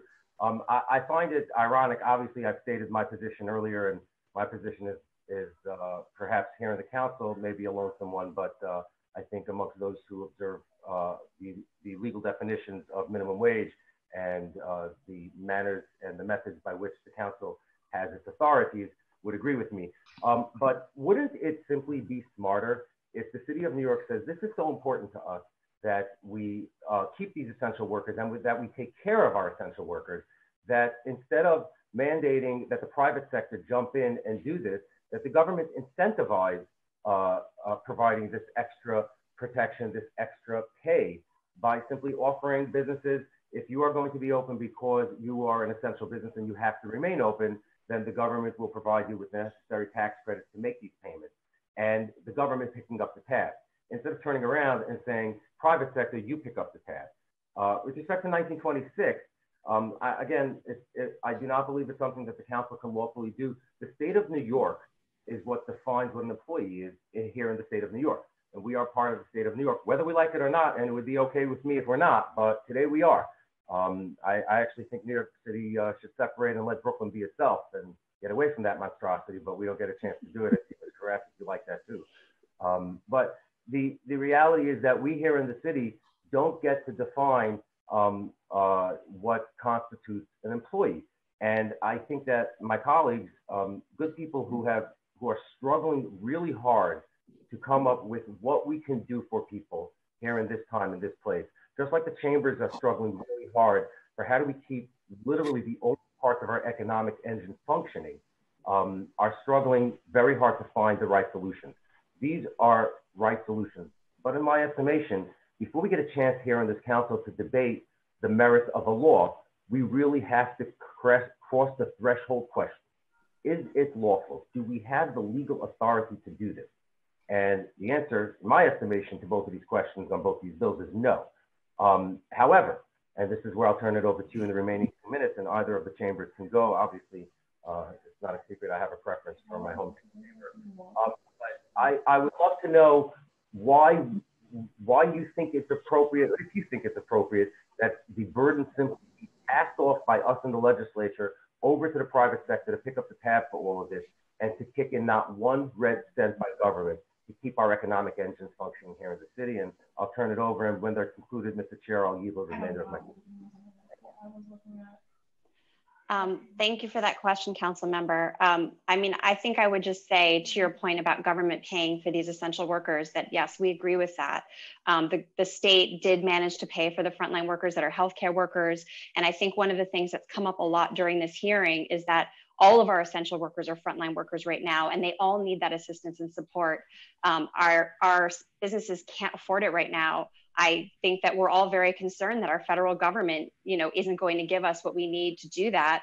Um, they should be paying for hazard pay for our essential employees, all of our essential employees. Mm-hmm. Um, but you know, unfortunately, our businesses can't pick up the slack for that. Yeah, I, will just echo that. I, I, agree with that. That that um, it really would have to come from, from the federal government, as I think other speakers have said today.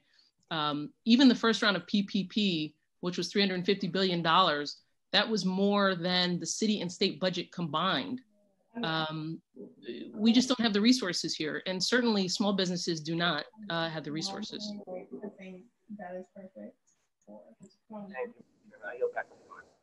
I I only have one diploma, so I think that's perfect for it being a one track.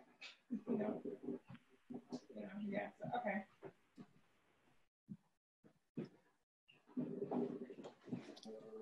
One hundred oh four ninety five. All right. Um, Council Member Adams also has a question. That's also on the website. Time starts now. I sent you the link, so you can actually.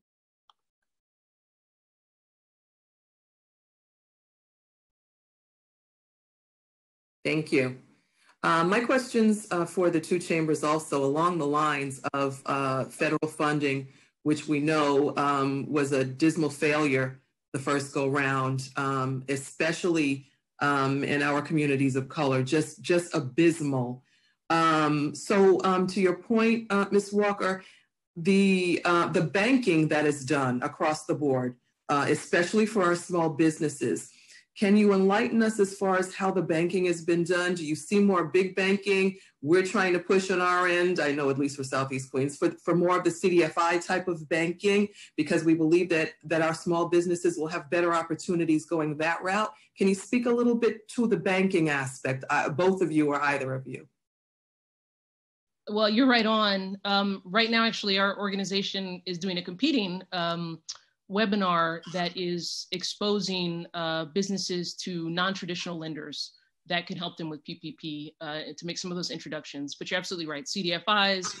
Um, there are also a lot of online lenders um, who are helpful right now. So we're just trying to make that match and get that education out, but you're absolutely right. And one of the things that we think is making a difference with this second round of funding is that the CDFIs are now able to make those loans on behalf of the SBA. Um, and that's something that we're strong advocates for. So we do have our own Brooklyn Alliance Capital CDFI, but we also work with a ton of larger CDFIs because we just do micro loans. Um, and we did also see, even in the first round, that some of the smaller sort of community banks and some of the fintech companies um, were they were having better success, our businesses with some of those. And we do actively refer people to those. Great. Thank you very much. I know we've we've got we understand your position on the legislation, so so we got that. Uh, I just wanted your take on the banking and how the banking might have made such a significant difference the first time around, and we're all hoping that uh, these next go rounds uh, will do all of our communities a whole lot better than they did in the past. Thank you both. Okay, I wasn't sure if it was like that's how we it. Thank you. We have a question from Majority Leader Cumbo. Starts now. And all that stuff, yeah. Okay, thank you. Um, my question is for the chambers. Um, as far as the yeah, businesses we're working with currently, what percentage would you say are chamber members? Um, would you say that the majority of the businesses that you're helping to support are chamber members or are a part of a bid? And what happens to those businesses that are off the grid, not a chamber member, mostly in many communities of color that um, don't have the same relationships to become a part of a chamber um, or their neighborhood or organizations not part of a bid. And while you've said that there's no funding, um, that businesses are not in a position to do it, you've pretty much said all, but would you agree that there are some that could, and if they are in a position to provide hazard pay, should do so? Um, so I'll just say, um, and, and I'm sure that um, Jessica Walker is probably doing something similar, but at the Brooklyn Chamber, we help all businesses. We believe that for our borough to thrive, that all businesses have to thrive, no matter whether they're members or not. So we're not, all of the services that I just outlined, we are providing to every single business in Brooklyn. If they need our help, we are giving it to them. We are responding to every email we get within 24 hours. All of our resources are public.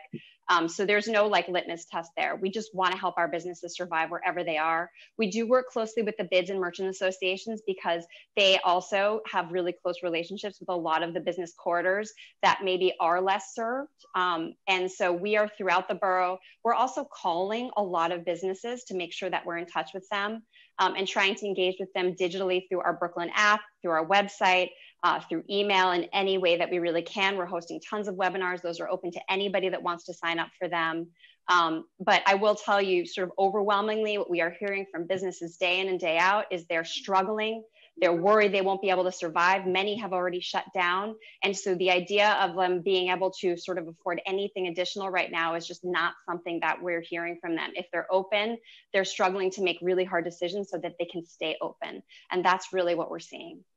No, and I understand that. And I, I understand that probably I would say the majority of the members in the chamber are, are memberships with under 100 employees. Would that be fair to say?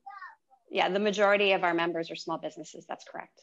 And do they understand that this legislation is not is aimed at businesses with employees over 100?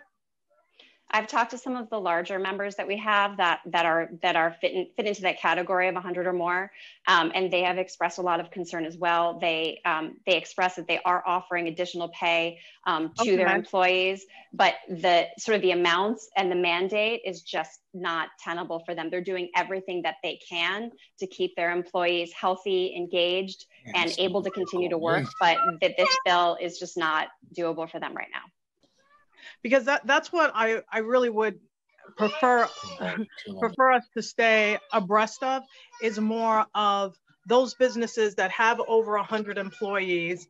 And if there are those that are paying some level of hazard pay we'd love to know who they are how much are they paying their employees so that we can get to some level of understanding of what's possible.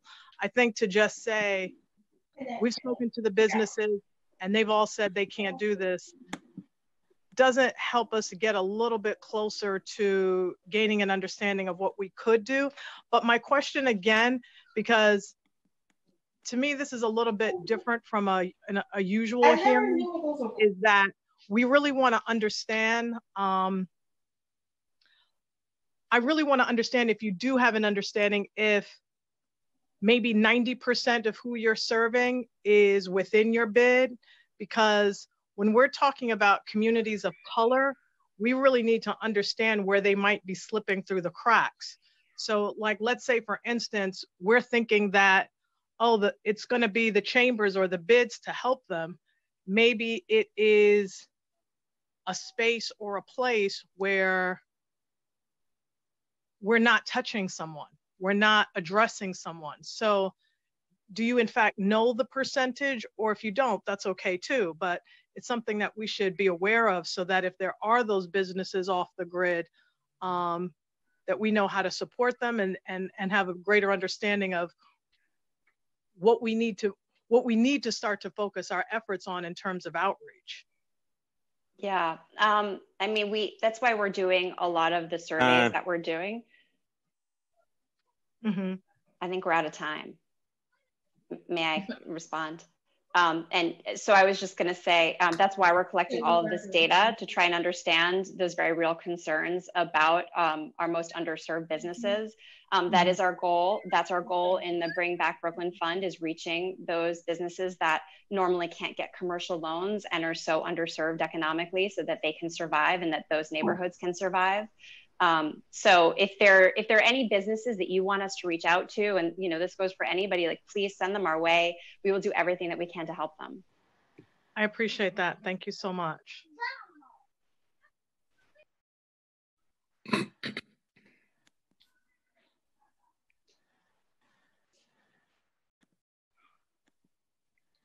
Okay, are we are we heading into the next panel?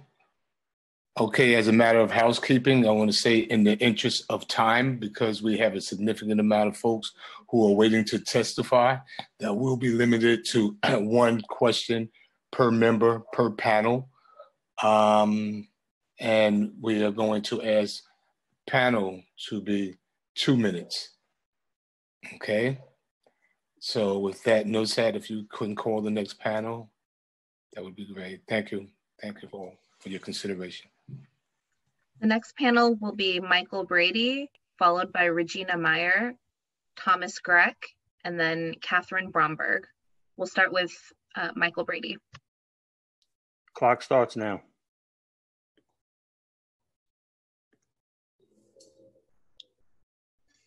Uh, thank you, uh, Chair, and thank you, members of the City Council. I'm Michael Brady, the CEO of the Third Avenue Business Improvement District and Bruckner Boulevard Commercial Corridor located in the South Bronx. Collectively, these organizations represent roughly 1,000 South Bronx, largely immigrant owned businesses. Uh, our, work, our organizations work to address barriers for districts, small and micro business owners, and build robust, equitable economic development tools by demanding equitable city resources, safer and cleaner streets, and responsible mission driven development. Our organization is helping drive the systemic change needed to support equitable economic development in the Bronx. We organize and build coalitions, provide strategic community services, provide research and data analysis, and support targeted advocacy efforts that strengthen community voices, build community power, and help win economic development policies that invest in people as much as they invest in places. Despite our city's emergency preparedness planning efforts, the COVID 19 pandemic and its ongoing impact caught our city off guard. It is a disease that's taken the lives of nearly 60,000 Americans and infected over hundreds of thousands of New Yorkers, disproportionately impacting our low income communities of color. The public health impact has been great, and the subsequent economic impact will have a lasting effect on our city for at least a decade.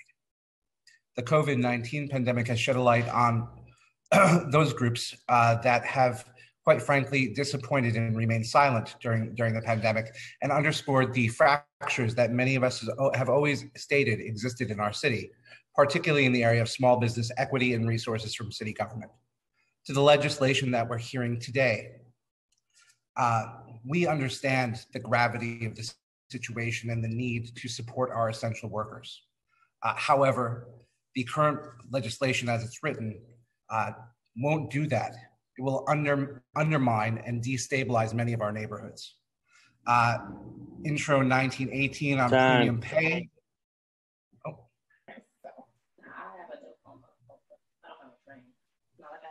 Thank you. Regina Myer. Clock starts now. Um, good afternoon, Chair Miller and members of the Committee on Civil Service and Labor. My name is Regina Myer, and I'm president of the Downtown Brooklyn Partnership um, on behalf of the partnership and the three business improvement districts that we manage, thank you for your dedicated work.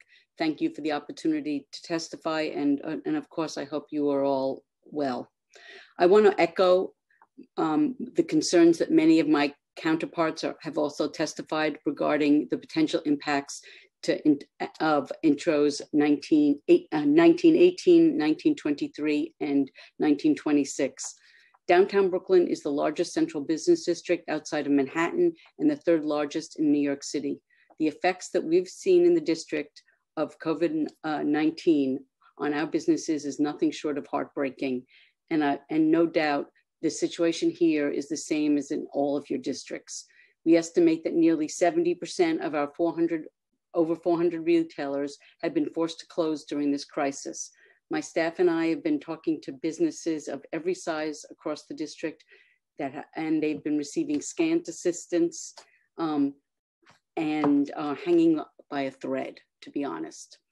We fear that this package of bills will constitute additional regulations that will further hobble any possibility that they can come back and thrive in, in the downtown in these desperate times from a medium-sized architecture firm on Livingston Street to a digital publishing company in the cultural district to the vendors uh, at DeKalb Market Hall, our businesses are projecting revenue losses of 60% or more in the next year, and most have already had to make painful decisions in order to maintain operations if they can. We must ensure that these proposals will not cause employers to choose between keeping staff and keeping their operations afloat in the face of plummeting Time. revenues. Sorry. Thank you. Thomas Grech. Good afternoon and good afternoon and thank you for having me. And Chair Miller, thank you for the honor of being here. Uh, my name is Tom Grech. I'm the president and CEO of the Queens Chamber of Commerce. Our county has been hit with the most cases of COVID and the most deaths in the city of New York. Everybody is suffering in the city of New York we especially. Lately, we use the word hero to cover a lot of different people, and in fact, they are. But today, I'm making the case for our everyday heroes, the small business men and women who toil every day to support their city, their business, their employees, and their families. Today, the Queen's Chamber of Commerce, which has been around since 1911, has 1,150 members representing 100,000 Queens based employees. 90% of our membership have 10 or fewer employees. It's important to note that the so called big guys that we talk about help keep those small fry, those smaller businesses that make up the majority of most chambers commerce, they keep those folks alive by their spends, whether it's at a, a, a deli or a bodega or what have you. Those larger ones work in a very symbiotic way with the smaller ones. The small guys know who they are, and the big guys know who they are.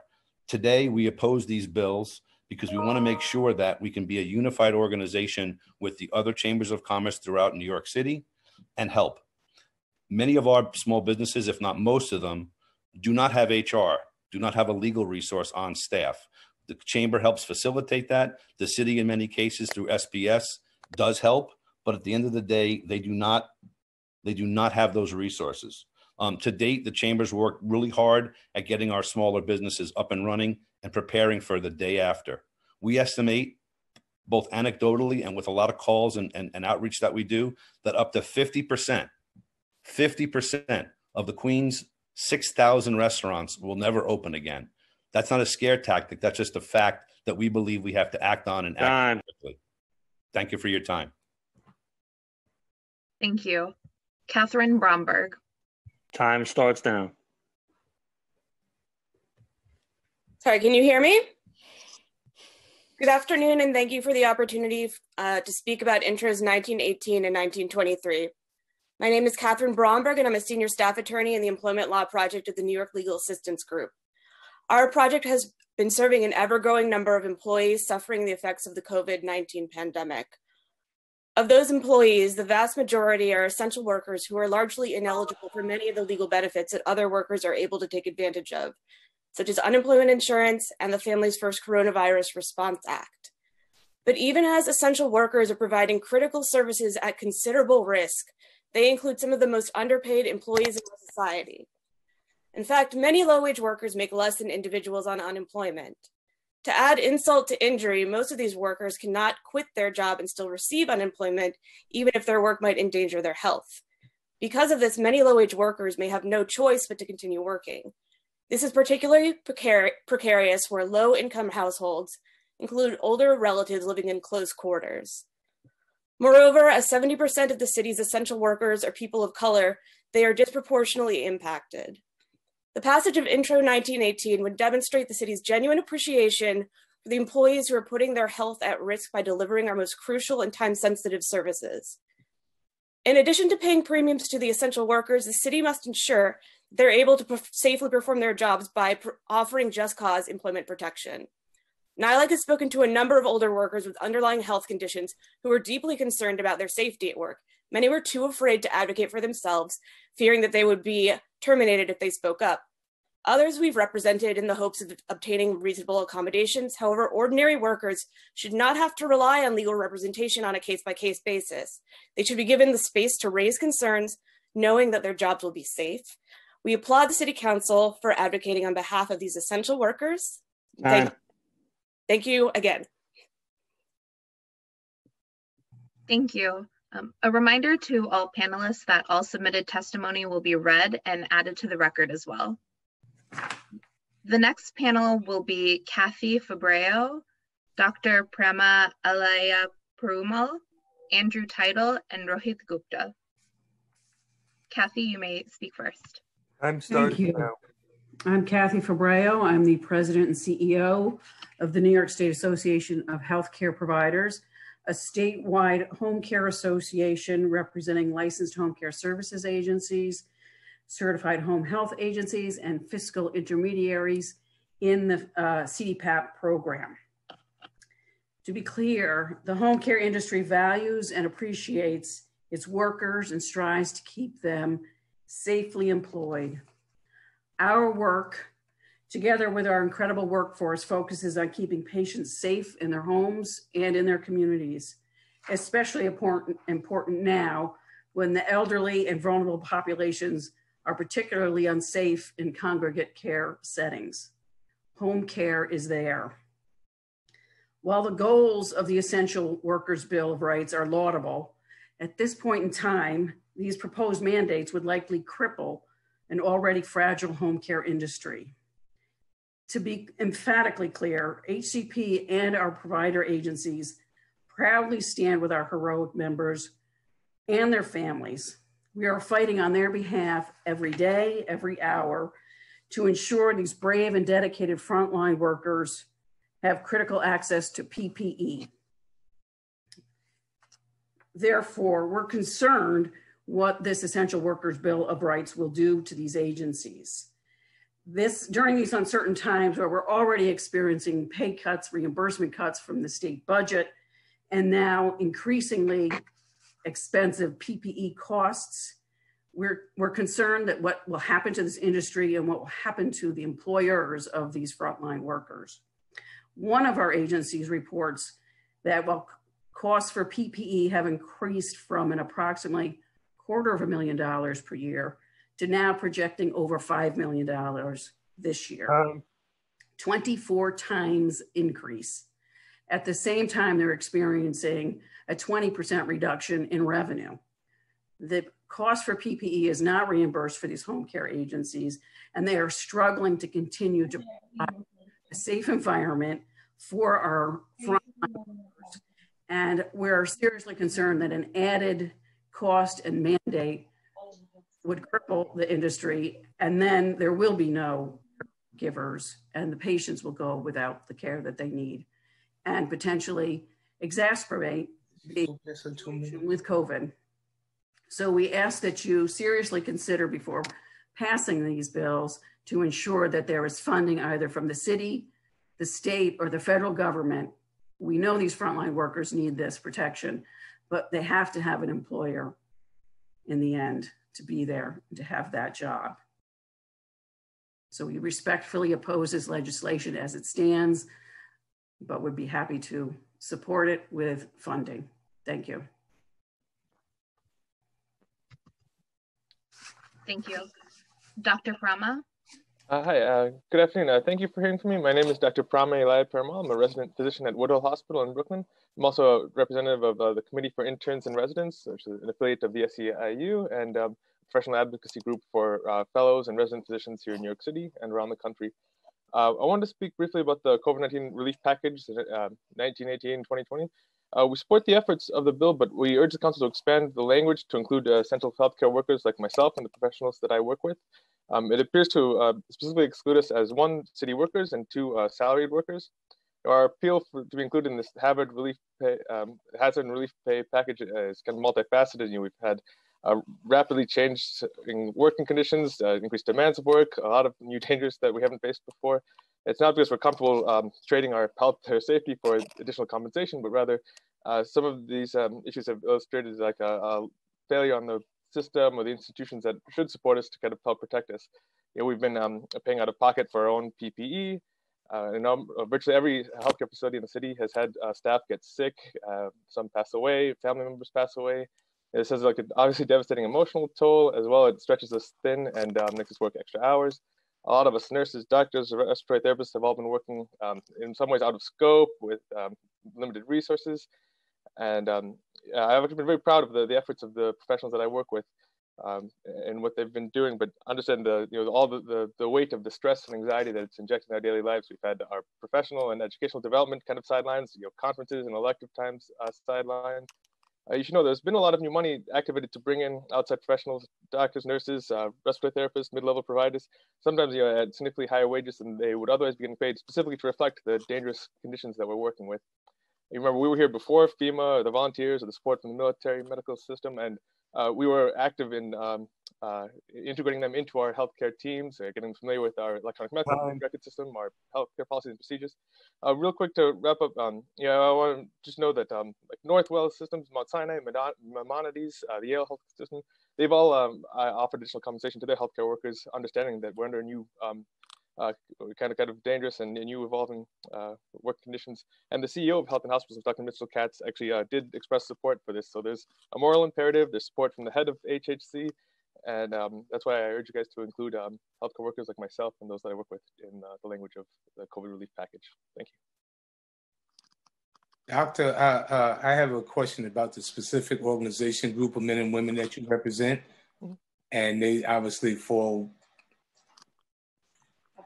uh, in the cracks of of of uh, some of the uh, public policy that's been created over the past, and those who uh, been achieved some of the gains that have been achieved through collective bargaining.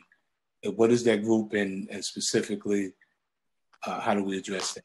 Uh, yes, sir. So um, the, the group is uh, the Committee for Interns and Residents, or an affiliate union of the Service Employees International Union. Mm-hmm. Uh, basically, we represent uh, resident physicians and fellows. Um, resident physicians, are those that have finished med school and are uh, working in um, uh, uh, further in postgraduate training roles. Uh, right now, we're some 2,200 residents and fellows within the HHC system, and we also have um, members at Wyckoff and some other city hospitals. basically, we, we, were caught in a unique position because um, you know the structure of how we are employed by the city. We're employees, but uh, we're also kind of locked into these uh, three-year programs, five-year programs, depending on what specialty uh, you're in as, as a resident or a fellow. And you know, we we, we don't have some of the same leverage that other maybe um, employees might have. You know, we we can't just up and quit, or we can't just change jobs. You know, we are locked in our location, and in a way, it puts us in kind of a, a precarious place where you know we we are here because because this is where we chose to to do this training and uh, you know, these are really unforeseen circumstances. It's a, it's a rapidly evolving and, and, and uh, kind of dangerous uh, work situation, you know, with now the epicenter of the world of this COVID outbreak. And I mean, I can tell you the scope of our work as resident physicians, we're in the ED when these patients come in, uh, we're in the ICU, the critical care areas when these patients come in. We, we're doing chest compressions, we're calling rapid responses, we're doing um, all of the like, like really intense work of caring for very sick people. And uh, I, I don't think that uh, what exists in our collective bargaining agreement currently really addresses. Uh, is, is, is, the scope of the work defined in individual contracts, or is it is it? Uh, so, so all uh, residents and physicians have uh, the same uh, collective bargaining contract. You know, um, we, we, do have the different years. you know, the, the, salary increases with each year of postgraduate training that we accumulate. Um, but and and while there, there might be some variations for those that intersect have, have their training intersect with other institutions, there's really one contract for uh, all residents and fellows uh, under the okay. collective bargaining agreement that's represented by the CIR. Thank you, Doctor. Thank you. Next panel. Thank you. Um, Andrew Title. Time starts now. Hi, can everyone hear me? Yes. Great. I'm Andrew Title. I'm the Assistant Vice President for Government Affairs at the Greater New York Hospital Association. Um, we represent all the hospitals in New York City, public and not for profit. And uh, thanks for the opportunity to speak right now. Um, as you know, this is an incredibly challenging time for New York City hospitals. Even before New York hospitals were struggling because of inadequate Medicaid reimbursement, and now even the largest systems report losses of approximately 350 to 450 million dollars per month right now, and um, that's hitting community hospitals especially hard it's impossible to overstate our debt that we all owe to essential workers, especially the hospital caregivers, but we will have to oppose these bills as written.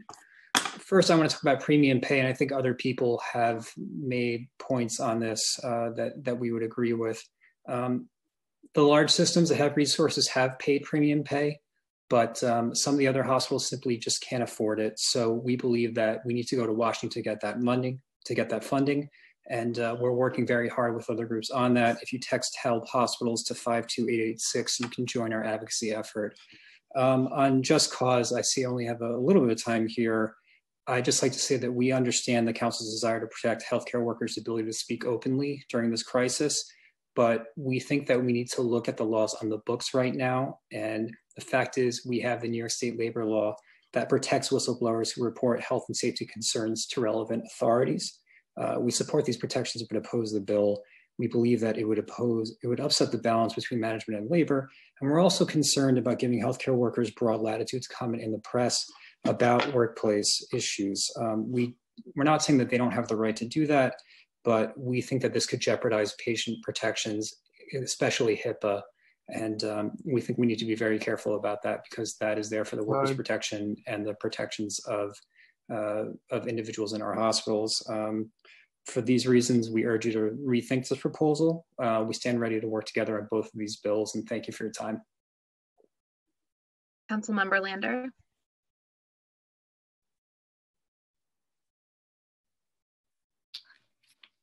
Uh, thanks very much. So I guess I just want to clarify. I mean, obviously, violating HIPAA would be just cause for dismissal. So I don't think there's any risk that you would be allowing HIPAA violations. No one would be very clear, like that's a law. You can't violate it. Everybody's policies make it clear.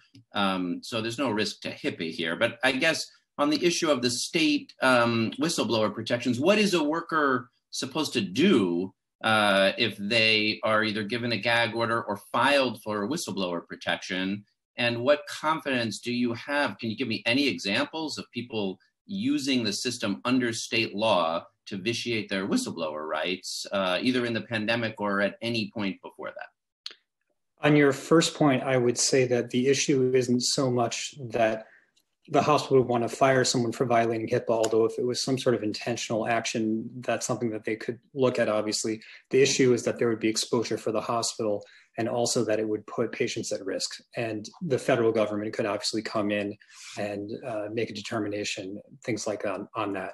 Um, on the second question, they can go to state DOH and the federal government and report uh, anything that they believe is uh, is not happening that puts patients at risk.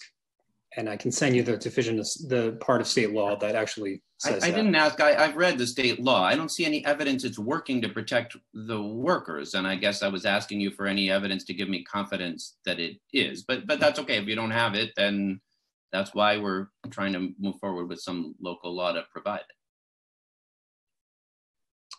Well, I can't talk about specific cases, but state DOH does take complaints and they do investigate whenever there's any violations. So I think that would be the evidence. Okay, thank you. Thank you. Rohit Gupta. Good afternoon, everybody. Uh, thank you for the council members for hearing my testimony today. Uh, my name is Dr. Uh, Rohit Gupta. I'm a fifth year uh, resident and currently I'm in my first year of gastroenterology fellowship. Uh, I'm a part of the CIR union, uh, similar to Dr. Prama. And just to reiterate, we are in support of the legislation of 1918-2020, but we are requesting to, that it get expanded to include us and other healthcare workers who are on the front lines um, you know, during training, many people in the public may not be aware that, you know, hospitals get paid by the government to, to hire us residents and fellows. And, you know, based on the hours we work, we often get less than a minimum wage. Uh, you know, and we have hundreds of thousands of dollars worth of student loans. And especially during training, we can, can't make a dent in that loan um, because of the amount that we're actually getting paid. And, uh, you know, during the crisis, this has been heightened even more. Uh, we've been asked to work in, you know, multiple areas. Uh, the hours are, are longer. Uh, we have to ration our PPE. And, you know, multiple colleagues have gotten sick. Uh, we have some people have even died. Um, myself, for example, I was pulled out of my training for gastroenterology to cover the ICU as an attending, supervising other residents, uh, unit of 13 ventilated patients. And I was honored to help, as are my co-residents, but the system is clearly broken. You know, I have friends outside of New York who have come and wanted to help and who are actually trained in critical care. Um, and they wanted to help in my hospital, but uh, they uh, got assigned to another place and uh, they were working in the ER, which is also outside of their scope. But uh, they were actually getting paid $400 an hour for their services. And, uh, you know, it just doesn't make sense. I'm, I'm happy that they're getting paid for the work because they are volunteering. Um, but at the same time, I know that my coworkers have been on the front lines and we need that additional help. And uh, that's why we're requesting to be as an essential worker because, you know, our, our patients come first and, and we deserve to be treated, treated fairly as well. So thank you for your uh, time. Thank you.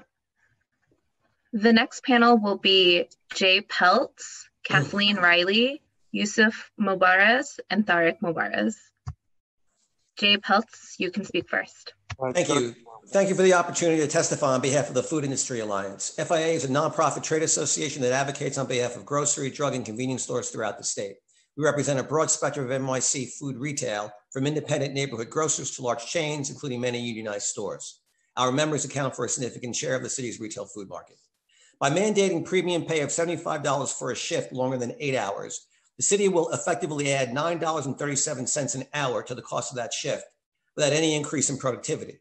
Assuming a worker is paid the minimum wage of $15 an hour and adding another $6 an hour in health and pension benefits, as well as payroll taxes, workers' compensation, and unemployment and disability insurance payments, all of which increases base pay rises, total compensation will exceed $30 an hour for a minimum wage worker.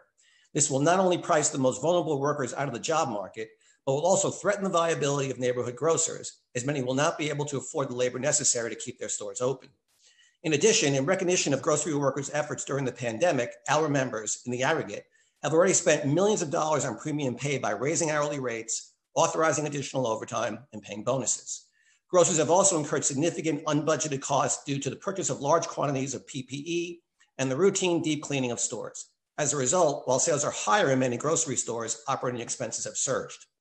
From beginning to end, the Just Cause Protection Bill contains provisions that are one-sided and will deny grocery stores the flexibility they need to manage employees in a manner that allows them to make payroll and pay bills. This necessary flexibility is the reason that New York is an at-will state. Denying established, denying neighborhood grocers the adaptability they need during a crisis while creating a conflict with well-established state law will adversely impact independent grocers, whose owners have not only invested substantial personal savings in their neighborhood stores, but have also personally guaranteed significant obligations, including bank debt, leases, and trade payables. If an owner defaults on those personally guaranteed debts, personal financial ruin is likely. Time. Thank you for your time. Thank you. Kathleen? Time starts now. Good afternoon. My name is Kathleen Riley with the New York State Restaurant Association, and today our members represent one of the hardest hit industries and the hardest hit city in this pandemic. It's with deep frustration that we've come today to testify in opposition to intros 1918 and 1923. Both are unduly costly and burdensome in an environment where an unprecedented number of businesses are closing or closed. Under Intro 1918, workers at businesses or chains with more than 100 employees would be entitled to premium pay for each shift. NYSRA is so appreciative and supportive of all essential employees and their dedication to providing essential services. We would love to see them receive additional compensation, but it seems plainly clear that pay must come from the government and likely federal sources. We're glad that DCWP and the administration share that view. For our members who have continued with takeout and delivery, being open is not lucrative. They're staying open as a service to their communities to keep as many people employed as possible, but many operate at a loss or just barely neutral. If Intro 1918 passes, it will kill more jobs in this hard hit industry and leave even more vulnerable New Yorkers scrambling for unemployment or other benefits. Intro 1923 also covers essential businesses and would ban any discharge without documented just cause as written, it would cover both layoffs and furloughs, which have become a basic necessity during the COVID-19 crisis. It also provides a private right of action, which means employees would be able to sue following any termination or 15% reduction in hours. It does not protect jobs to make layoffs unlawful. Jobs exist when employers exist, and Intro 1923 would send countless employers to their graves. It's critical for the city's recovery that New Yorkers come together to heal our city and protect the most vulnerable, and also rebuild our economy and our tax base. We urge City Council to reject Intros 1918 and 1923 and to instead focus on a collaborative and fair way forward that allows all New Yorkers to earn their livelihoods. Thank you for hearing us today, and we really hope to be part of the solution and the conversation moving forward. Thank you. We have a question from Majority Leader Cumbo.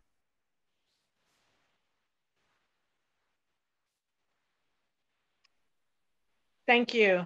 Um, wanted to ask in terms of, I'm sorry, I don't see the panelists there, but for the panel um, representing the supermarket workers um, or the supermarket owners, in this particular climate, and just to educate me, and I apologize for uh, not knowing extensively how your industry is doing at this time, is it fair to say that most of the supermarkets are doing well at this time?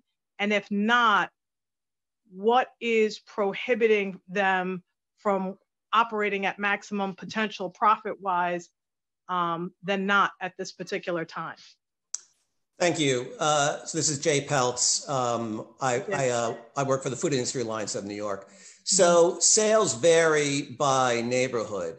So in neighborhoods where many or most residents have left uh, to live in second homes, or in neighborhoods that have been have experienced significant increases in unemployment. Uh, sales at stores in those neighborhoods um, are flat uh, or in some cases even down.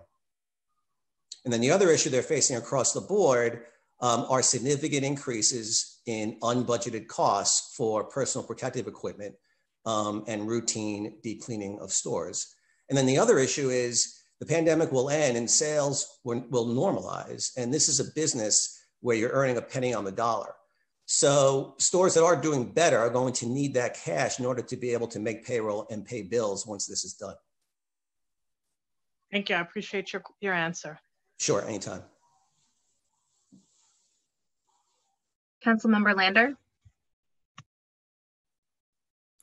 Jay, it's good to see you. And Kathleen, thank you for being here. I'm sorry that we've frustrated you by trying to pass a pass this package. Um, I, I think we hear you, and I hope you hear us. That the goal is not to make it impossible for people uh, who need to do furloughs or layoffs to do so, and that the intention is to clarify that in the bill. but I, I just really, I mean, I guess, you know, I don't really understand why the need to be able to fire someone without cause or notice is necessary to a business's survival. We're not doing it for no reason at all. We're doing it because workers have been fired for speaking out. Um, so, uh, you know, taking the furloughs and layoffs issue off the table because we are committed to work with you to clarify it help me understand why it would send someone to their graves not to be able to fire someone without notice or any cause. Well, so I've been in I've been around the grocery industry my whole life. I've operated grocery stores. So grocers aren't looking to fire people, they're looking to hire and retain productive workers. So typically, when people are fired, they're not fired for no reason. They're not fired without cause. There but is. Then there cause. wouldn't be any problem complying with the law. Well, well, no, because no, that's not true. Uh, because it all depends upon the rules of the game and what the process and what the process is like. So, I mean, we could have. I'm happy to have this conversation offline. But the way that bill is drafted, firing somebody even with cause is going to be a very heavy lift we'll be glad to have the conversation offline but i think good cause is a very well established standard and we're you know so anyway we'll, we'll follow up on it. I, I hear you on layoffs and furloughs. Um, you know and, and i don't disagree. The folks who have been fired for speaking out have so far been in hospitals nursing homes and warehouses. Um, but providing this protection to all essential workers just seems so basic and reasonable. So we'll follow up with you offline I hope that if we can work it out on layoffs and furloughs, uh, there'll be some willingness to work with us to provide what is a basic, uh, you know, a basic workplace protection that we believe essential workers deserve during a crisis. So, thank you. Thanks, Brad. Good to see you too. Happy to follow up. Majority Leader Cumbo. Time starts now. Are you aware of any businesses, like you said, some are doing well, and that's understandable that during this time there are there would be those businesses that are in communities such as mine, let's say Fort Greene, Clinton Hill, Prospect Heights, Crown Heights, and Bedford Stuyvesant, where you have um, many people that have gone away, many that haven't, people that have access to um, that don't have access to summer homes. You have a, a real gamut there. So, are you aware of any uh, owners within your organization that are providing some level of hazard pay who have recognized that I have a workforce, they're putting their life on the line to be here today, and we are doing well profit wise. Are they then sharing those profits with their employees, or is it more that just the owners benefit at this time? So I'm working on a survey right now of um, member companies that would be covered under 1918. And what I'm, the survey's not done, I'm still gathering data, but what I'm finding right now is that there has been a multi-million dollar increase in pay, in, in total payroll costs, March and April 2020 versus March and April 2019, millions. And most of that increase is attributable to premium pay defined as higher um, hourly rates, uh, a lot more overtime um, being authorized, and bonuses. I let me say this. I would really appreciate the findings from your survey so that we can find out what supermarket owners are doing. Stay back, stay back, stay back. I'm sorry, I'm trying to That's okay. a two-year-old at the same I remember those days. um, that's not my response to your answer. um, uh, we it. would appreciate the findings to those answers because um, that would help us to understand how to better craft the legislation. Like, for example, if you could tell us the average supermarket that has 50 employees has provided an additional $25 to each of their employees, and they have increased shifts to this amount, and employees are finding that to be helpful and supportive. Like your research could be really important and for many others that could do these types of fur- surveys in terms of finding where is the middle ground where something like this could be helpful and supportive. Thank you, Leader Cumbo. I'll follow up with you offline. Be happy. Thank to. you. Thank okay. You. Thank you. Next, we have Yusuf Mubaraz. Time starts now.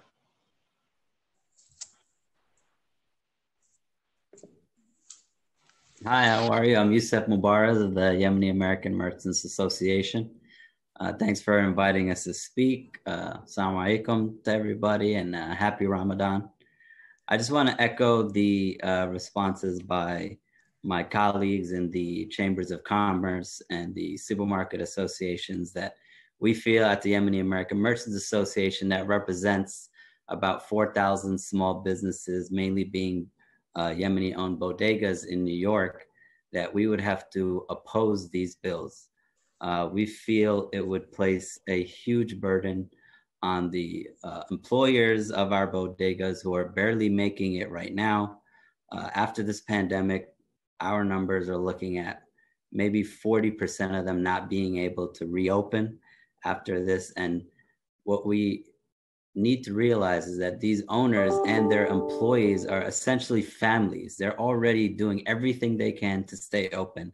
Their essential employees themselves are doing everything they can to work with their employers not to add all these extra costs on them and make it mandatory. It's, it's just going to put them out of business even quicker.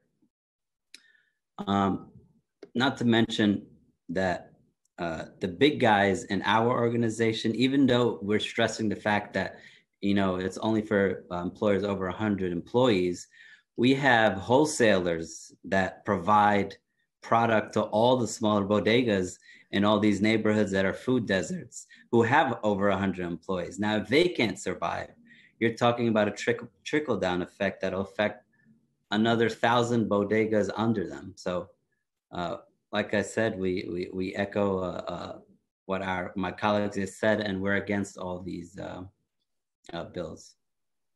Thank you. Thank you. Next, we have Tariq Mubaraz. Time starts now. Good afternoon. I'd like to thank everyone for the opportunity to speak. My name is Tariq, and I was born and raised in Astoria, Queens, and own and operate a small grocery store located on 40, 44th Street and 8th Avenue by Times Square. So you can imagine how hard the rent is. To get to the point, since this pandemic, with the loss of revenue my business has suffered, it's been hard keeping it afloat due to lower foot traffic, slow-based customer service, and complying with guidelines of social distancing by limiting persons' occupancy in my store. My store has faced losing 80% of my business, but 0% of my bills. But and at this point, I look for less profitability and more to prioritizing the safety of my employees and the and the community. Keeping up with the expenses and bills, as well as supplying the necessary items such as mask, hand, hand sanitizer, and gloves with, with low to no profit being made.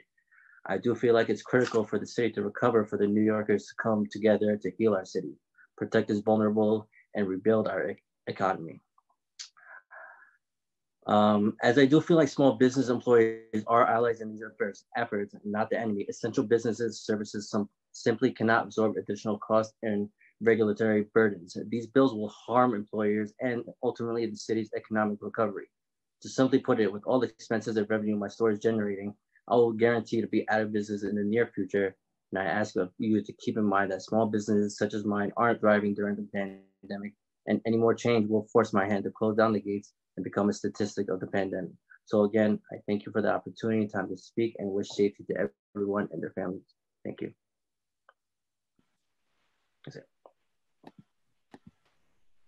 Thank you for your testimony. The next panelists will be Avi Kaner, Daniel Katz, Nassim Al-Muntasir, and MJ Okma. Avi, you can begin. Time starts now.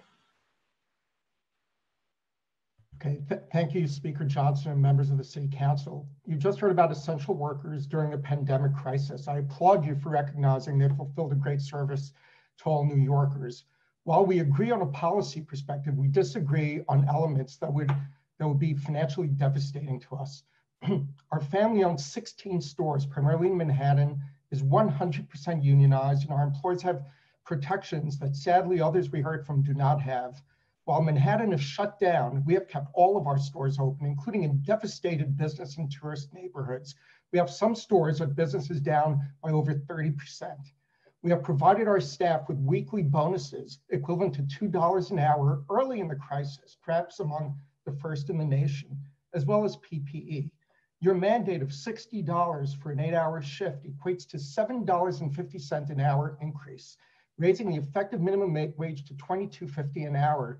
The additional increase will raise our payroll by $350,000 a week, or the equivalent of $18 million a year. We simply do not have this money and will be forced to shut down stores and terminate many union employees. It is virtually impossible to raise prices on 35,000 items. We would be forced instead to add a New York City Council grocery surcharge to the bottom of every supermarket receipt just to survive. Um, our goal from day one has been to protect our associates as well as customers. Uh, we provided masks and gloves and mandated customers to wear them as well, well before the governor did. A very problematic aspect of your proposal is that it puts a lower value of life on someone working in a company with fewer than 100 employees. Every life is equal, and every law should treat people equally. Our store in the Bronx is run by 20 individual supermarkets, often paying off the books. Why should employees working at those stores in tight, vulnerable conditions with no benefits not be as valuable in the eyes of the New York City Council. Time. Finally, the, the federal government has come up with ways to help affected citizens, including those in New York City, and is paying for these programs. If New York City wants to enact similar legislation, it should pay for it. Thank you very much.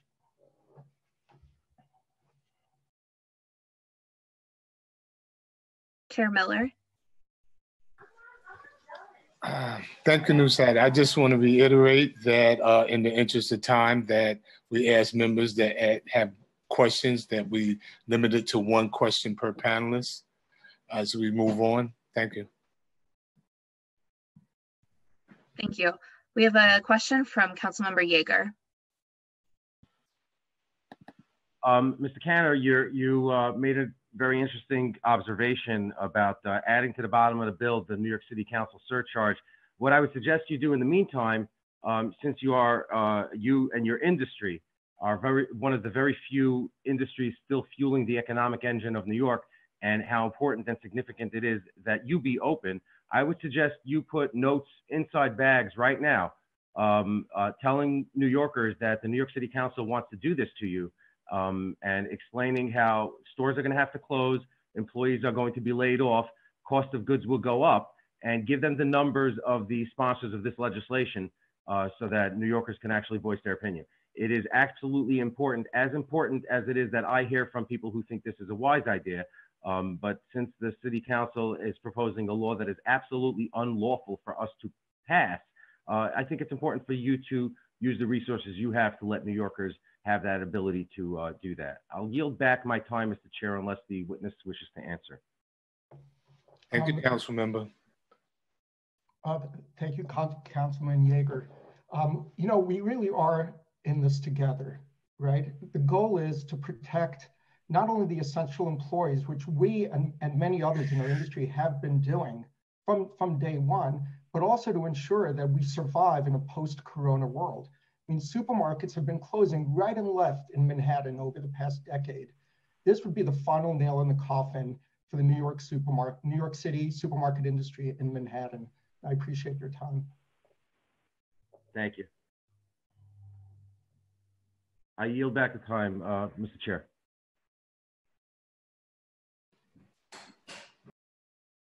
Thank you. We will next hear from Daniel Katz. Time starts now. I'm Daniel Katz. Thank you for the opportunity to provide testimony on Bill number 1918. Thank you, Council members Cumbo, Kallos, Lander, and of course, Chairman Miller, as well as other members of Labor Committee sponsors in the New York City Council itself. As Chairman and CEO of the Foodtown Cooperative, we represent over 70 stores in the in the five boroughs. And I must say that our workers are truly essential, and I agree with a lot of what was said here today. Besides being chairman, my company owns eight Foodtown and Pathmark stores in the boroughs in the neighborhoods of Norwood, the Bronx, Harlem, East Flatbush, Bedford Stuyvesant, Georgetown, Kensington, Hollis, and Bay Ridge. I'm very proud of what we've been able to achieve together through the tireless efforts to keep the stores open and safe for all the workers. We've worked extremely well through COVID with our unions, Local 338, UFCW, RWDSU, led by John Durso, and Local 342, UFCW, led by Richard Abondolo. During the crisis, we were called upon by 338 to provide quick checkout access for first responders and work with Eric Adams in Brooklyn to accomplish this. We were successful, and it serves as a great example of how companies can work with unions and government for a successful outcome. After we implemented this in Brooklyn, thanks to the union, the process for first responders went national. Our policy, policies and procedures extend well beyond mandated and suggested best practices. In our company, we are doing more than just the basics. Keeping workers safe and customers safe while continuing to service the vital needs of our customers has been our top priority from the beginning. We spent over $300,000 on PPE to date. We now offer, we even now offer masks to customers for a dollar, the proceeds of which get donated to hospitals. When we were, excuse me, we have been able to innovate and adapt to provide dedicated physician services, additional paid time off, bonuses of over $650,000 with more coming, specialized training, store modifications, and much more while adding payroll and overtime in the amount of $100,000 per week to keep the store stocked and serving families safely. For our employees, we don't wait for someone to get COVID. If you don't feel well for any reason, we ask you to stay home and call in sick to my brother directly, right to the boss, one of the owners of the company. We then schedule a telemedicine call with a doctor we have retained at no charge to the employee. We are then in touch with every employee every day until they return. We also offer supplements to the employees at no charge geared towards strengthening their immune systems. In general, New York grocers have stepped up and are working hard to protect customers and staff, but the proposed essential worker bill, while well intentioned, will have dire unintended consequences for workers, consumers, and local businesses. I would add that the logistics of rolling this out will take three to four months for even the larger and more sophisticated operators to program, test, and implement. But I do commend the council for its recognition for our essential workers. Besides being extremely involved in every single community that we serve, we believe that we have learned a tremendous amount in the last three months and would be honored to share with you our best practices. When you have an opportunity, please go to PSK Action, excuse me, pskactionplan.com. We believe we have done a first rate job with the help of the unions in protecting our employees, customers, and helping communities. We have made these best practices available for free to other businesses, both open and soon to be reopened. We would welcome the opportunity to immediately work with the committee and the New York City Council on solutions for employee safety and compensation. We can protect workers, customers, and communities without killing businesses. Thank you very much. Yeah.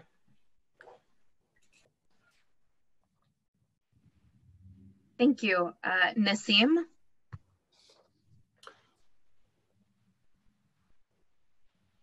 Hello, my name is Nasima Muntasser. I'm a Yemeni American born and raised in Brooklyn, New York, activist, worked in my parents' bodega for at least 10 years, and I'm a full time student at Brooklyn College studying history and secondary education. During these times, I'm really trying to juggle this workload simultaneously ensuring I am healthy. Part of my activist work has revolved not just around education, but also the issues that the Yemeni community and the small businesses at large are facing. I am testifying to urge the council not to proceed with this package because it will add a burden, more responsibility on top of what small businesses have to worry about as we are all trying to survive through COVID-19. My parents own four bodegas across New York City. For the past 10 years, I've never came to work with such fear anxiety until coronavirus came along. There are bodegas that remain open 24 hours, such as my parents, and we, including many other Yemeni Americans, are dealing with the issue of being better equipped during this crisis we find it our social moral responsibility to come out and serve the public. We need to understand that at the, at the moment, New Yorkers are relying on us for simple groceries to keep themselves alive. Essential workers and businesses and services simply cannot absorb additional costs and regulatory burdens. These bills will harm all employers and ultimately the city's economic recovery. No reality is businesses are closing.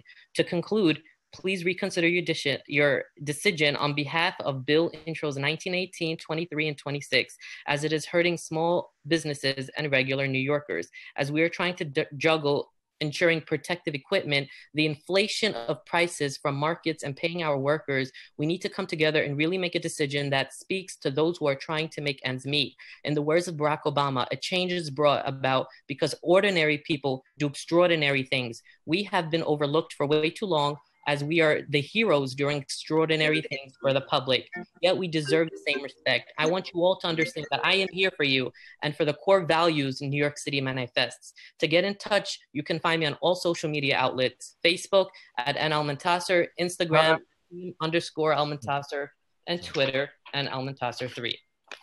Hello? Thank, Thank you. you. Well, Councilmember Yeger,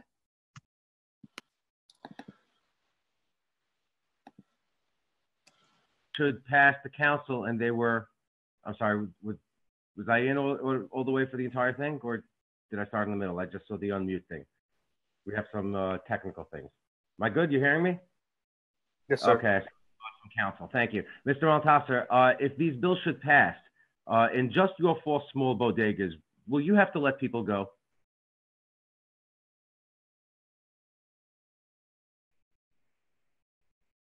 He's muted, Council.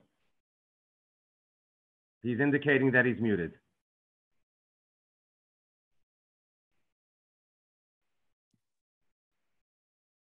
Okay, do we need a sergeant to get in on and unmute? I don't know who does that. I am Sergeant? unmuted.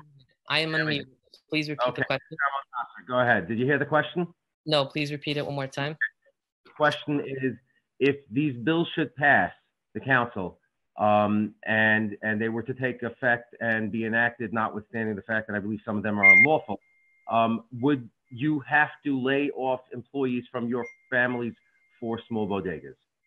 Well, we need to also we need to understand that th- that we have four across New York City, and you really can't hold the structure of a big business and a small business to the same standard. So the way we run are very different than big businesses. If the employee is not doing their job, we already have responsibility in terms of paying off bills, in terms of um, dealing with the inflation of products that we get. You know, prices are rising, and if they're not doing their job, then we would have to fire them. Let me be more specific, but with, with not with respect to those uh, employees who don't do their job. Obviously, if someone's not doing their job, you have to fire them. But specifically with respect to the bills that uh, that set up uh, more expensive schemes of operation, for example, 1918, 1926, uh, which would require you to pay more money um, uh, out of whatever meager profits you have at this point, uh, notwithstanding that you are really part of the last piece of the economic engine in New York. With your bodegas, with the small bodegas across the city represented by the Yemen American uh, Bodega Association, have to lay people off, generally speaking, as a rule, simply because if they have five people working in a bodega and they have to pay, you know, 50 bucks more a shift uh, over the course of the week, would that simply cost one person the job? Well, we well, as I stated before, we do have enough of a burden. So if we obviously we can't pay them more because we already have responsibility that we're taking care of. So this would just add an additional burden on top of what we're dealing with. So it won't do us any good, and therefore, it won't it won't benefit. Do you think that businesses in your industry can actually uh, absorb this cost, or no, is it you can't you can't absorb this cost. that's the question? Ultimately, it's not that it comes out of your profit margin, but that you just don't have the money. We just don't have the money. Period. All right, I appreciate that. Thank you very much for coming to testify. I Thank you. I've served my time. thank you. Councilmember Lander, Tim, you don't have 100 employees, do you?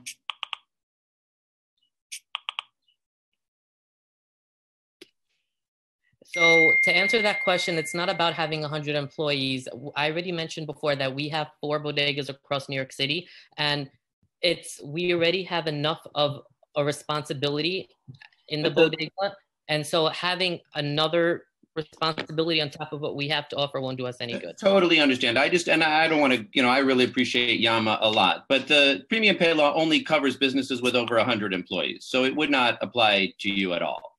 So that one you just don't have to worry about. If you, you know, want to testify for businesses over 100 employees that they shouldn't also have premium pay, I totally understand that.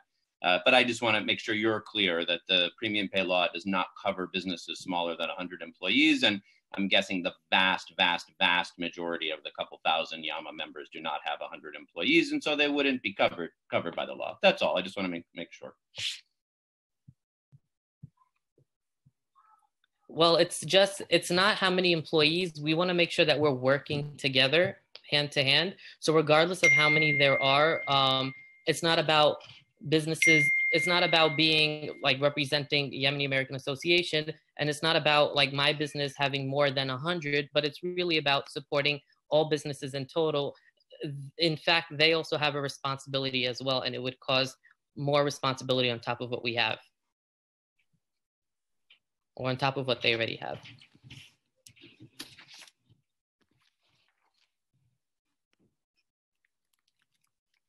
I'm done. Sorry, that's all. I, I, I appreciate it. I... Thank you. Uh, MJ Okma. Time starts now. Uh, good afternoon. My name is MJ Okma with the Human Services Council, a membership organization representing over 170 human services providers in New York City. Providers were operating on unfunded government contracts going into this crisis, with the majority reporting that they didn't have enough resources to meet pre COVID 19 demands for services. 1918, 1926, and 1923 would only fuel this crisis. It is painful to testify against 1918 because comprehensive incentive pay for frontline human services workers is a top priority of HSC, but it needs to be backed with corresponding increases on government contracts, which already only pay 80 cents on the dollar of programs' true cost. Additionally, 1918 only covers hourly workers. So even if it was funded, it would implement a piecemeal solution that would exclude many staff members and lead to further pay inequality. 1926 also needs to be backed with funding. Many human services providers rely on contracted workers for seasonal programs and specialized resources for clients as well, such as wellness classes. A recent survey of 60 of our members found that around 20% of reported staff fall outside of being classified as full or part-time workers and could be in, could be Im- impacted by the wide scope of this bill. Next, 1923 needs to address how the staffing levels of government contracted nonprofits are directly connected to city and state funding, not just performance. Already, 70% of the city's human services organizations believe that they will have to lay off staff as a result of current budget shortfalls. When the city recently made rapid cuts to the summer youth employment program, it directly led to the sudden layoffs of staff of multiple nonprofits if this bill as drafted was in effect then, those providers would have seen per employee fines and be required to reinstate terminated employees with full back pay with funding that the city is no longer providing. It is not about being against the intent of these bills, but without working in partnership with the sector and backing these bills with funding, they put the needs of providing human services workers with the benefits they deserve against ensuring that providers are stable enough to provide immediate and long term vital services. Thank you so much for this opportunity to testify. Thank you. Our next panelists will be Vincent Petraro, Kendra Hems, Michelle DeMott, and Muzzy Rosenblatt. We will start with Vincent Petraro. Time starts now. Thank you, Chair Miller, members of the committee, and other council members. Uh, my name is Vincent Petraro, and I'm representing the Metropolitan Parking Association, which represents the interests of nearly 800 parking garages and more than 6,000 unionized employees throughout the city of New York. These unionized members are members of Local 272 of the International Brotherhood of Teamsters. Uh, as unionized members, we have a collective bargaining agreement. Uh, they receive, besides their pay, they receive vacation days, benefit days, pension, welfare, which includes health plan with no copays, and we'd like to keep them employed. Uh, when the governor passed, uh, the governor put forth pause uh, and stopping all non-essential businesses, uh, it really severely impacted the uh, parking industry. Transient parking is down 90% plus at garages. Monthly parking is down 50 to 80%. However, even with these with these uh, reduced numbers, the garages, most of the garages are staying open. Why? Number one, they are essential under the government's plan. Number two, parking essential employee, they're parking essential workers, such as nurses, doctors, uh, law enforcement, other first responders, other people who work at essential businesses. So garages are essential. The problem is with this, with, with the bill uh, 1918, is that you'll add so much uh, payroll uh, to the garages that they're barely able to pay right now. They're barely able to make just their payroll from what they're collecting in parking fees. Um, and if you add this, workers would have, obviously have to be laid off. This would add over a million dollars across the industry in payroll. Uh, as I'm running out of time, let me jump to 1923. We already have a collective bargaining agreement. We already have not just uh, just cause, but we have all kinds of disciplinary procedures. There's grievances, arbitration, etc. This is really not needed for, for this industry as we already have this collective bargaining agreement. It would just add duplicative and, and, extra um, restrictions already on top of what the protections that these these uh, these members have. Thank you very much. Thank you. Kendra Hems. Time starts now. Thank you. Chairman Miller and the rest of the committee, my name is Kendra Hems. I represent the trucking industry in New York. While we certainly understand the intent of the package of bills introduced, we do have serious concerns about the additional financial and administrative burdens that they will cause. We have seen record drops in consumer spending just in the first three months of 2020. And in most segments of the economy, sales are down over 30%. The most recent Empire State Manufacturing Survey shows that the general business conditions index has plummeted 57 points to a negative 78.2, and it's the lowest level in the history of the survey by a wide margin. For the trucking industry, this equates to a cratering of demand, making it incredibly difficult to find freight, and rates have dropped significantly as companies fight to get what little freight is available. As it relates to 1918, even as revenues have dropped to unprecedented levels, companies are expending unbudgeted funds to obtain critical and necessary protective equipment. Our member companies are fighting for their survival, and without exaggeration, an increase in their payroll costs resulting from a premium pay mandate would force many of them to close down completely. With 1923 just cause requirement, um, given the demands of the trucking industry and trying to meet in the middle of a meet trying to meet demands in the middle of a pandemic, it is inappropriate to saddle companies with onerous and burdensome regulations. They're doing everything they can, adjusting their models, shifting operations, just to keep businesses open, and more importantly, to keep their workers employed. Finally, we have various serious concerns with Intro 1926. This legislation would change presumption of employment to an ABC test. In the trucking industry, it's nearly impossible to meet that B prong we passed the New York State Commercial Goods Transportation Industry Fair Play Act in 2014 to address that concern. And so this would create a new standard for determining whether professional truck drivers are employees or independent contractors. And we would consider, we would ask that the council consider uh, amending the proposal uh, to honor the terms of the Fair, Fair Play Act. We do look forward to continuing to work with the council on these bills. Again, we do understand the intent. Our drivers are frontline workers, um, as our our healthcare industry. They deserve uh, the recognition and, and certainly the appreciation of all of us as well. Thank you. Thank you. Michelle DeMott. Good afternoon. Good afternoon, Chair Miller and members of the committee. My name is Michelle DeMott, and I'm the Chief of Staff to Mitchell Netburn, President and CEO of Samaritan Daytop Village. On behalf of our organization, I appreciate the opportunity to testify before the committee on intro 1918, 1923, and 1926. Samaritan Daytop Village is New York's largest comprehensive health and human service agency with over 50 programs across 10 counties, including all five boroughs of New York City. Our close to 1,500 heroic employees have been providing services daily as essential employees during this pandemic to approximately 33,000 of the most vulnerable New Yorkers, the vast majority of whom live in New York City. We offer a rich array of programs, including treatment for mental health, substance use disorder, transitional and supportive, and permanent housing, innovative services for veterans, homeless individuals, women, children, youth, seniors, and families. The nonprofit sector has tirelessly advocated for fair pay for our workforce long before the onset of the COVID crisis. And we certainly thank the City Council for considering our frontline workers. We strongly support efforts to increase pay for our employees who are putting their lines on the line to continue serving our clients. Our grave concern with both Intro 1918 and 1926 is that without a guaranteed funding source to implement them, our financial st- stability will be in serious jeopardy. And as a result, we will no longer be able to care for the most vulnerable New Yorkers. At the very least, it's not an exaggeration to say that these bills will lead to layoffs and will result in decreased access to vital services for New York City residents at the exact moment in time when their need for these services is the greatest. I would also like to raise concerns about Intro 1923. Due to the COVID 19 pandemic, we have faced a substantial increase in costs for spending on PPEs, disinfectants, and enhanced cleaning of our facilities. Additionally, we've had to purchase devices for both staff and clients to transition to telehealth in order to consider to deliver in order to continue to deliver critical services to our clients. Um, In order to ensure we remain fiscally sound, we have been forced to make prudent but painful financial decisions, including furloughing staff. This bill defines essential employees to encompass everyone at an essential business.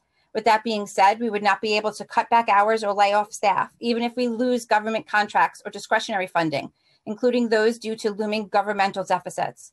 Our organization simply would not be able to incur additional costs this bill would require without additional financial mm-hmm. assistance. Mm-hmm. Thank you for this opportunity to provide testimony today. Thank you. Muzzy Rosenblatt.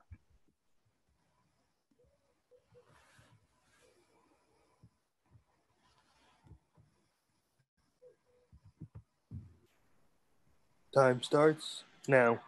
My name is Muzzy Rosenblatt, and I'm the CEO of BRC, one of New York City's largest, most experienced, and successful providers of housing and services for homeless adults.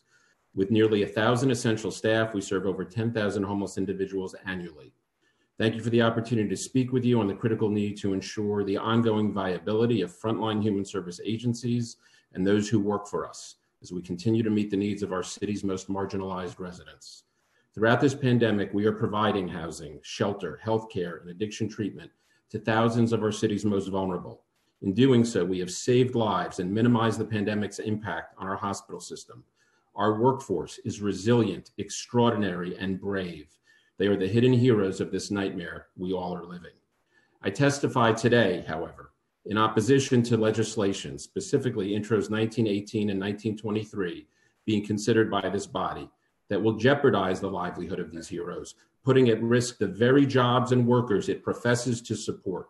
By knowingly and willingly imposing unfunded financial mandates on nonprofits, this legislation will swiftly put those nonprofits out of business and these heroes out of work. As CEO, it is my responsibility to protect our workforce, their physical and economic well being. At BRC, I have done so taking aggressive action, acquiring PPE, extending time and leave benefits, enhancing access to health insurance. With resources we have or anticipate receiving, I will be providing our frontline staff with the differential pay their heroism and resiliency deserves. But it is also my responsibility to ensure that BRC's work continues in the weeks, months, and years ahead. That will only happen if we have sufficient resources to cover our costs, and that fundamentally means the ability to pay our staff. This legislation not only puts our work, uh, this legislation puts not only our workforce, but our city at greater risk. If this council wants to help these workers and in the nonprofit sector, it should put its money where its mouth is and provide the funding to support its stated objectives. Talk is cheap, as is this legislation, and it must be rejected or it will hurt those who it intends to help. My responsibility is to ensure our clients' well being and our city's well being. And to do that, I must act to ensure that there is a BRC that can employ our heroes and enable them to do their job saving lives. This is the council's responsibility as well. And the responsible action now is to oppose legislation without appropriation. Thank you for listening, and I'd be happy to answer questions. Thank you. Our next panelists will be Terry Troia, Teresa Hassler, Nicole McVinua, and Jeff Schuer. Um, Chair Miller, did you? I want to remind everyone that we have a hard two minutes on everyone who's testi- testifying. Uh, we appreciate your testimony, but there are many more who want to testify. And so it's two minutes and you will be put on mute. Thank you. Continue. Thank you. Terry Troia, you may begin. Clock starts now. Hi, I'm Reverend Terry Troia. I work at Project Hospitality, and we are an interfaith effort that serves the needs of more than 25,000 hungry and homeless people in Staten Island, the only organization providing shelter for homeless people in Staten Island, the only borough without a publicly funded shelter for street people. We commend the Council for introducing Intro 1918, and we speak against it in its present form, which requires employers to pay premiums to essential staff. Our ability to pay workers is tied to the funding received in our city contracts. Some of our city contracts will cover the cost of pay premiums for essential workers. However, the contract will pay for only direct care staff, such as case managers, and will not cover pay for security, maintenance, and kitchen staff, all of whom are essential workers in our book. We've already implemented a small premium for our essential staff to express our gratitude for their bravery and dedicated service in this time of crisis. We hope that our funders will agree to cover these costs, but we're not paying at the rate that's proposed in Intro 1918, and we cannot come close to that amount if all of our contracts are not increased to meet those needs. Without additional funds in our tight and often inadequate funded contracts, we cannot meet the mandate of Intro 1918. We asked instead of passing a bill that would endanger the existence of the not for profit essential service sector, we ask that the council work with the administration to ensure we receive the additional funds to cover all incentives through our city contracts. We also support the goals of Intro 1923 and we speak against it in its present form because this legislation would prevent us as an essential business from making any staffing changes that are that would uh, that we would need to in responding to loss of contracts or the forced closure of programs. We support the council's intent to protect workers, but the bill doesn't consider how we would cover the cost of payroll and benefits when for our staff when we lose funding in city and state contracts. How can we keep our people employed if the city and state cuts our funding? We need a New York City funding mandate to put the funds and keep the funds in our city contracts to allow us to the, achieve the goals of Intro 1918 and 1923. Thank you for allowing me to speak and allowing Project Hospitality to serve the most vulnerable, impoverished, homeless Time. people in the borough of Staten Island. Thank you. Councilmember Lander. move us along. So, Chair, I, I really apologize. I'll be very brief, but I love Muzzy Rosenblatt and Terry Troia so much that I just need to say we appreciate your work. I think we made clear, and the majority leader made clear from the beginning, we're trying to open a dialogue about how to make sure this is funded in a reasonable way. And of course, we can't mandate you to pay more than we're actually giving you contracts to pay. Um, and we will obviously work with you to find a way uh, to make this work. I guess I would say we will all, we've made clear we're also going to address the issues around making clear that if there have to be layoffs or furloughs, you can make them. But the issue of not firing people without cause is not one that adds additional cost burden. So we look forward to working with you guys. We really appreciate you. Uh, and we're going to make sure that you and your frontline workers can be out there doing the job. I apologize, Mr. Chair, and I will try to limit my questions going forward. Thank you. Teresa Hassler. Time starts now. Thank you. Thank you so much, Councilmember Lander, for that. Uh, good afternoon, Chairman Miller, members of the Civil Service and Labor Committee, and other members of the City Council. My name is Teresa Hassler, and I'm the Vice President of Government Affairs for SCO Family of Services, one of the region's largest nonprofit providers of human services. On behalf of Keith Little, our President and CEO, I want to thank you for allowing me to speak on Intro 1918, 23, and 26. When the governor declared New York on pause, SCO, like other human services organizations that were deemed essential, had already started working on implementing a comprehensive work from home policy, creating an inventory of PPE, updating our quarantine protocols for our clients in residential care, and began a rapid redeployment of staff to our residential programs, where we were working to maintain regulatory staffing ratios. Finally, recognizing the necessity for premium pay for our staff and even without assurances of reimbursement from the city and state, or an increase in our contracts. SCO and other human services providers had already taken steps to use our limited resources to provide some incentives for frontline staff. SCO has 4,000 employees and serves 60,000 persons per year. However, the size of our workforce has precluded us from qualifying for the payroll protection program under the CARES Act. 97% of our budget is based on government contracts. 55% of our budget is based on contracts with New York City agencies. SCO emphatically supports the spirit of these bills. However, between the mayor's executive budget, cuts to programs funded by the city council discretionary monies, pending expiration of the city's multi-year COLA for human services workers, ongoing cuts to the state budget, and preclusion from federal relief, we are not able to sustain the impact these, of these unfunded mandates. Again, we serve some of the city's most vulnerable, and the services provided by our sector must be protected. Because our viability and sustainability will be vital to the healing, the housing, and the helping of New Yorkers in the aftermath of this pandemic and for years after. Thank you again for allowing me to speak on behalf of SCO and the human services industry. Thank you. Nicole McVinua. Clock starts now. Good afternoon. My name is Nicole McVinua, and I'm the Director of Policy at Urban Pathways. Thank you for the opportunity to testify today on Intro 1918 and Intro 1926. Urban Pathways is a nonprofit homeless services and supportive housing provider. We provide street outreach, drop-in services, safe havens, uh, extended stay residences, and permanent supportive housing. And all of these programs operate 24 7. Uh, last year, we served approximately 3,700 New Yorkers in need. Throughout the course of this pandemic, our programs have remained fully operational thanks to the dedicated frontline staff that have continued to work on site to ensure the health and safety of our clients. Their commitment and dedication to those we serve have been nothing short of heroic. With that said, we fully support additional pay for essential frontline workers. However, like has already been said, in order for the premium pay for essential workers proposed in Intro 1918 to be viable for nonprofits like us, it must include a requirement that city agencies who contract essential services out to nonprofit organizations cover this additional pay. Nonprofit human services have been chronically underfunded for years. Uh, we've been fighting for higher wages for our frontline workers long before the current crisis. To place an additional unfunded mandate on nonprofits in the form of premiums uh, for essential workers would be an undue hardship, which could ultimately lead to a closure of vital programs in order for organizations to make ends meet. Uh, therefore, we urge the, the committee to amend this bill um, to include uh, additional funding needed to cover the, the premium pay. Um, we also just uh, want to address a concern in Intro 1926 uh, to clarify uh, that we would not have to provide sick leave to subcontracted workers. I think Councilmember Land, uh, Lander has addressed this, uh, but we just want to be sure that there's clarification if we're working with a subcontractor Time.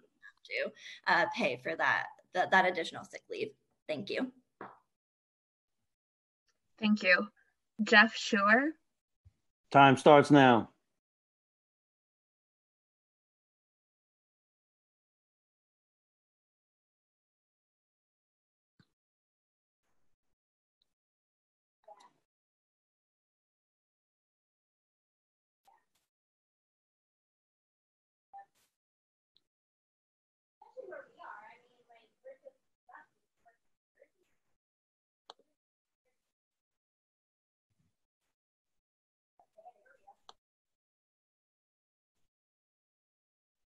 Jeff Schuer.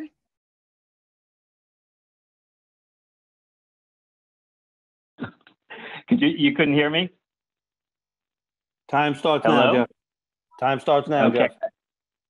All right. Thank you, Chair Miller. I I had uh, done a little bit of speaking already, and uh, members of the Committee on Civil Service and Labor. Uh, I am Vice President for External Affairs at Breaking Ground, and I'm here today to express our reservations to Intro 1918 and 1923. We believe that these bills could transfer major unfunded financial liabilities to the nonprofit hu- human services and housing agencies that serve the most vulnerable New Yorkers. Um, for those of you who don't know who we are, we are the largest provider of supportive housing for chronically homeless New Yorkers. And we also have a large street outreach program covering all of Brooklyn and Queens, Midtown Manhattan, which connects the most entrenched long-term homeless individuals with housing and other critical services. Uh, I have a, a prepared statement that I would like to um, enter. And but essentially, I'm going to uh, parrot what the other human services agencies stated. From our perspective, we fully support uh, hazard pay and increased pay as as um, articulated and, and aspired to by 1918. But we simply cannot support this this as it's as it's currently um, drafted without uh, city allocations to to make us whole on those payments. Not uh, Breaking Ground some time ago had put out hazard pay for many many frontline workers, and we have over 200 uh, without assurance that the city would uh, reimburse us, and that was a very risky uh, move. And and since then, we've gotten assurances that uh, some of that, or most of that, would be paid, but it has not been without considerable uh, challenges. For instance, we have residential uh, aides at uh, nearly uh, three quarter, uh, three dozen at our safe havens that are as, as close to health.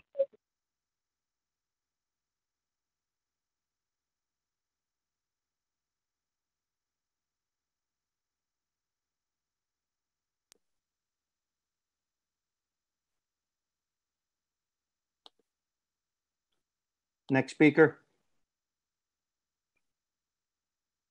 I see. Uh, the next panelists will be Nadia Tate, Eric Lee, Abby Nyam- Nyamiki, and Andrea Thomas. Nadia? Clock starts now. Hi, my name is Nadia Chait, and I'm the Associate Director for Policy and Advocacy at the Coalition for Behavioral Health. Um, we have over 100 members who provide mental health and substance use services to more than 600,000 New Yorkers every year. Our members are on the front lines of this crisis. They are in residences and congregate care facilities and doing outreach to individuals who are not stably housed. And I certainly strongly support um, efforts to get them the compensation that they deserve. Uh, but as has been pointed out many times, and I appreciate the acknowledgement from, from various council members on this point, we simply can't afford to do that without funding from the city or the city getting funding from the federal government to pay for that cost. Um, and so I look forward to working with the council on advocacy to ensure that those costs don't fall on providers and don't result in layoffs or the closure of programs because of these costs.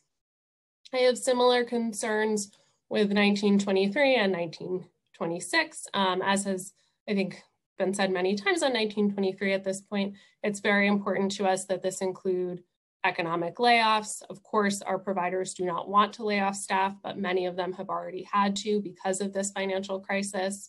Um, and given what we all know about the city and state budgets, they're very concerned that they will lose additional funding and need to lay off staff. And so we need the flexibility there. Um, and on 1926, we certainly want staff to have paid sick leave, um, but we just want to make sure that it's clear who that applies to and that for per diem staff who may only work, you know, a very irregular schedule, that they wouldn't be included.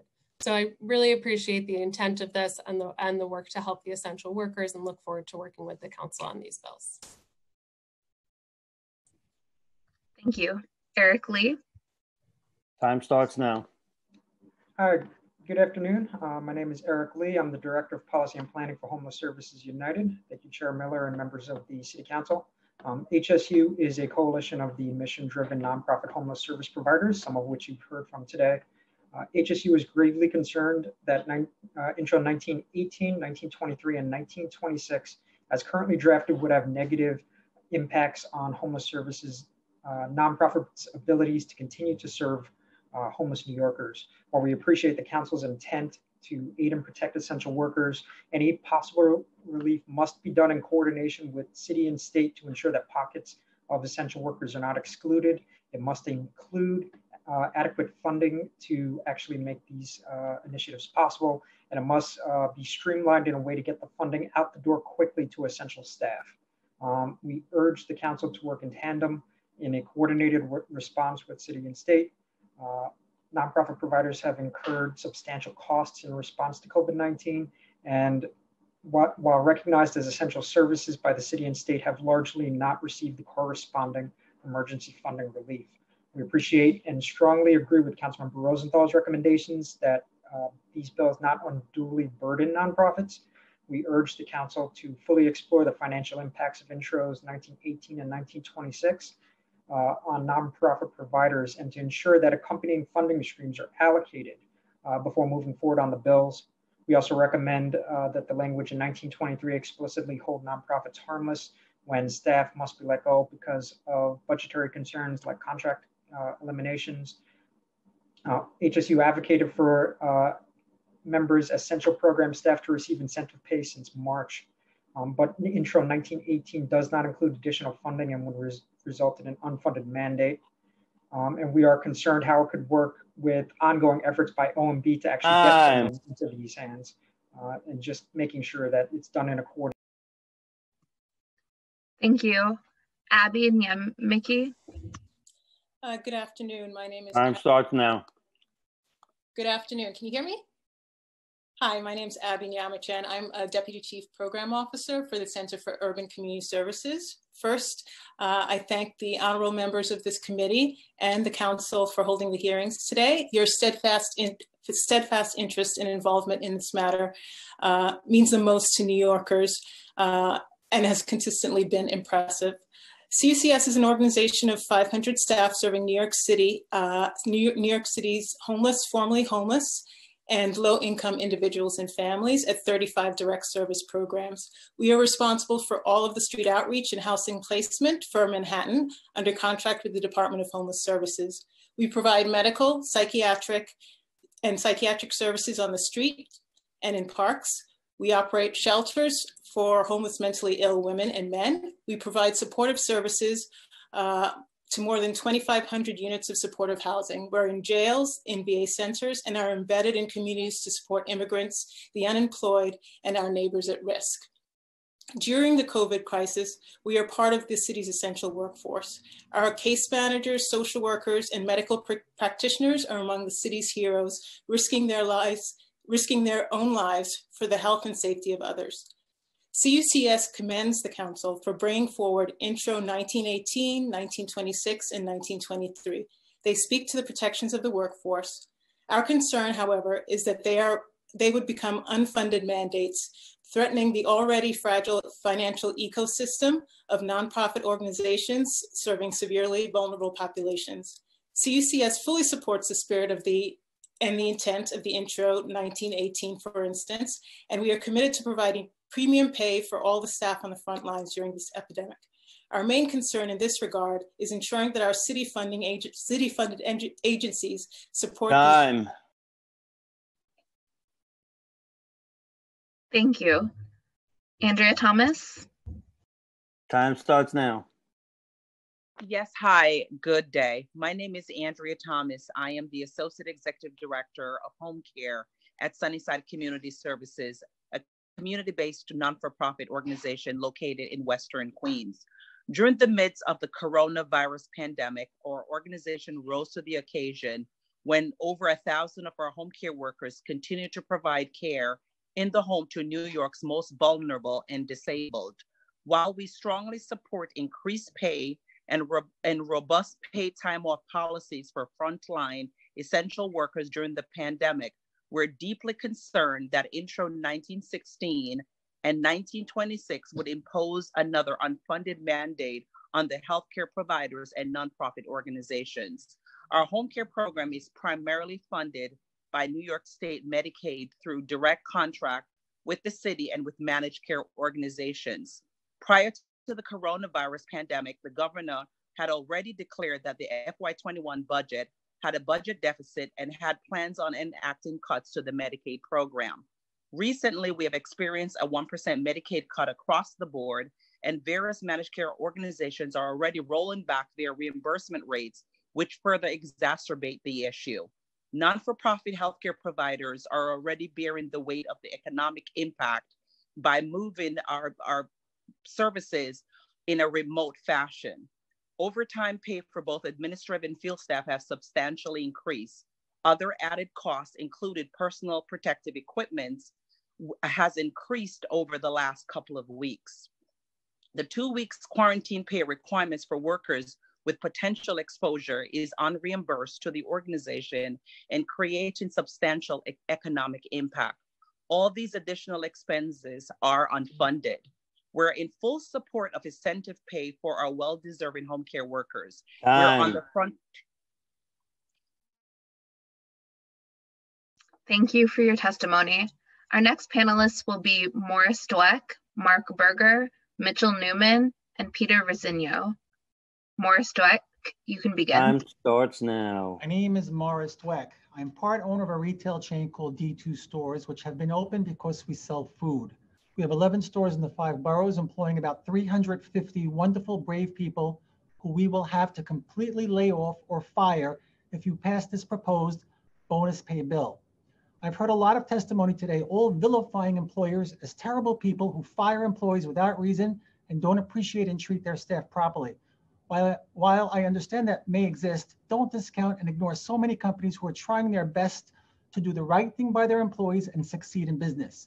My company has not terminated any employee over the last two months, and we have provided new PPE to each and every employee every single day. We have respected employees' requests when asking to stay home and never forced an employee to come to work. After reviewing the bill, my management team and I came to the conclusion that the only feasible option would be for us to close our stores within the boroughs for the remainder of the crisis and lay off 350 employees. How in the world could we afford to pay these bonuses? This bill would propose this bill proposes an increase in our payroll of 50%. Where are we supposed to get the money to pay that bonus?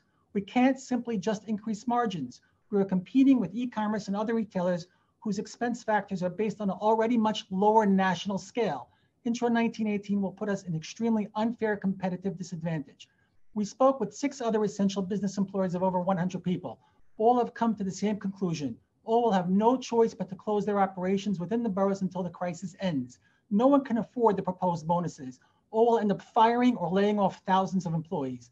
This means these companies, which include supermarkets, a security guard company, and a healthcare company, will become closed to the public. Frankly, as a Brooklyn resident, I am terrified if so many essential businesses end up closing. My employees are proud people. They work during these rough times because of sense of duty to their community. They could have stayed home doing nothing and collect more being unemployed, which some have done, but the majority of our staff understand these difficult times and come to work for the greater good. To Thank you. Mark Berger. Good afternoon. My name is Mark Berger. I'm the president of Securitech Group, Inc., a lock manufacturer in Maspeth, New York. I'll just go as briefly as I can, as quickly as I can. We operate a factory with a full-time payroll of over 65 employees. And just like the last speaker, we have not furloughed, laid off anyone during this crisis. Uh, we've been designated an essential business under pause by the Office of Economic Development, and we've called in a skeleton crew. And those skeleton workers have allowed us to pay all the other employees, and I thank them for their efforts.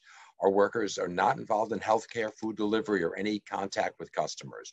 Among the products I supply are lock sets and alarms for hospitals, and we've been requested to produce expedite orders for them and some other government agencies. But many of our regular customers are in quarantine areas across the country. These include retailers like Apple, who've closed their stores and do not permit contractors to perform construction or renovation work. We do not need 100% of the workforce to provide products for the hospitals and other government orders. How are we expected to bring in 100% of the workforce when we cannot supply product to many of our customers? Why should we be penalized for reopening by requiring us to pay 100% of the employees? We can, we're trying to do it, but who knows if this lasts six weeks, eight weeks, 12 weeks, whether we can continue to do so. The term essential worker is way too broad a category and will harm businesses, ultimately resulting in a loss of jobs.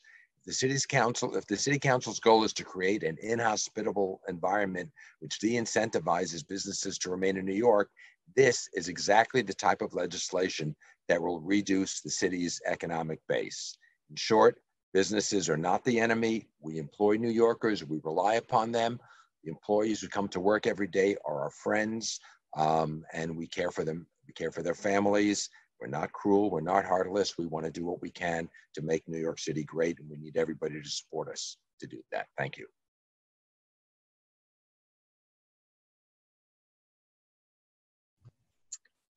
Thank you. Mitchell Newman. Yes, hello. Yes, hello, uh, everybody. Thank you for this very important uh, forum, Chairman Miller. Uh, I hope all of you are, and your families are safe. I've heard a lot today about how terrible and abusive employers are. Please know that that, that doesn't count all of us. We don't all endanger our employees. We're not slave masters. Uh, I represent a 75 year old family run newspaper home delivery business. We have almost 200 employees and we treat them as family. Uh, large businesses with more than 100 employees, uh, uh, Councilman Landers, they struggle too. Uh, that 100 number doesn't mean you're making lots of money and under 100 you're not making anything. So I, I question your your uh, your thoughts on that. Um, our employees are the lifeblood of our business. We have the utmost respect and admiration for them, and they are truly heroes. Um, many of them have worked for us for over 20 years. They don't deserve an extra $30 or $60 a day. They deserve an extra $1,000 a day, and I wish I could pay them that um, for what they do for us and for what they do uh, for our customers. Um, we provide masks and gloves and sanitizers for our workers at a cost of several hundred dollars a day, and we maintain a workplace in line with C- CDC guidelines. Thousands of our newspaper customers have left the city to isolate in a place where they can walk around comfortably. Our customers are disproportionately older New Yorkers who fall into the high risk category. They rely on their daily newspaper to keep them informed. Uh, about this terrible pandemic. Without our hero workers, without our customers, our customers would be forced to venture out to buy a newspaper and putting themselves. Time. Please. Do- Thank you. Peter Rosinio. Time starts now.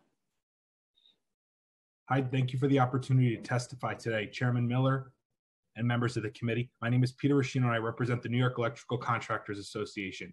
I'm testifying on behalf of 145 members employing over 9,000 local 3 IBEW electricians. Thank you again for the opportunity to testify.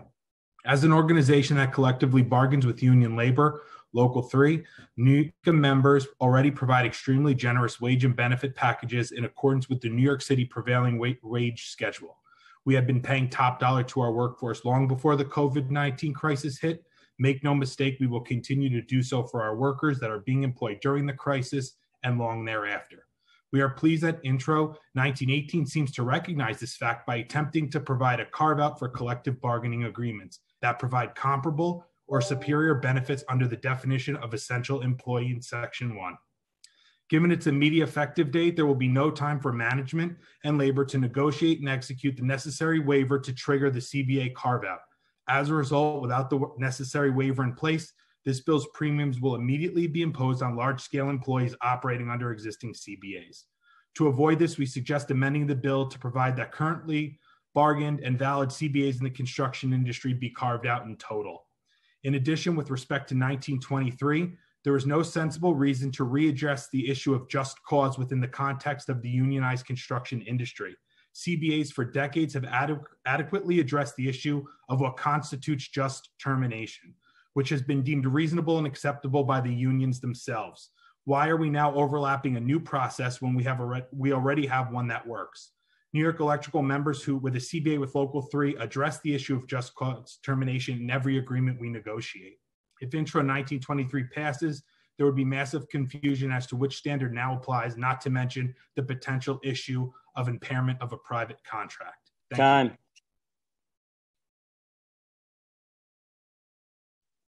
Thank you. The next panelists will be Andy Moss, Helen Brooks, Bill Murray, Karen Penafiel, and Dave Offerman. Andy Moss, you may begin. Time starts now.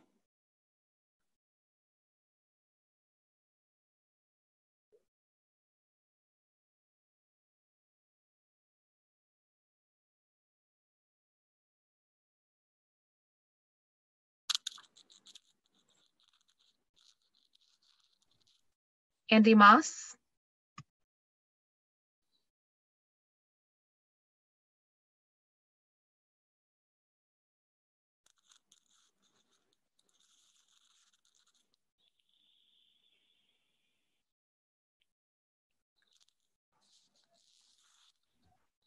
All right, we can move to the next panelist, Helen Brooks.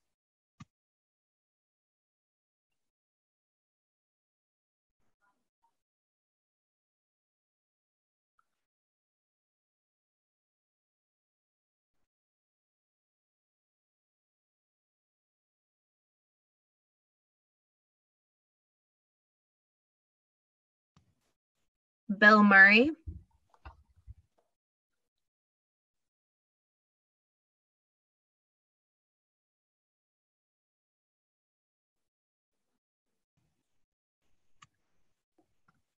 Karen Penafiel.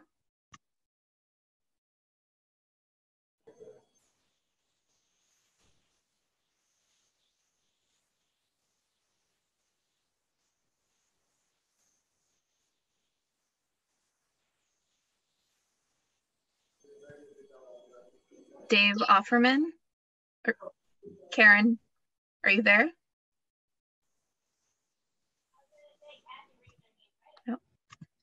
Dave Offerman.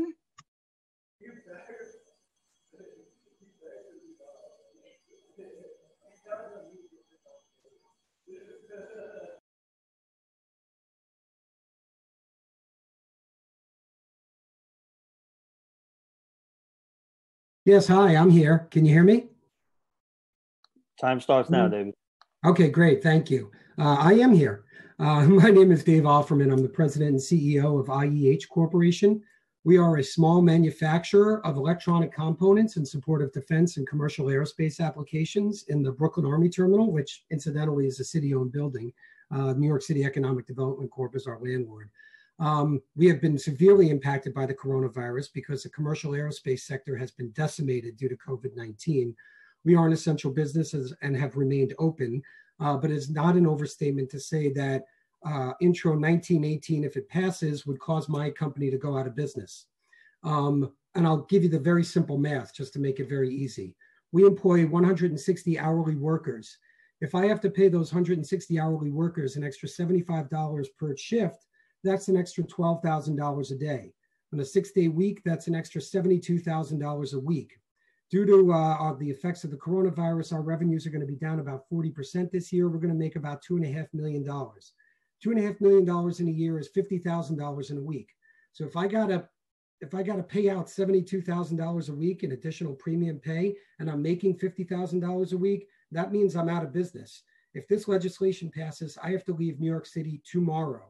We are a fourth generation New York City based manufacturer. My great grandfather started the company 80 years ago. We've always been in New York City. If this legislation passes, we will have to leave. And those 160 workers that you want to help will be put out of work. If the New York City Council wants to put extra money into the pockets of essential workers, then they should do so. Cut out the middleman. Because if you impose this cost on businesses, you're going to have the unintended consequence of putting tens of thousands of additional New Yorkers out on the street on top of the hundreds of thousands that are already unemployed. Thank you. Thank you. Karen Penafiel. Clock starts now, Karen.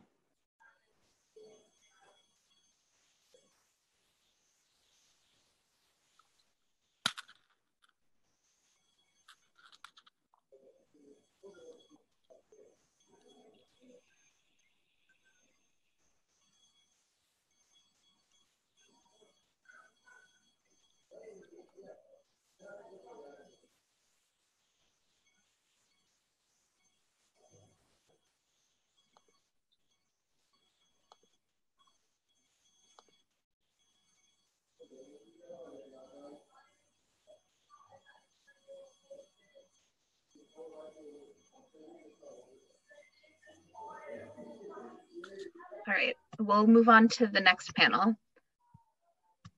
The next panel will be Lisa Griffith, Juan Correa, and Diana Florence.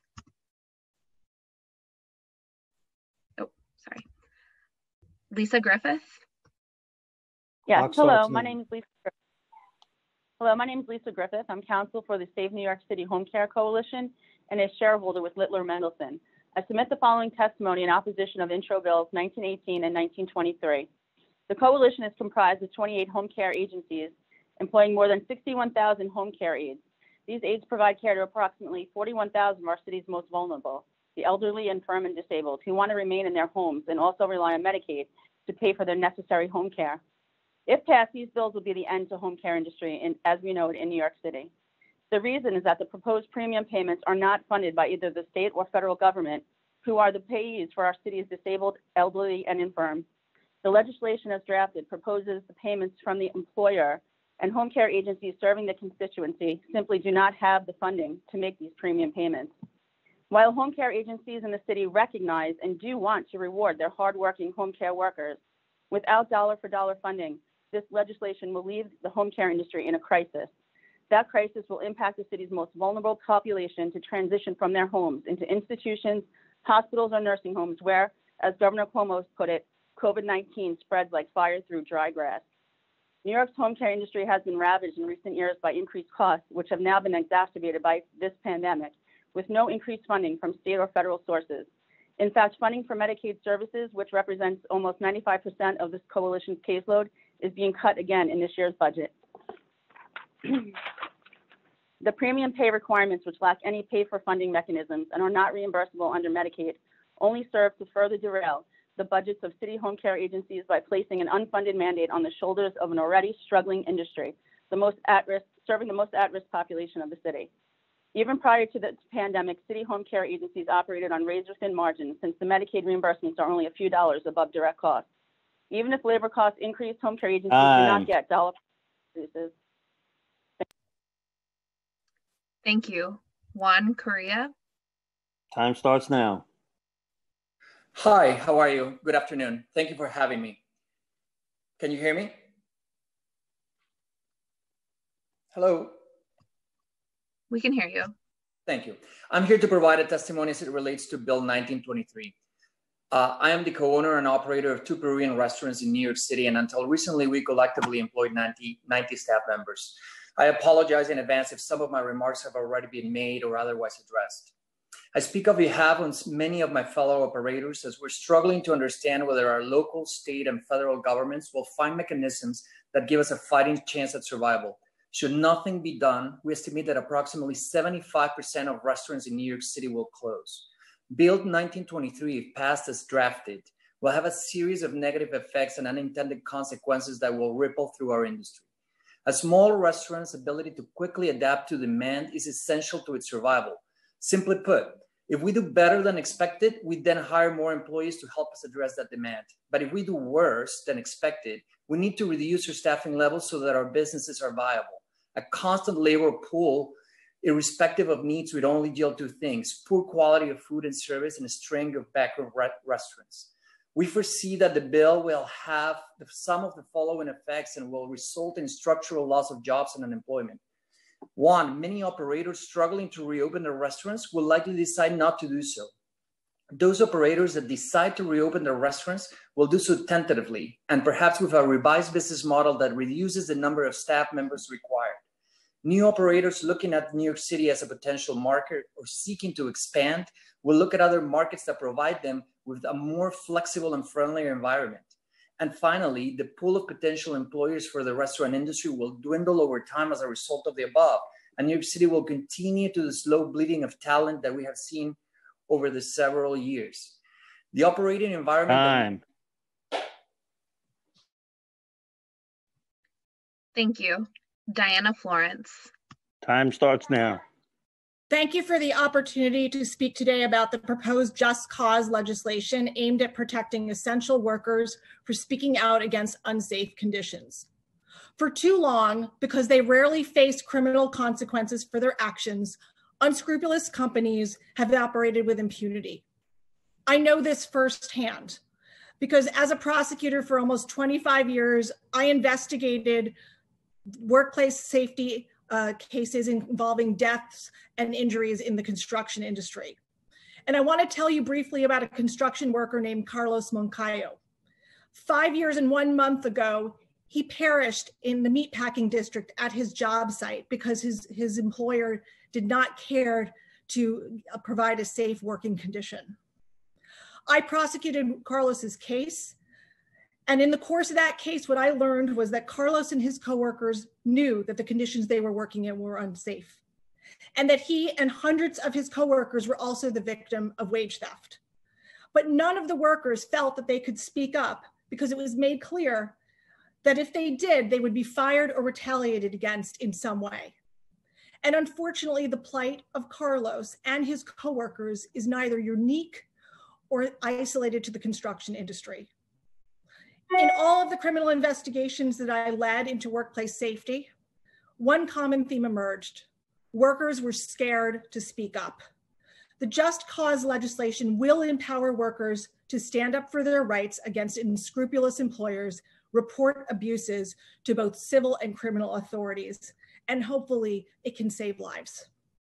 As a former prosecutor, I know how criminal enforcement deters uh, bad actors. And we must add a provision that allows for filing of a certification by those corrupt worker, those corrupt companies, so that we can do criminal prosecution if necessary. Time. Thank you. The next panelists are Richard Lipsky, Alberto Aguirre, Ardian Tagani, and John McIntosh. Richard? Time starts now.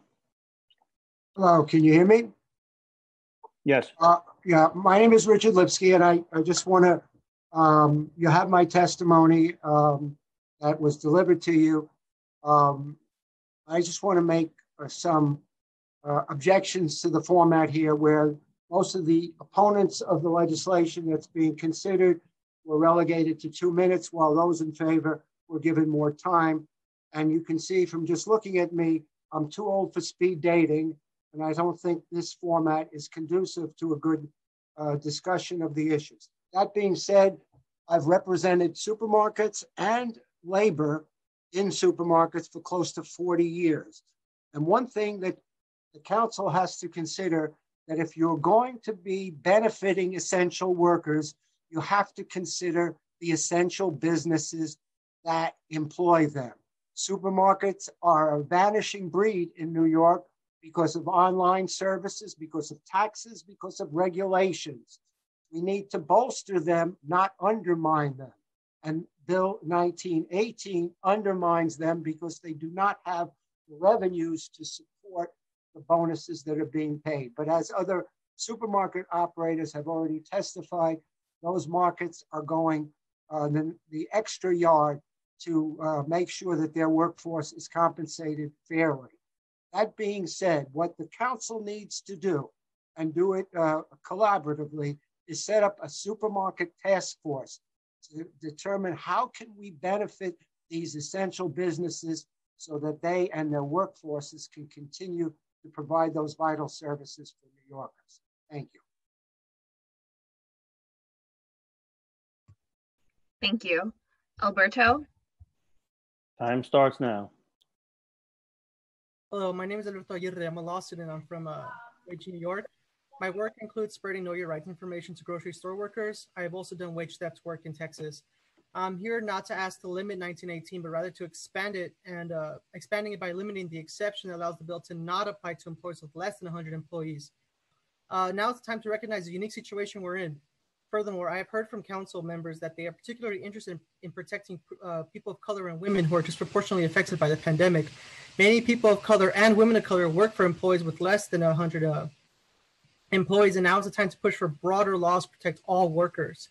Uh, universal programs are best because they eliminate eliminate loopholes, like for example, the issue we have uh, with miscategorizing uh, uh, independent contractors. Uh, universal programs and, and policies eliminate those those issues of um, that allow for these types of loopholes. Uh, universal programs or in, broad encompassing programs are also fairer and they're easier to administer. And I know that that was an issue that council members were discussing about the ability to administrate and enforce this new law with universal programs uh, there are proven to be uh, easier to uh, requiring less administrative oversight. Um, finally, I would like to push back on a previous testimony offered that suggested that the city should look toward uh, look look back to the 70s and 80s for policy inspiration. Uh, I want to reiterate in most clear terms that we must not allow those neoliberal policies that devastated New York City in the past to be used again during this pandemic bold encompassing legislation is best to protect all workers. That's it. Thank you. Thank you. John McIntosh. Time starts now. Great. Uh, thank you for giving me this opportunity. Um, since I only have two minutes, I'm going to be very quick. So the city does business with about 4,000 human service not-for-profits, but half of the business it does with 50 of them. 50 not for profits, three of whom you've heard from today, employ about 65,000 people, and the city of New York pays them on average $35 million a year. And all of them have more than 500 employees. None of them received any support from PPP. None of them have had any support from the feds through Main Street lending. And as you've heard from Muzzy and others, they are, many of them, on the brink. And while I do support the spirit of these bills, if these turn into an unfunded mandate for these not for profits, I sincerely believe that a number of them will fail. When FEGS failed in 2015, it was a self inflicted wound and it was surrounded by healthy organizations who, together with the city and the state, picked up the pieces. But today, if one of these not for profits fails, and if you're not careful, it's going to be more than one. No one's going to be there to pick up the pieces. And it's going to cost our city, in human and financial terms, far more than it would have to prevent them from failing in the first place. two other points. These not for profits are 96 to 98% funded by government. So when you think about who can pay the expenses, it can't be the shareholders and the owners because there aren't any. It can't be philanthropy because there isn't any. It's government. And personally, I think it's morally reprehensible to ask someone to do something that they can only do with your help and to know that and not help them. But if that's what you want to do, you better get ready to pick up the pieces because the storm is coming. Thank Time. you. Thank you to our panelists for their testimony. If we've inadvertently missed anyone that would like to testify, please use this Zoom raise hand function now, and we will call you in the order your hand is raised.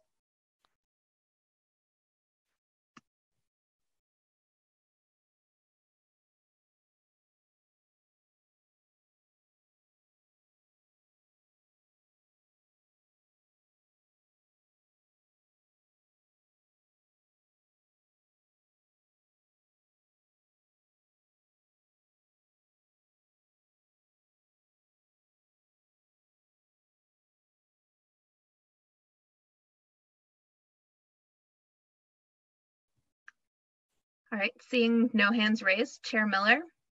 Uh, Thank you so very much, Nusat. Thank you to uh, all of the uh, committee counsel and team for staying with us for the past seven hours. It's been a very long and fruitful hearing. Uh, We've heard some very important legislation, uh, pro and con, and I'm sure that we will bring these issues uh, to the forefront and and and and soon to see uh, public policy that represents the voices of these essential workers that we are uh, tasked with supporting here today. Again, um, I want to thank everyone uh, on my team, uh, Chief of Staff Ali Rasul Najab, Brandon Clark, Joe Goldblum, and particularly uh, committee counsel. And Tom, Tom, thank you first time out. Um, but more importantly, I think what is demonstrated today, uh, no matter what side of the aisle that that, that you stood on in terms of uh, this uh, proposed legislation, uh, there's no um, diminishing the value of our workers, whether it is our municipal workforce or it is our private uh, essential workers that we talked about here today as well. And as uh, Dr. King says, that all labor that uplifts humanity has dignity and should be undertaken with painstaking excellence.